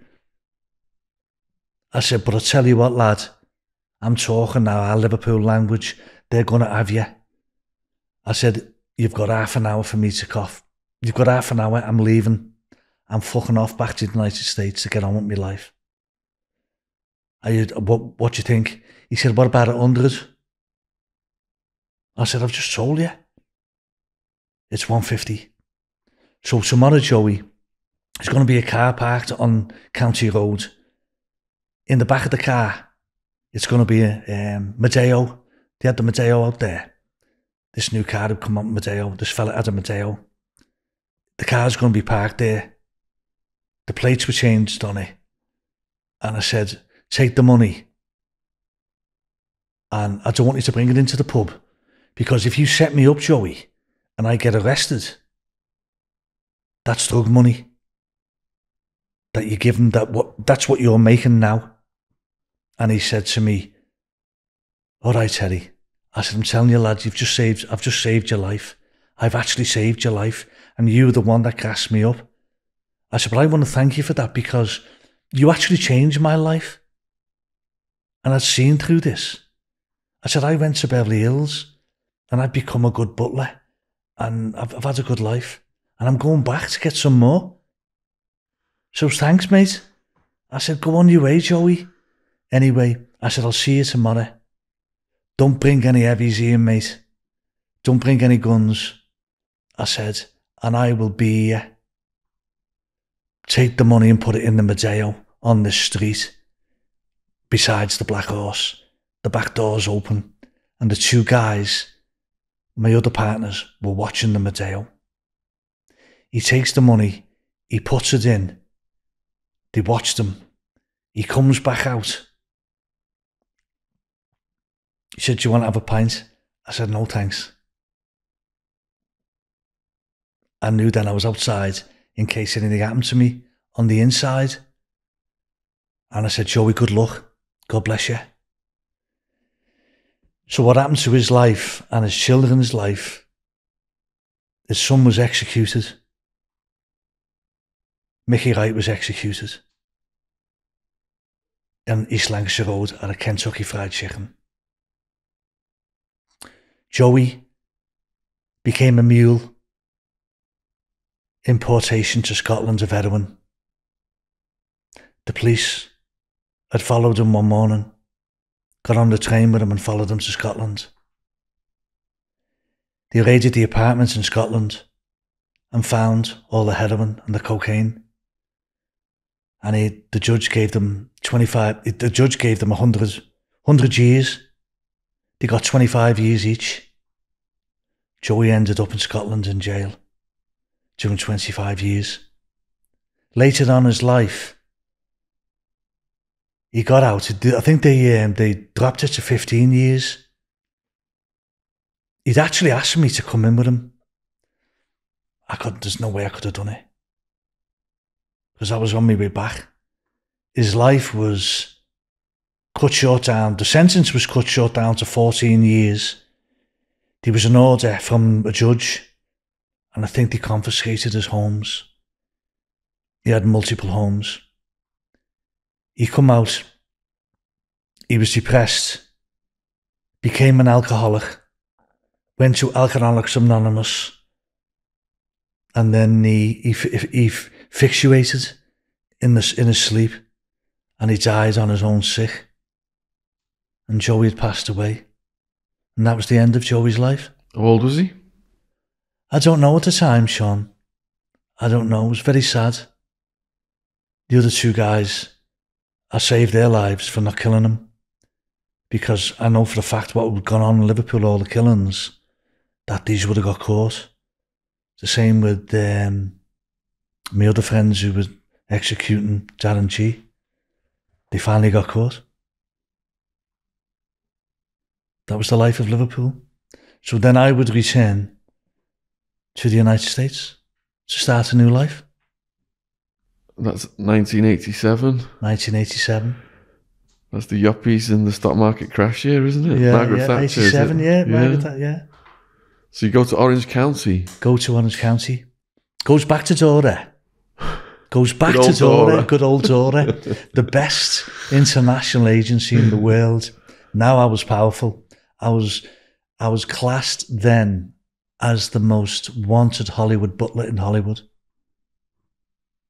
And I'd heard about Orange County.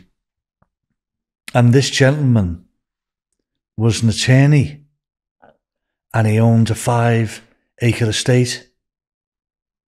So I decided to take a chance and drive to Orange County. The gentleman's name, the lawyer, was named Terry Giles. He is now um, Ben Carson, who ran for president. He's his attorney and his advisor. I get down to Orange County with my wife, Annette. It was a Sunday morning, and I always remember it was May. And I pulled up to the house, all gated, beautiful surroundings, and it was on a hill called Peacock Hill. And the reason why it was called Peacock Hill was where the peacocks used to roam. And went in, had an interview with him. His house was 5,000 square feet. He had a cinema, five acres outside, waterfalls. Very, very, he was only 38. Took me to my house next door. My house next door had a swimming pool. My house was 4,000 square feet. had a gym in it. Everything.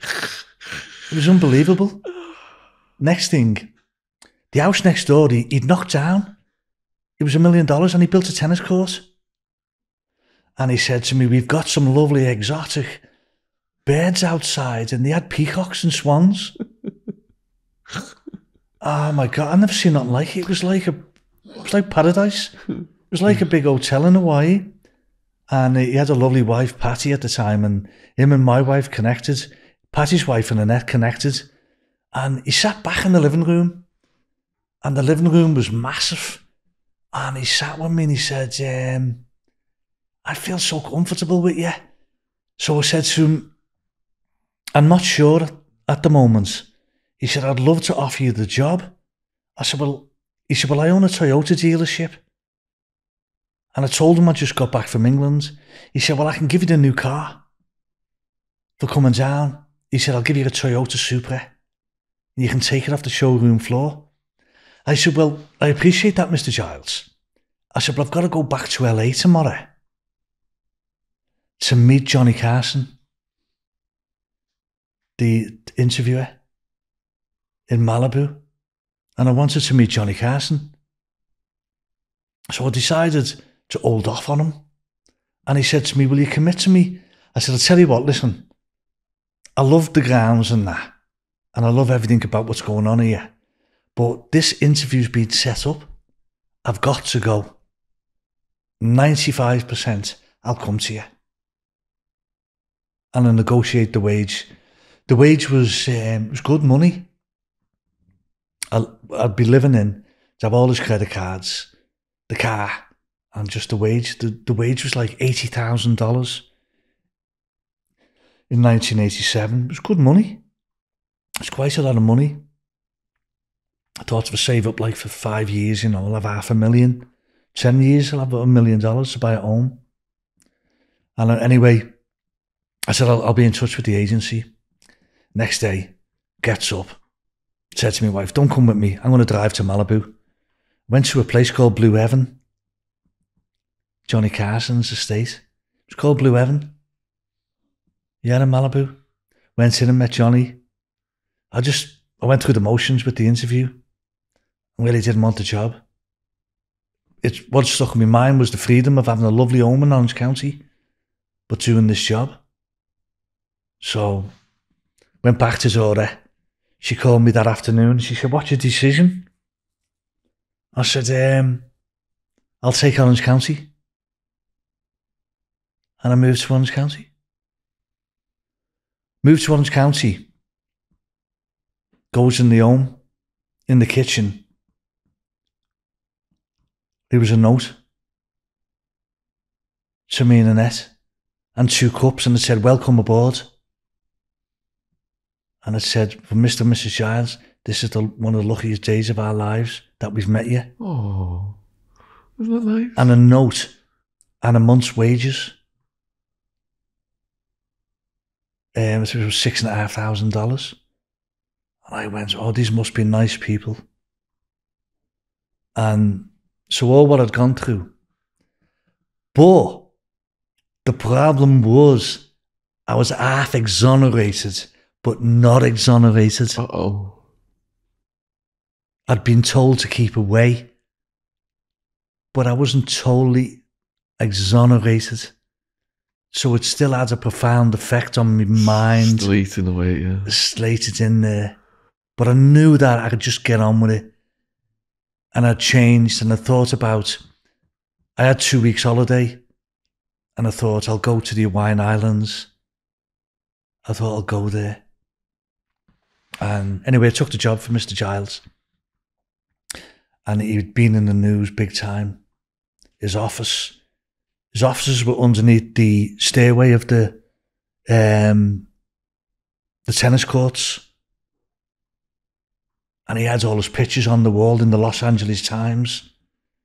And I looked at them all. The Hillside Strangler, the Freeway Killer, Martin Luther King's estate he took care of, Richard Pryor when he was Freemason, he was his lawyer, Frank Sinatra's lawyer.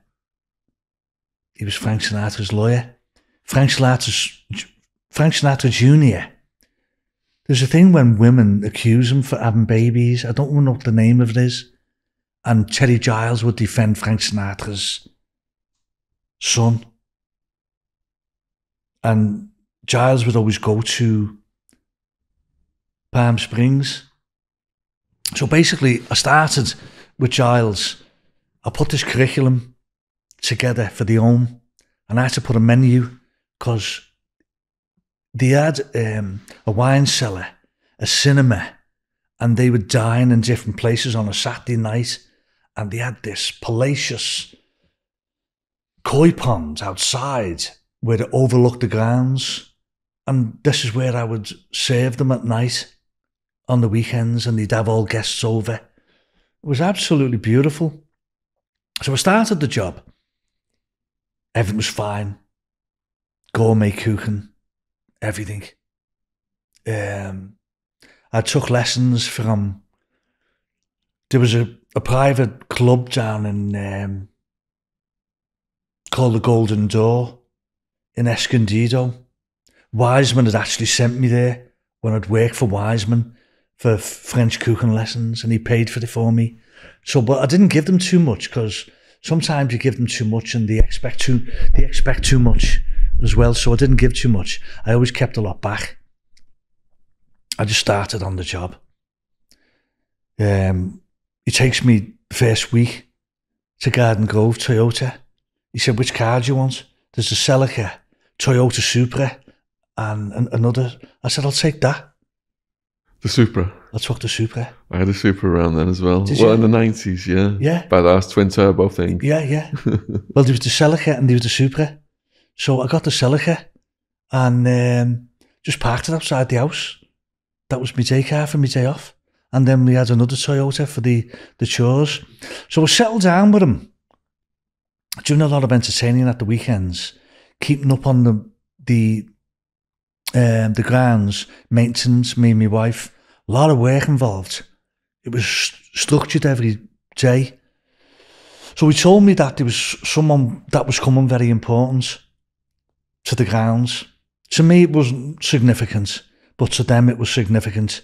And he knew that I was the top quality man that I would serve him, me and my wife. And I never questioned him. I just entertained. But this day, he was excited and he'd represented Martin Luther King's family, the estate. He was the lawyer for that. So this day we I sort of kept my distance from him. He was very he was a brilliant lawyer. And I just asked him one day, I said, um, who's the guest this weekend? I said, because you, you're so excited. I've never seen you excited. He said, oh, it's Oprah Winfrey and Stedman. I said, oh, is he? I said, that'll be nice, won't it? Get to meet Oprah, eh? And he went, yeah. Anyway, so I was a little bit excited, like, and it was so so. She just done the movie A Colour Purple at the time. Oh, I remember that. Yeah, she done that movie with um, Whoopi Goldberg. So he asked me what I was doing. I said, well, we'll do something light for her because she's always on a diet. And I started laughing. I said, I'll do the nice salmon eh, with the ginger on the top and that. And I said, I'll do um, a chocolate sundae for her, souffle, and I'll do um, a nice salad and something nice and light. So the dining room, it was all gold sil It was gold plated. It was absolutely gorgeous, marble. It was just it's hard to explain it. It was like out of a movie. Anyway, the night came and we were all set, and we'd had a gazebo on the grounds with all the waterfalls. So when you entered, I entered, I picked Oprah up at the gates, two big white gates opened in a limousine. Good evening, how are you? Good evening, sir. Brings them in. Giles is waiting down at the gazebo, that's what they did. And then I brought them down, and Oprah was like that, looking at the grounds, going, Isn't this beautiful? Absolutely beautiful. And I was watching Oprah, and I was watching Stedman, they were watching everything. And she looked at me and she went, Are you the butler? I went, Yes. And I said, My wife works with me. Oh, it's a beautiful place. I said, Yeah, we keep it beautiful. And they sat down, they had a drink. And then my wife went back to the kitchen to get it all ready in the main house. And then eventually they'd sit down and they were talking business about Mandela in, in Africa. You know, you could hear certain things, but I wasn't that interested in it. I just did my job. Then we we done the salmon, we did the dessert, and they had coffee. And Mr. Giles was always drinking his wine, the Pouilly Fuissé. That was his favourite white wine, Pouilly Fuissé. And next thing, the door opened,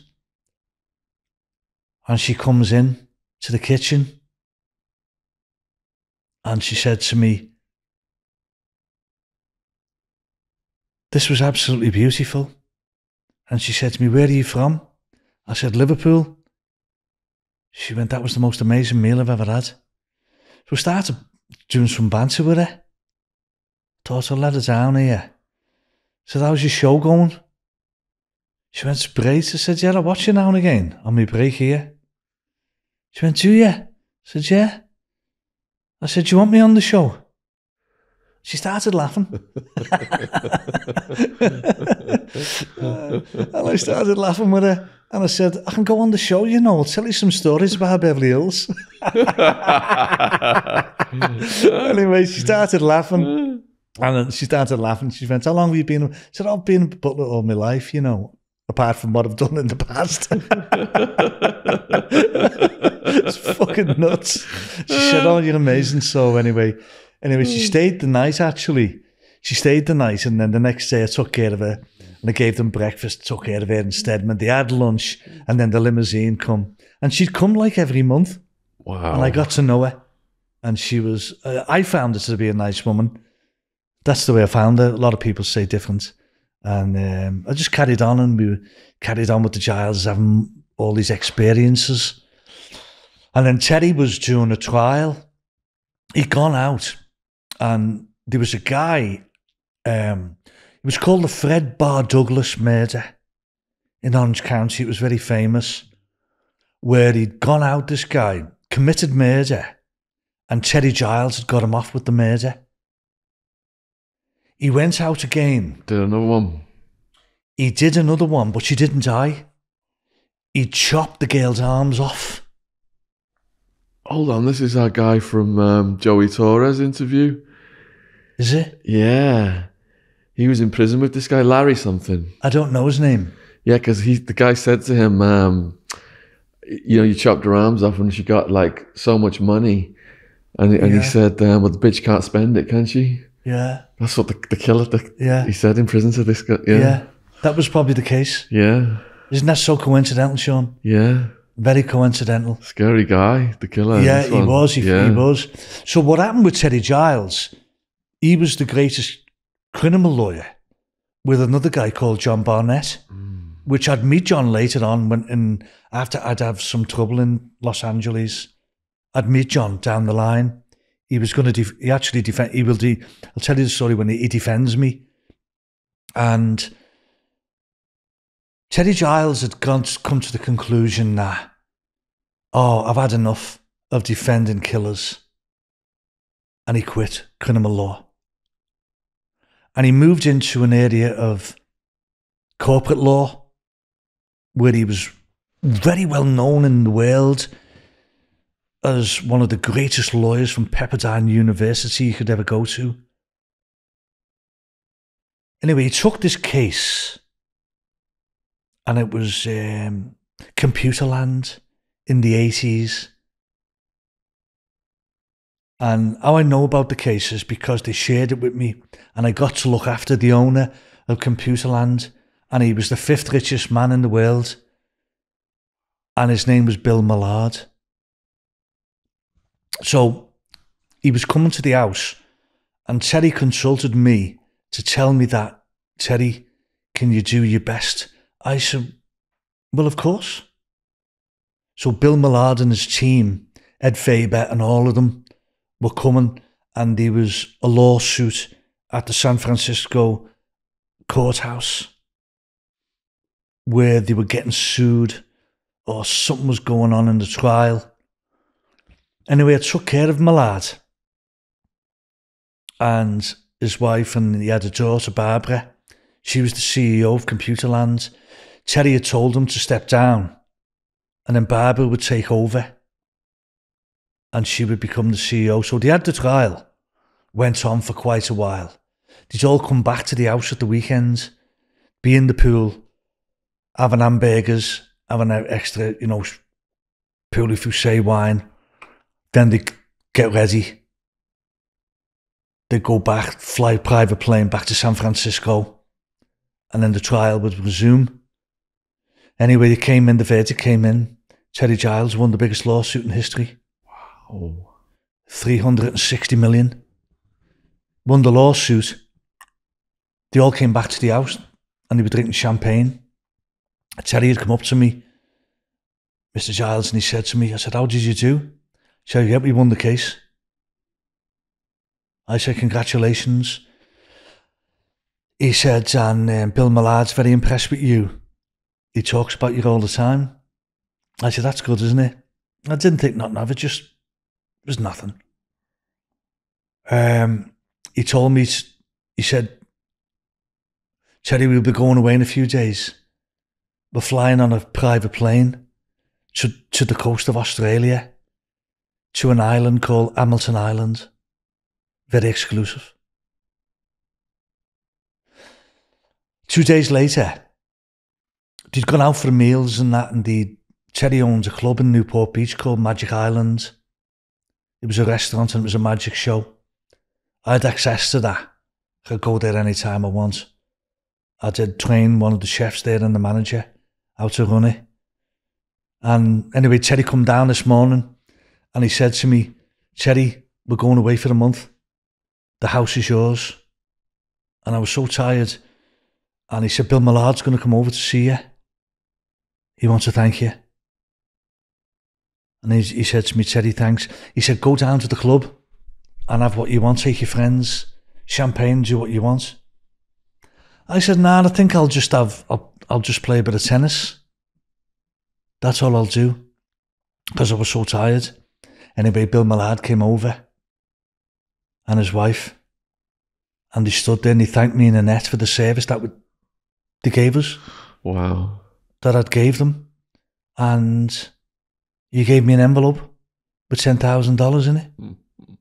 He said to me, Terry, here's the 10,000. It was in an envelope. He went, this is for you. And he actually made a comment. And he said, I've had the best butlers. He said, you are the finest butler I have ever seen. And What a they left. compliment. What They left, yeah. They left and they went to Hamilton Island. And I was left with a net and we had the whole place to ourselves. But we were too tired. You couldn't enjoy it. Mhm. But it was brilliant. Yeah, but it was about to turn sour a few years as I went on. It sounds like the next one's challenging with the Catholic bishop. Yeah, well, what happened there, Shaun, is my wife had got pregnant in the Gileses. And I was so happy because we had lost a baby in 1984, 85 when I was at Max Factors. Um, she was four months pregnant and we'd lost that. And so now my wife had told me that she was pregnant and I was delighted. So we got the heartbeat. That was the most significant thing that what I told you was the heartbeat. And we get to the heartbeat and I'm over the moon. We goes and tell the Gileses and they're unhappy because they didn't have kids Mm. and they didn't want kids. So next thing, after all these years, he said to me, Terry, I'll have to get a new couple. And I said, hang on a minute. I'll be your manager. I'll hire another butler and you'll have it. He said, no, but we want a net as well because she played a big role with his wife. So I honestly think that Terry Giles, him and his wife had had an agreement that they didn't have children. I live next door and they don't want a child on the property for insur- insurance purposes. So that position, a month later, ended Mhm. after all them years. But it was a great experience that I had with him. It was absolutely unbelievable. And we parted ways. And then I head out. And then I go back into the real world. And I buy a little home in Santa Ana. And I'd kept in touch with the window cleaner. I'd hired him. And he asked me to go in business with him. And I did do eventually. But I got another position from Dora again, and it was actually in Orange County. And it was the bishop for the Catholic Church, Tod Brown, in Orange County, that there was a school called Mater Dei High School in Santa Ana, the biggest Catholic school this side of the Mississippi. And they wanted a, a cook. They called themselves, they want a cook. Well, I'm not a cook, I was a chef. A cook to me is like McDonald's. So I'd gone to the school and the principal was John Wiling and he told me about the house that Mr. Tod Brown had sent me and he was the major decision maker and he hired me to be the chef at the house. And then what I found is it was very un, very unusual. There was a priest there and he was dying of AIDS. He was actually dying of AIDS. And they asked me to keep it quiet. So, because of my loyalty, I kept it quiet. And there was times that I, I fed him. I fed the priest. And I kept quiet and used to feed them all. Like every night. Like I went in from four to nine. It's like part time. And then I used to watch the priest. And they'd be he had the intravenous and it was a white shake they were giving him in his arm and he was dying. And later on in life, they used to mock society. They would mock society and how things were. And we had a girl who was a cleaner and she was a little bit disabled. And the standards of her cleaning weren't up to theirs. And I picked up on this in a conversation and I thought, this is not working here. And it was always in the back of my mind how we, how we got the AIDS at the time. Later on in life, he'd been in, involved in um, sexual abuse because there was a lawsuit in Orange County and in, his name was mentioned. And you know who defended the case? Giles. Giles. Teddy Giles defended. It was a hundred million dollar case. He defended it. So I carried on and stayed with them a while and then eventually I left. But my baby was born. And I bought this little house in Santa Ana. And then Kelly was born. Oh. And we had this little baby. And I was in the hospital and I was in down the street was all, all, all the gangs, the Santa Ana gangs. And they were all in the no, the hospital in the Western Medical Centre with the, with the gunshot wounds. And on the top floor they had the maternity ward. And he, he, you know, he heard all the sirens coming in. Oh, it's a gunshot wound. You know, all the Mexicans fighting in the barrio down the street. And I, I, I lived dead close to it. And um, anyway, Kelly was born. And it was beautiful. It was 1989. Shout out to Kelly. Yeah. all right, Kel. All right, love. Yeah. And it was beautiful. Oh. So I didn't have any insurance. And they came round for the bill. And the bill was 15,000. And my wife was in the bed. And they're asking for the bill. And I'm going, we haven't got it. I did have money, Shaun, but I wasn't going to give that kind of money to an hospital. I thought to myself, I'll do a deal with them later on if it goes on my credit. And um, it was 15 grand. Later on, I come back to haunt me when I bought another house. It was on my credit. And I'd done a deal with them. And I paid them seven and a half thousand. and then eventually it all cleaned itself up. So then I carried on and um, I decided to build a window cleaning business up. So you in, in Orange County, you've got the north, the central, and the south. And I brought this other guy in and two other guys. And I thought, well, let's see how we do the first year. So I changed the, I came up with an idea and it was called Britannia Window Cleaning. And I advertised in the north, the central, and the south. And that was stayed at home. And she'd be the secretary. And er I had three guys working for me. And I er went out and I er marketed it.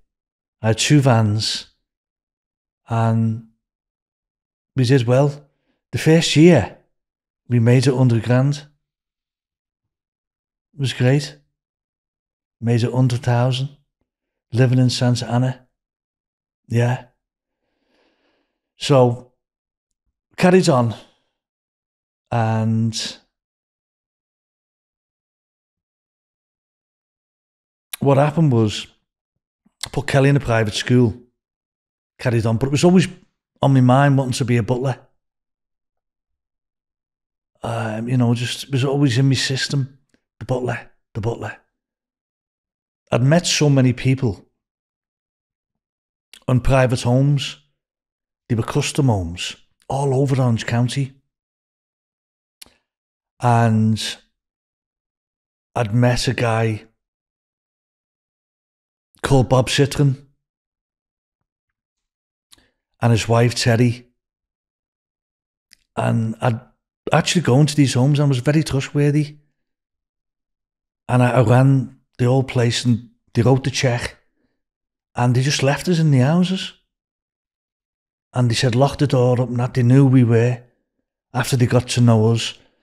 So this one particular guy, his name was Bob Citron, and he was the county treasurer in Orange County. And I got to know him. He was a bit, very miserable man, but Terry was lovely. Then all of a sudden, all over the news in Orange County,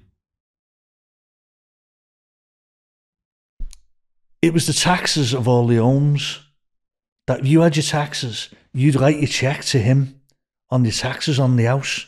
Well, can you imagine the money in Orange County? Well, that was pooled and that went into the stock market with Merrill Lynch. So their returns that they were getting off that money was quite substantial.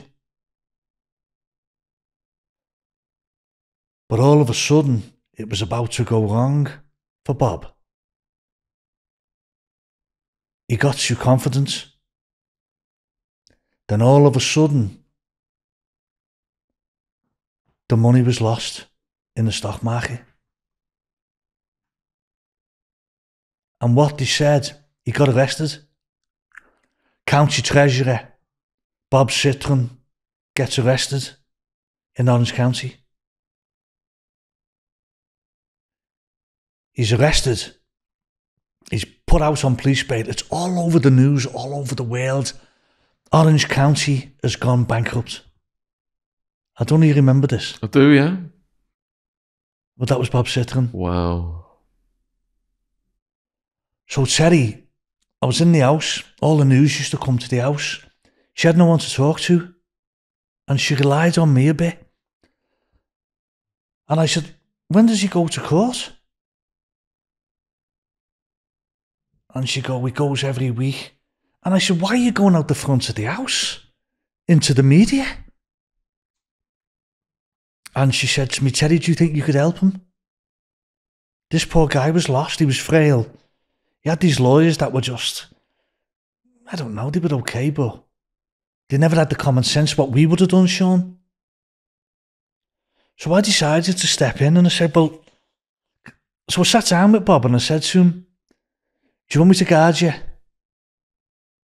And he went, yeah, and if you could help me. He, he, didn't, he couldn't answer that question. I said, let me help you out. I said, the day you go to court, what we're going to do, we're going to go out the back door. You're not going through the door and then they're following you to the courtroom, making a show of you. So when I made the agreement, it was in um, a very exclusive place on Sharon Lane in Santa Ana, this home he had in Floral Park. Opposite side to that, you had all these infested barrios of the gang members. And on the other side, you've got Floral Park, Bob Citron. It was nuts. So anyway, I looked out and I'd done a search of the the old street. And at the time, I had a brand new Ford Taurus. So I went to the neighbours next door and I went to the back of the street and I clocked the house and I went to them and I said to them, Excuse me, my name is um, Terry Moogan. I'm the bodyguard for Mr. Citron. And he looked at me. I said, He's getting harassed every time he goes to court. I said, Could we could you help us out? Or would you be willing to? And they said, Yes. What can we do for you? Most Americans in that neighbourhood and the old Americans going back in them generations would help you. A lot of them wouldn't get involved, Shaun. They said yes. I said, Well, see this garden here, see this fence?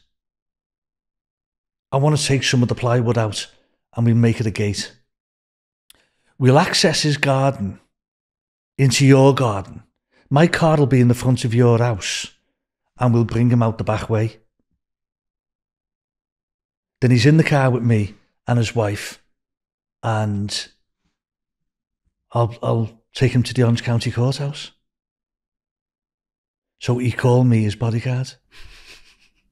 I wasn't really his bodyguard, but in the essence, way I, I showed him common, what common sense was, and I just took him to court every week. So in that case, what happened then was he he never done anything wrong. He never done any self gain. He never stole anything. He had great lawyers. So we're in the house one day, went on for a while. I carried on with my life during the winters and I carried on and every week I did it, went to his home, sat with the mad coffee. So this day, Terry said to me on a Friday, we'd brought him home and he'd been in to see the judge. And he come out and he said, Terry, just drop me off at the house. So I took him to the, the neighbours. We went in the back. We went in the kitchen. And I said to him, is everything okay? He went, yeah. He said, I got my final sentence today. And I said, what is it? He said, it's 12 months at the food bank. That, that was my imprisonment because he didn't steal nothing for his own gain. Sounds like Merrill Lynch encouraged him to gamble it. Yeah, probably. Probably at the time we didn't know the, the fundamentals of the case. So what happened is he got 12 months and then they still became my friends. Every Christmas they'd send me this beautiful photograph of the two of them together. Oh. I've still got them. Oh. And, you know, they were really nice people. And then I just carried on with my life. Until the traveller's checks come. Oh my God. Ah, this was one bad mistake on my part.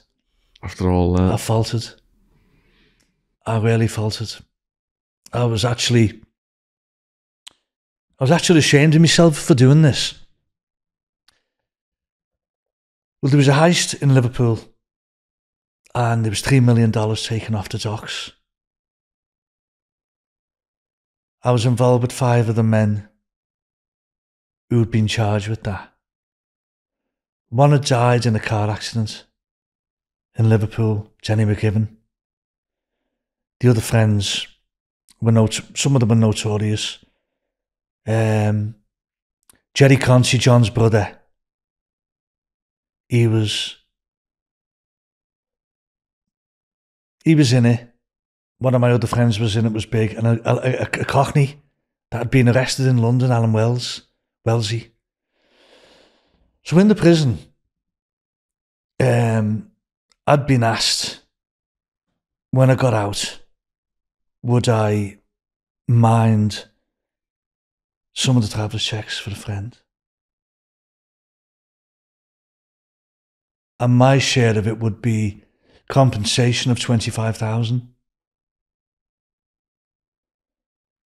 But then you did what you did, and I kept them. And my wife had brought them to America with her. And I had them in a safety deposit box in a bank. So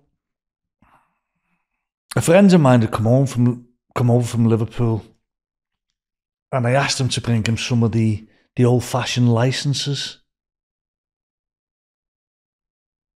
The green license to copy and I'll I'll get a few of them. So basically, I had 25 grand of American Express and I started cashing them in Orange County.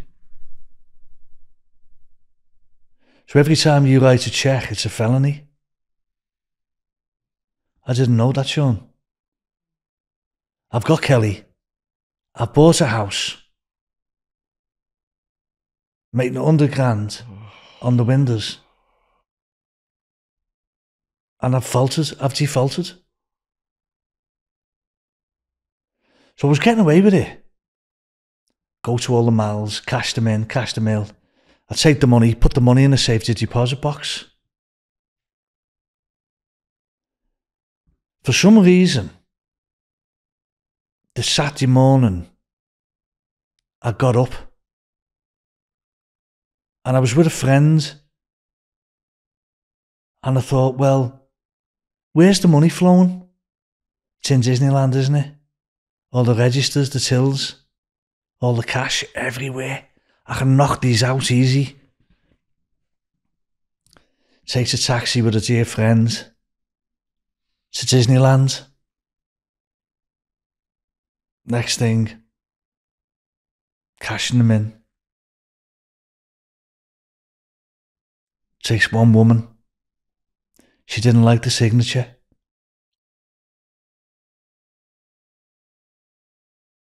She calls it in. I get surrounded on Main Street in Disneyland by six coppers from the Disneyland police. They took me to the, the police department in Disneyland. The Anaheim police came and got me. They come in Disneyland, put me in the back of a police car, and was taking me to Anaheim police station. I swear on Kelly's life, as they're bringing me out of the police station, Mickey and Minnie are walking past. And fucking look at me. they fucking look at me. And I just put my fucking head down. And I went, the most unhappiest place in the fucking world is Disneyland. I've been fucking nicked in Disneyland. The fucking bank robber's been nicked in fucking the most happiest place in the world. It's fucking Disneyland, lad. I get fucking nicked. So I'm in the police station in Anaheim. And um, the CID come in. But what's in my mind is the 3 million heist in Liverpool. Are they going to connect this? Few of my friends got not guilty. Alan Wells got eight years. Jerry Conti got five years. There was some guilt there. And I went, Are they going to get me on this? So, anyway, I goes in the police station and I got an OR, my own bail. And I got out with um, it was three felonies. Because when you take a check into a private property, Sean, that's breaking and entering. You're burgling Disneyland. So I got done for burglary on Disneyland. And then I got done for the traveller's check. And I was fucked. I was fucking knackered. Got home. I had a lovely home, lovely cars. And I went, I'm wanted in England. I'm still wanted officially. And I'm nicked in America. What have I done? Let myself down. Anyway, I retained an attorney by the name of John Barnett. He was the, the attorney that represented the police officers in the in the in the the um, the Rodney King beating. And I went to see John, and he knew me from Terry Giles. He was Terry Giles's partner. He'd been to the house for dinner. I thought, I've got to get John Barnett. Anyway, the three felonies would add up to over four years in jail. However, I was having another problem at the time with one a neighbour, an American crazy neighbour. Um, he was jealous of me, and he used to bully his his mother next door. And he knocked on the door one night and told me to move me trucks over. I moved them. They knocked on the door again. And I said, Excuse me, said my daughter's asleep. Don't be knocking on the door, mate. I've just moved them. He fucks off, he comes back, knocks on the door again. So I just grabbed him by the throat and I pushed him out to the street. And I kept hold of his throat. And I, I said to him, I'll, fucking break your jaw next time. His mother's standing there watching it. They called the police. Seven police cars come on a 911 call. So I defended myself in front of the police. I went, no, man. And, uh, you know, the old Liverpool came out of me. I didn't back down to these cops. This fucking motherfucker here, and he's, he's a cunt and everything. He's bullying, bullies his, and, so next thing, they said to him, do you want to press charges? He said, yeah. Fucking gets arrested again. For an assault. I'm going, fuck this. John Barnett told John, you know, it's classed as violence in America. It's two things that you don't tolerate, as you know violence and drugs. Next thing, goes to court. So they put them together.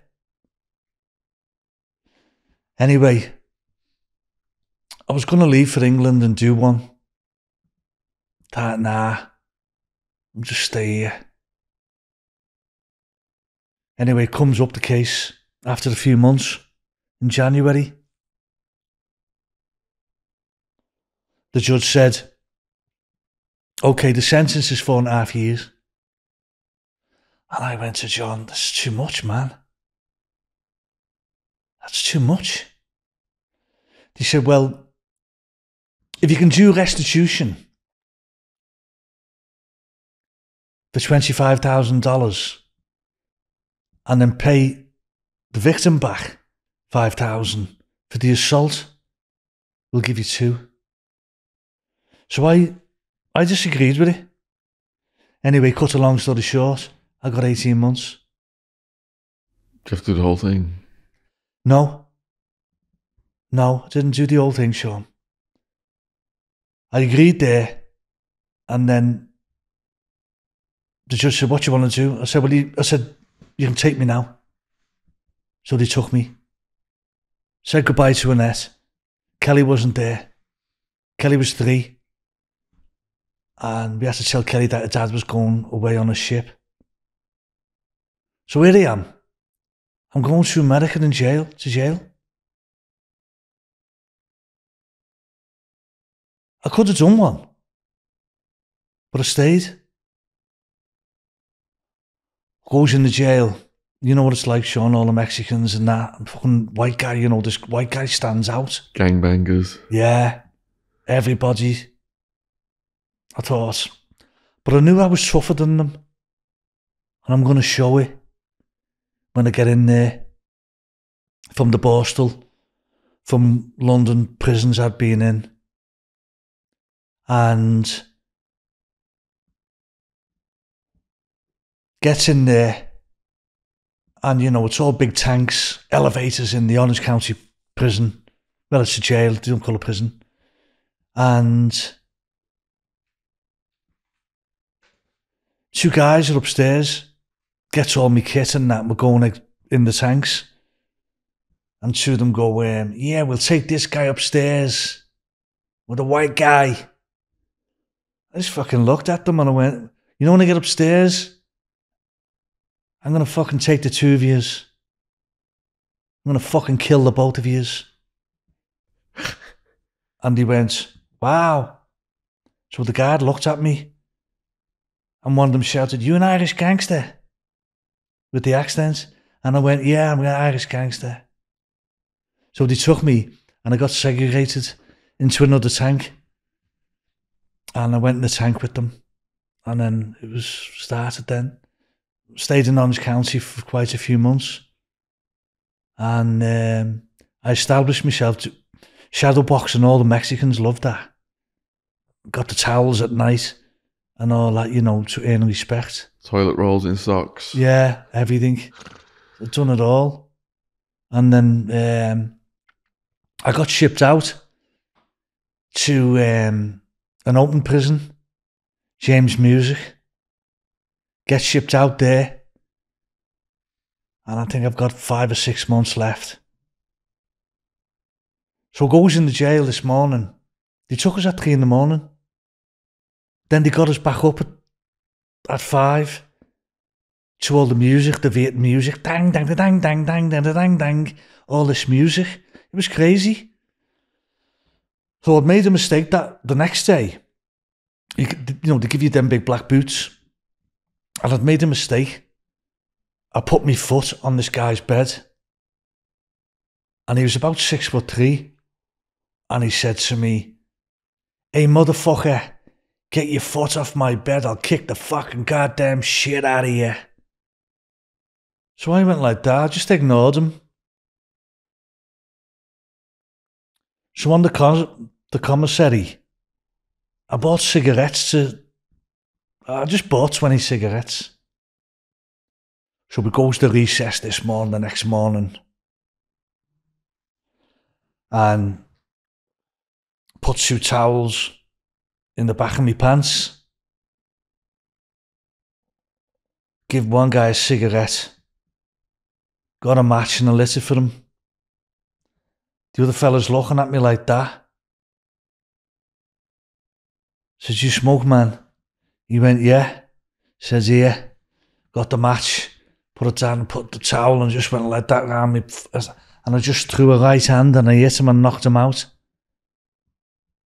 And there's two black guys there and they went, wow. He just went, woof. So next thing, said, get him up. Took him in on the bed. I said, go and tell the guards he fell over and banged his head. And as I walked away, I said to them all, any fucking messing out of any of yous, that's what you're getting. You're going to fucking behave yourselves, the lot of yous. So I had actually established myself in the prison. And um, they took him out. There was a little bit of discrepancy. They thought that I'd done it. I was questioned. I said, no, he fell over. Yeah, and I said he, he banged his jaw on his head as he went down.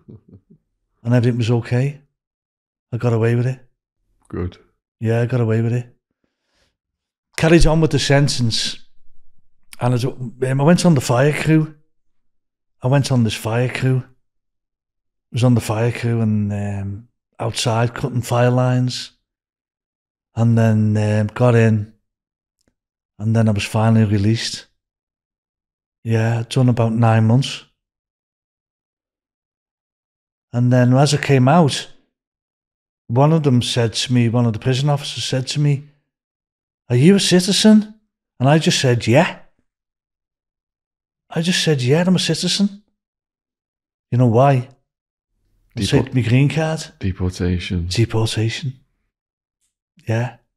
Deportation. Gonna get nicked. So I just carried on, come out. Then all of a sudden, a week later, where I'm living, the guy next door, I walked past him. He's got a gun. I actually seen the gun as I walked past the window, and he had the gun like that. And I walked past and I looked at it, and he was staring at me. I walked down the end of the alleyway. I come back round, went back in the house. I said to my wife, "Here a minute, come with me." So get Kelly, and we went out. And I went, "He's got a gun." She went, "Has he?" Said, "Yeah." I said, "He might do me." So next thing, I said, "Where's Call the nearest real estate agent up. I said, and put this house on the market right now. So we packed up, left the house on the market, and I moved to Irvine that week. And I got an apartment in Irvine. And I moved to Irvine to get out of Santa Ana. I think within a month we sold the house, got me money back, and I made a few quid. And then um, I set up buying another home in Irvine and then put Kelly in school. Then I just carried on and carried on. And then I kept in touch with um, Brody in England, and um, I decided to one day go back. So I got a few jobs, small jobs as butler. Yeah, and one was on the coast in Orange County for the, these multimillionaires, St. John Knits. And I ran their home for them. Kobe Bryant lived next door to them, the basketball player. I used to say hello to Kobe now and again. And it, it, it didn't work out, that job. And then I just carried on. Just carried on with my life doing the window cleaning. And then I just put Kelly in school, private school, carried on. And then I decided the years were getting on, I decided that I'd go home. 1996. 86. Yeah.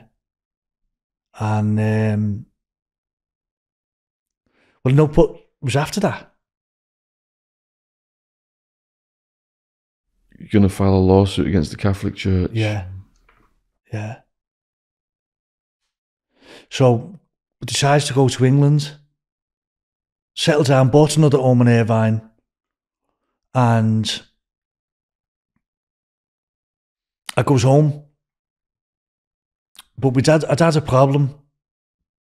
I was working on a home and there was $300,000 gone missing out of an account. So I had this house where I was like the butler manager, and it was on the in Irvine on the lake, and this London crew came in, and they were fixing the house up, putting new cabinets in, putting all this stuff in, new carpets, and I was in charge. So next one morning, the FBI surrounded the house and stopped me and took me into the Irvine Police Department and said, What's going on? I said, well, I hired them man, uh, from the yellow pages. They'd gone in and they took 300,000 out of this account. And they said to me, was any of them checks go to you, Terry? I went, no. So what they were insinuating, Shaun, was that I was the facilitator, Conspiracy. conspiracy to facilitate. The FBI had said to me, if we thought that you had anything with this case, we'd arrest you right now. And they never. They never arrested me. So I decided to get out the way a little bit. I decided to travel to England. And I went to England. And I was with Kelly and my brother, and I was staying at my brother's. And we were going to Southport. And as we were driving, I said to my brother, stop over here at this home. I want to show Kelly where it was, where I went to school. It was St. George's approved school. So we goes on the yard, and my brother got all nervous. He got really nervous. And he went, No, you've got to get off here. You've got to get off. Next thing, we got off and he was in the car and he was dead nervous. And he went, It's under investigation. I said, What for? He said, Oh, they've all been arrested for sexual abuse. Then he said to me, The police are looking for you. The police are looking for you. So I decided, we had our lunch and it was playing on my mind. I had a bottle of champagne. So I decided to get in touch with the police. But before I did that, I'd gone to Brody and I asked him to do a search warrant before I did it. He does the search warrant in his office and, it, and they had stamped on it urgent, either them or the police. I paid £25 for the Department of Prosecutions. We went and had a cup of tea, me and Rob Brody. It came back. Urgent, no warrants. He just looked at me and said, I told you, didn't I? to stay away. I was exonerated. Went bang. Now, the police on the Whittle was set up by um, Operation Care. They were set up. Went to see some lawyers and I got involved with suing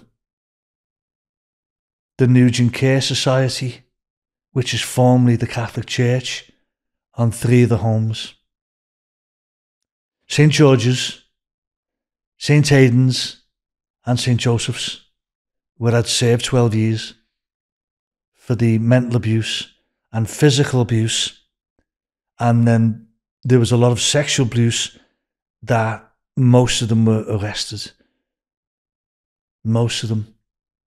So when Operation came to me, Operation Care, they came to me and they interviewed me. All the children hadn't seen each other for 30 odd years. And I had said to them, Is everybody telling the story right? They went, Yes. So then we had to get in touch with the solicitors. Cantor Jackson, then there was other solicitors in Manchester, so many involved. Then that started. That was taking like 14 years of my life up to sue them. Backwards and forwards to England. It was a holy nightmare. And um, I'd gone back, and then they wanted me back again. wanted me back. And then it really got heavy. They told me that I had to go to Rampton Hospital for the criminally insane to see three forensic psychiatrists. I drove to Rampton as an outpatient and I sat in a room with three psychiatrists that was assigned by the court. They were for the courts, they weren't for me. That was their defence. And I'd gone in with them. And my plan was the first question I had for them have you seen the reports from 1981? Dr. Messina, Dr. Nelson, and Dr. Ralph Obler? And he said, Yeah. In them reports, it was said I was misused and I was abused in the homes. So they had no way that they could defend their own their own attorneys. so the interview lasted six hours, and I actually said to the Doctor Millen, "What are you looking for?" He said, "We're looking for split personality because of the abuse. You would get a split personality." And I said, "I don't have that." So he said to me, You've done the Beck, the Beck's inventory, haven't you, Terry? And I went, Yeah. The Beck's inventory is a scale of psychological and psychiatry where the levels of anxiety and the levels of depression, either moderate, high, or extremely high, Mine came in extremely high with the score. So on that score, that meant that I had to be hospitalised. So Dr. Millen had said to me, Terry, it looks like you need to go into hospital. And I said to him, No, I'm going to be all right as it's because of this case now. And he let me go. They let me go. I calmed down, and the lawsuit took about 14 years. I went through it.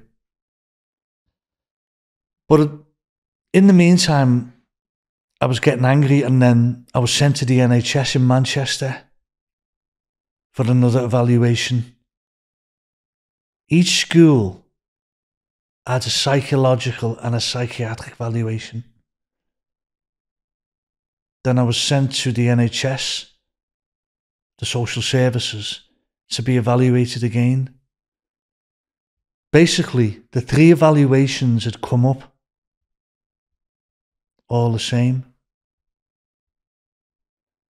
Severe, chronic, post traumatic stress disorder, which meant I had to be hospitalized. But I was functional in the world, and they were concerned about me. So I just got on with it. So throughout them 14 years, I decided to get a doctor in Orange County. His name was Dr. Daniel Amen, that he represented the F- NFL for the head injuries to prove my case against the Nugent Care Society. I paid approximately $5,000 to be examined. Now, it wasn't an examination where it was talking to us, uh, a, a psychiatrist or a cognitive psychotherapist. This was machines that would go inside the brain. The left lobe, the right lobe, and they'd have all these machines and they could see it. And actually, in the in the amygdala in the brain and the pituitary gland, they could see all the anxiety in the brain. And Dr. Daniel Amen is one of the best in the world. So he did me brain and he came out and he, he said to me, You're suffering from. Then he also gave tests for ADD and ADHD and bipolar disorder and it came up that there was ADD, ADHD, post traumatic stress disorder, bad infru- um, intrusive thoughts, and cyclothymia. So, in bipolar, in the factory of bipolar, you have in mental illness, you have bipolar 1, bipolar 2, Cyclothymia is a mild bipolar. So he sent me to a, a professor of psychiatry, Dr. Mark Zeaton, renowned best professor in California, to be examined to support my case. He examines me cost me thousands to prove my case against the church. While that was going on, the police had given information to a guy called Christian Wolmar, who had wrote a book on the history of the abuse in children's homes. We've interviewed him. Have you? Yeah. Remember? He uh, featured in our Jimmy Savile documentary. Did he? Yeah. Oh my God. Well, let me elaborate on this. Please do. Yeah. Yeah, it's, it's, it's coincidence, isn't it? Yeah. Absolutely beautiful man. Yeah. So the police in on in the care. Operation of Care had told them the most strongest man we've got is Terence Moogan. He's a survival. He hasn't died. He's the greatest. And he has more mental strength than most people. So Christian Wolmar calls me and he wrote the book, The Forgotten Children, all about the care homes. And we're building this rapport backwards and forwards. And he asked me questions Terry, is it true? And I said, Of course it is. I wouldn't doubt. I said, The only way that it wouldn't be true, if there's a kid that's doing a life sentence where he'd been injured by in the care home, where he wants to get back at his perpetrator and say it was him and get him. And I, I couldn't see that. I could have said things to Christian. I could have said things to Operation Care where I said that I was raped by certain men that were being arrested for rape. I could have said things, but I just told the truth. I could never get a man say that he raped me and then he would get a life sentence or a 20 year sentence. And that was the situation in one of the cases where Christian was asking me. So I became friends with Christian and I was sending him emails backwards and forwards. I was actually going to bring them and show you them, but I thought I'd give you sufficient evidence in my life. And I do have them. So I kept in touch with him and he's, um, he's from London. And then he became a member of parliament. And I kept in touch with him. So I wrote a, a story of my life and I wrote a poem. And it was about pain from when I was a child. And I'd sent him that the pain of my life. Each year was significant to pain, what I'd gone through. And he had said to me, I have never in my life met anyone like you. He said, Terry, keep going. Keep going, my friends. And then I found out later he became a member of parliament. And um, sometimes I often think about sending him an email. You And, it, and I think he's wrote some books from that. I've got his email if you want it. Yeah, I have it. I have Yeah. his email. Yeah. Yeah, I've got his email. Yes, isn't that coincidental? Yeah. That is really coincidental. We went to his house in London. Really lovely guy. Yeah. Yeah, that's beautiful. Lovely man. Mm. Arsenal supporter.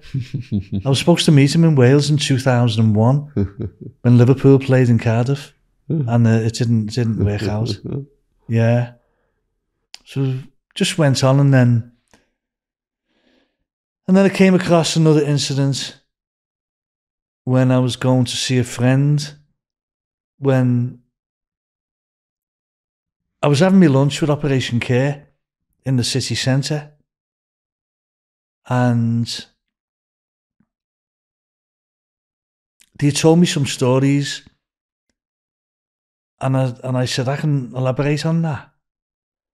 And one was a guy who would, uh, his name was Williams. He was the former headmaster of St George's. When I was there, it was Mr. Hickey. So I'd gone to see a friend up in Southport. And I told him I was filing, joining the lawsuit, the class action lawsuit. And he said to me, What lawsuit? He said, I was in their home.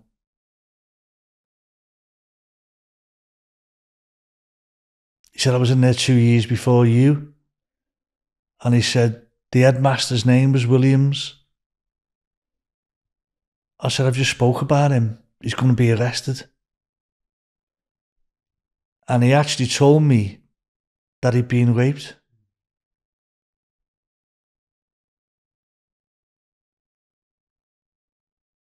So I said to him, I said,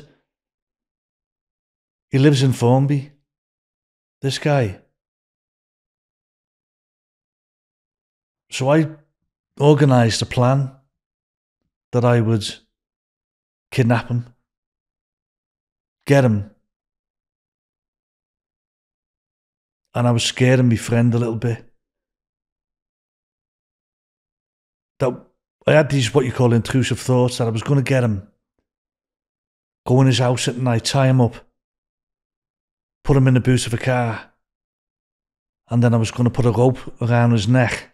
And I was going to tie it to the car and I was going to drive him down the street at 50, 60 miles an hour and I was going to kill him. But I always remember I'd, I'd counselling from a doctor in California, Caroline Way, and she said to me, Terry, they're going to get what's coming to them. They will get what's coming to them.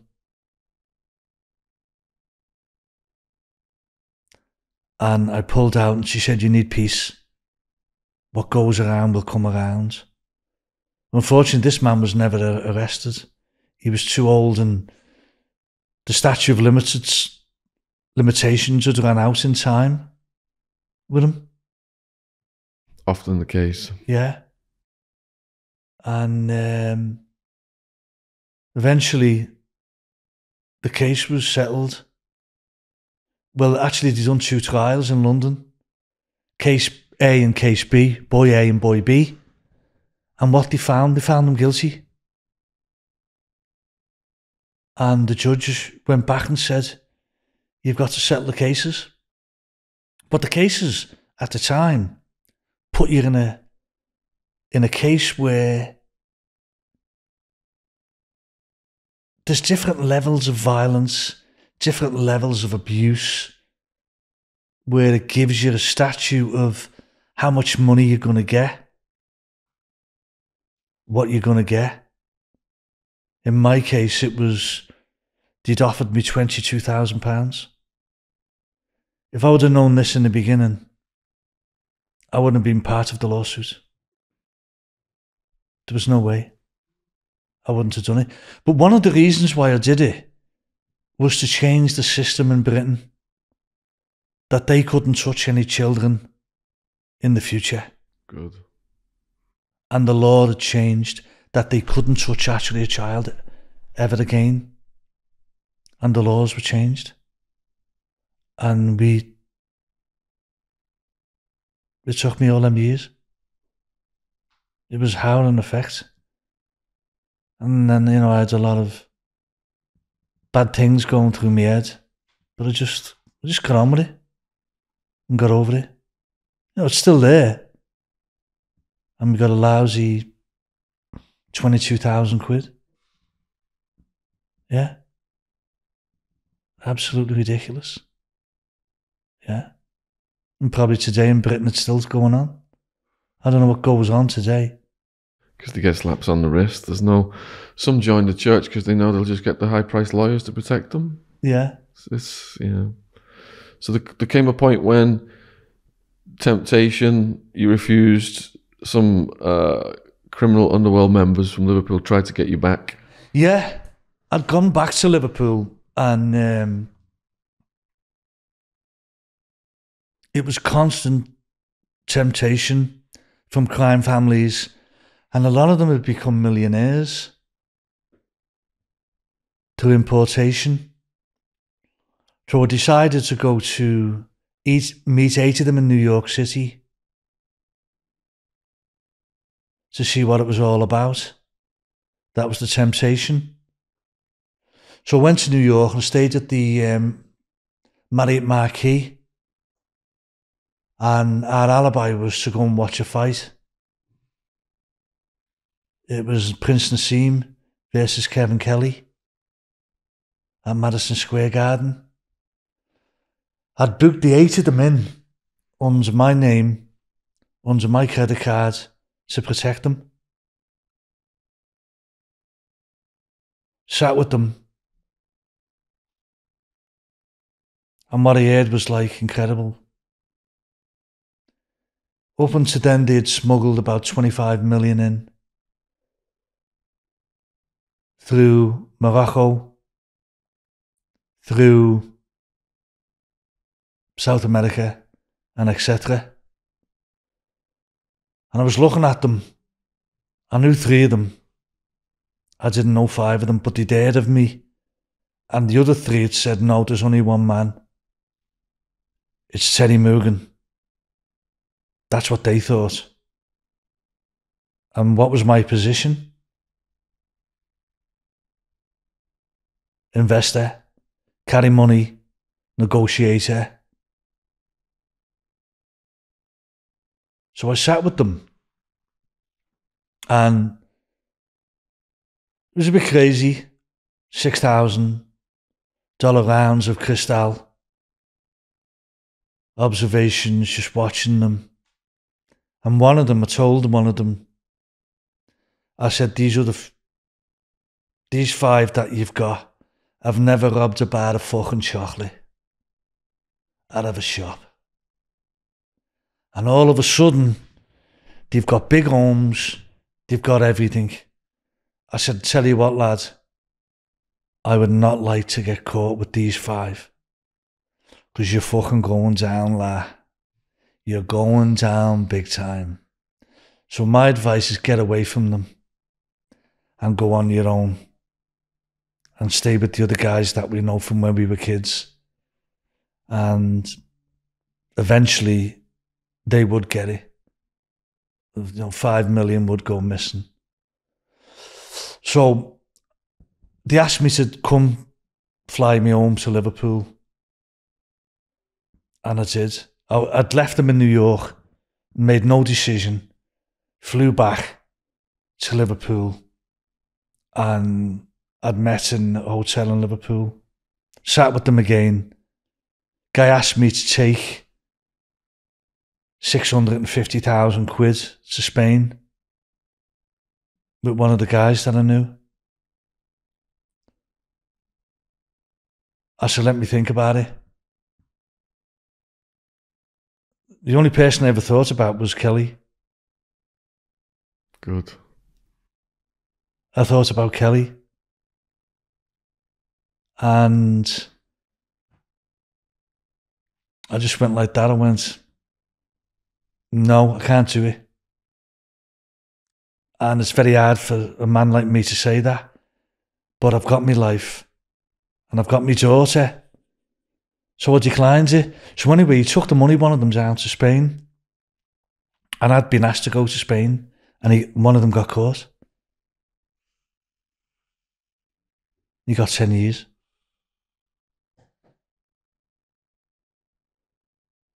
Got 10 years. And I went like that. I went home that night and I was staying with my sister in law. And I've known her since she was young. I knew her dad. And she looked at me and I'd been in the city centre and I'd had a suit on and a combi. And I walked in the door and she said to me, Where have you been? And she would never say that to me. She went, I know where you've been. She pointed and she went, It's not for you. Look at you. You're a smart man.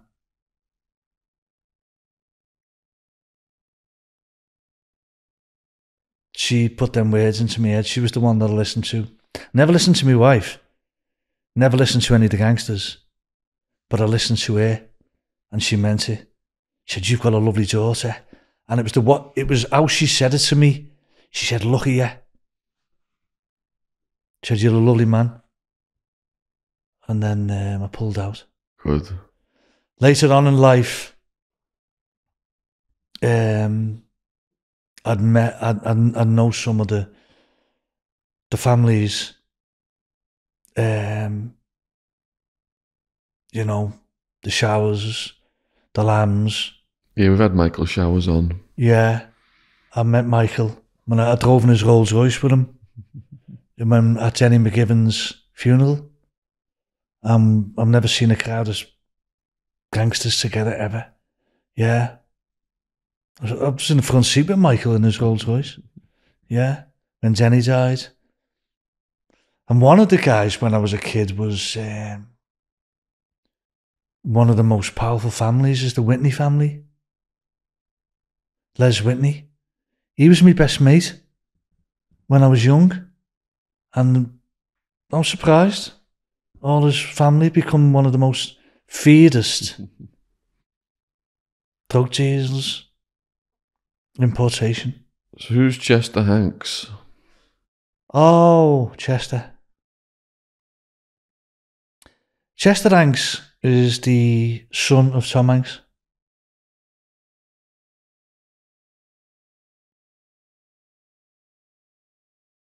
What happened on the 101? I've been on the 101 many times. Oh my dear. God. Well, I'd just been over to Glendale and I'd gone to a Japanese restaurant. And I was with um, some friends.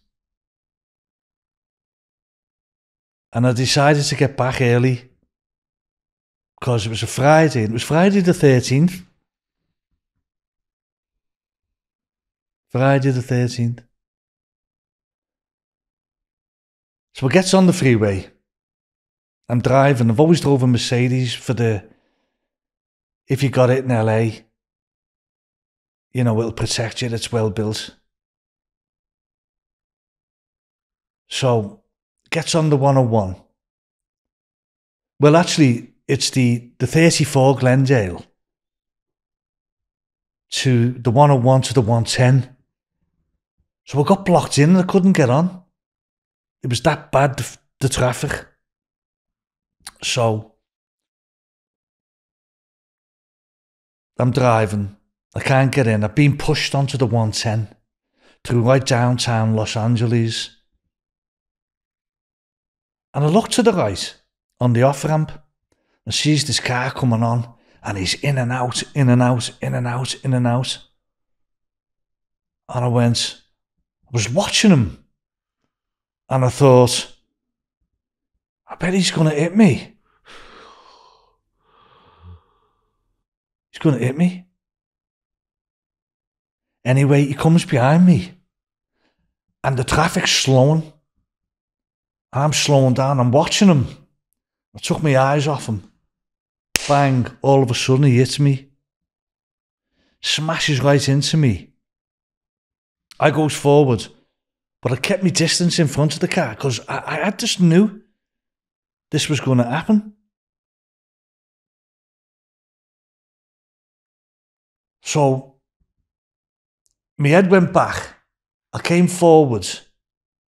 They said in, that I, I, did, I did the dashboard, TMZ had made this, and I, I didn't. I, did, I banged my head. I went forward, and it banged my neck. And this arm getting hold of it, so I think I had nerve damage. So, gets off the freeway. He gets out, Chester. Big kid. Dickhead. Tattoos all over him. Pulls over, tried to help him. Said, You're alright, mate? He said, Yeah, I'm alright. Yeah, man, and all this, you know, like a gangster. And he had the most horrible attitude I've ever seen in my life. So I looked at him, said, Give me your documents. And he went, Hey man, don't call the police. I said, No man, I won't call the police. I don't do that. I said, Leave that car there and I said, Call your parents. I didn't know at the time who he was. I didn't know who the fuck he was. So next thing, um, gets in the car with him. I seen all the cocaine. Seen all the marijuana. And I went, You're loaded, aren't you? And he went, Don't call the police, man. I've got anxiety.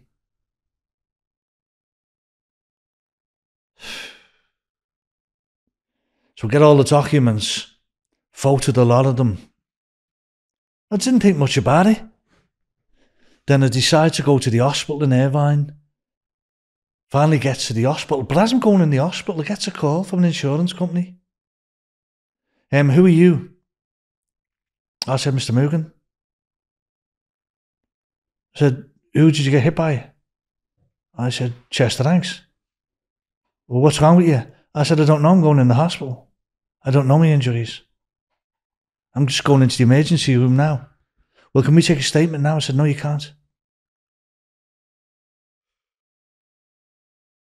They knew.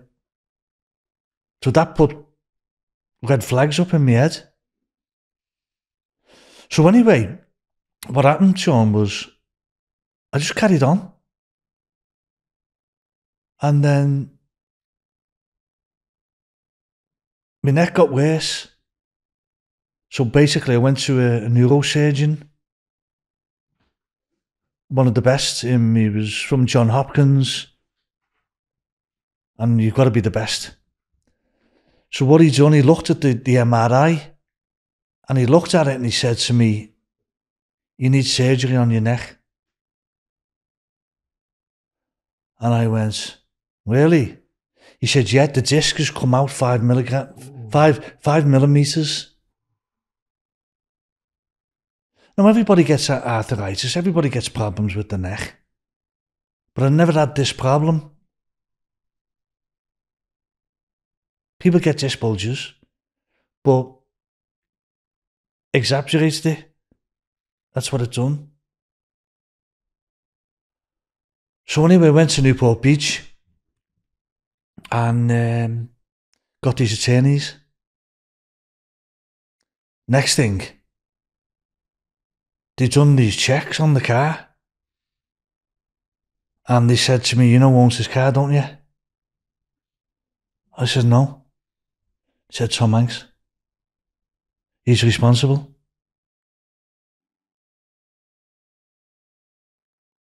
So, what he done was he said, we're filing a lawsuit against him. Him, his wife, and Chester. Well, next thing, they file a lawsuit, and I'm down in Laguna Beach. and I'm walking down the beach, and a guy walks past me, and he goes, Terry, you're on the news. So I kept my head down, I kept walking, and went, oh no, oh, here we go. Next thing, I get a call, Santa Monica from my niece, and she goes, Terry, you're all over TMZ. And I went, what? She said, you're all over the news. So what happened is then I called Kelly and I said to her, will you meet me in um, Mar? It's between Laguna Beach and Newport. It's a very lovely, isolated, one of the best places in the world to live. It is. Where a lot of movie stars live, and you know, basket Kobe lives down there and all them. Oh, Tiger. Tiger was an old friend of mine, Tiger Woods, yeah. Used to have me breakfast with him. Yeah. So we go down there and um, I said to Kelly, get the news up. I said, can you Google um, Tom Hanks? I said, put the, the two of us in together. So next thing, it's spreading all over the world. It's going everywhere. Oh, it's going like wildfire. He said, Dad, look at this. And at the time, I felt terrible. But it was just a way of sending a message. Even though you're not a film star, you cannot give your key, the car keys to a child who's under the influence of alcohol and drugs. So the case went on, and next thing, it got heavy.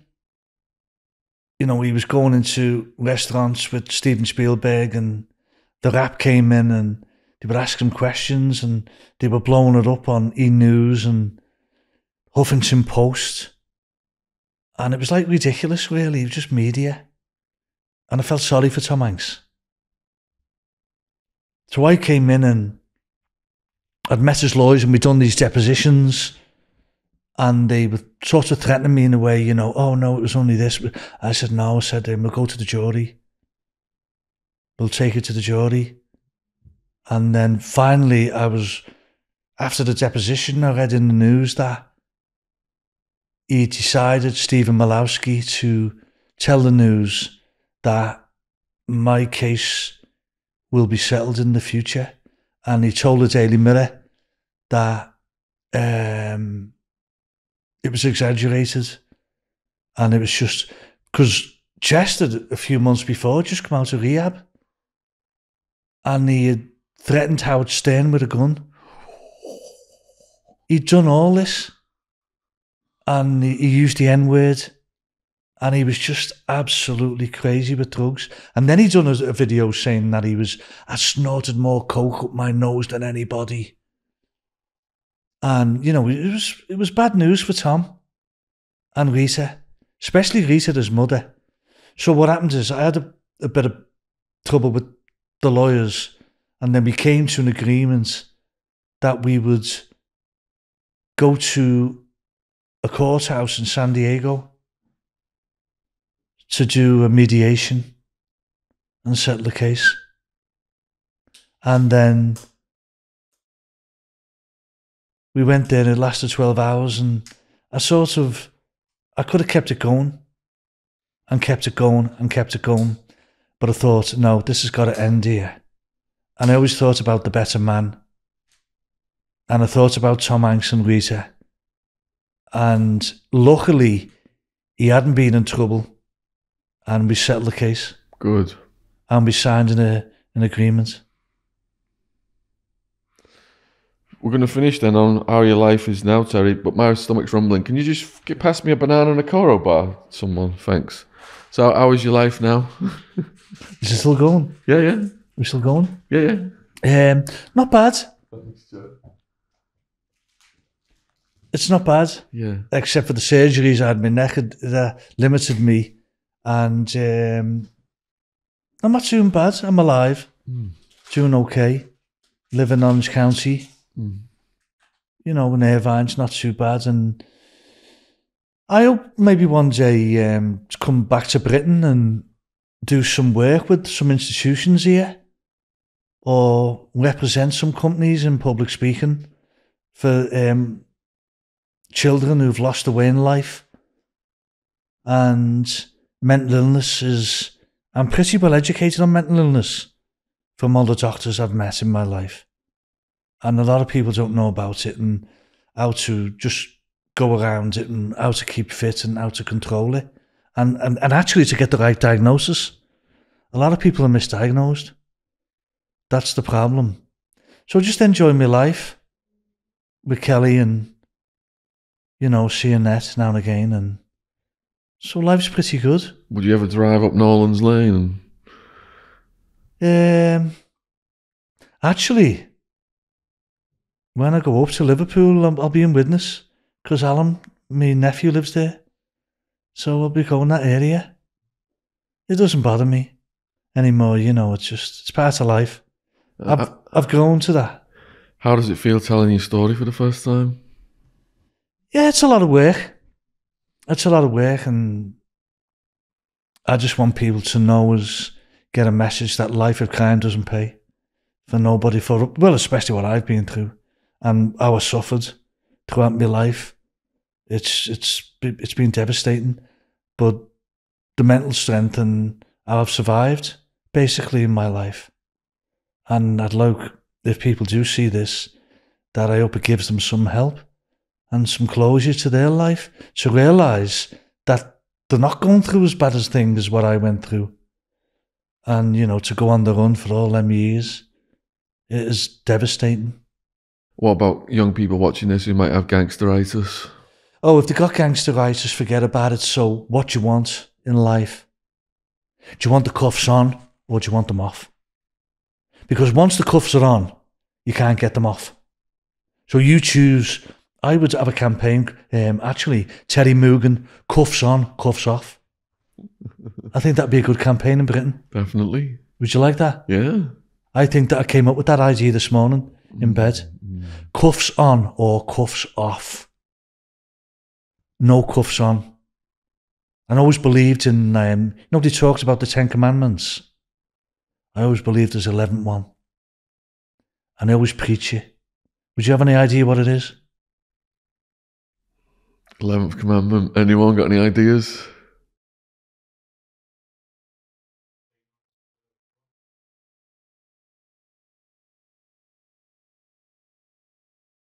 Don't get involved in drugs. No. Don't get caught. Don't get caught. The 11th commandment, don't get caught. So remember, don't get caught. Cuffs on, they're going to stay on. Cuffs off, they're going to stay off. Gang members, you'll be in a cell. You stab someone, you're going to be in a lonely cell for the rest of your life. The outside world forget about you, and then you've got to deal with the government, the British government, that is going to step down, and you don't know what they've got in store for you. So, the easy life, don't get caught, get educated, find a family, raise well, go to somebody, talk to them. Even you could actually even go to a psychologist or someone and tell them your problems, unless you've got these problems that you want to kill someone or something like that.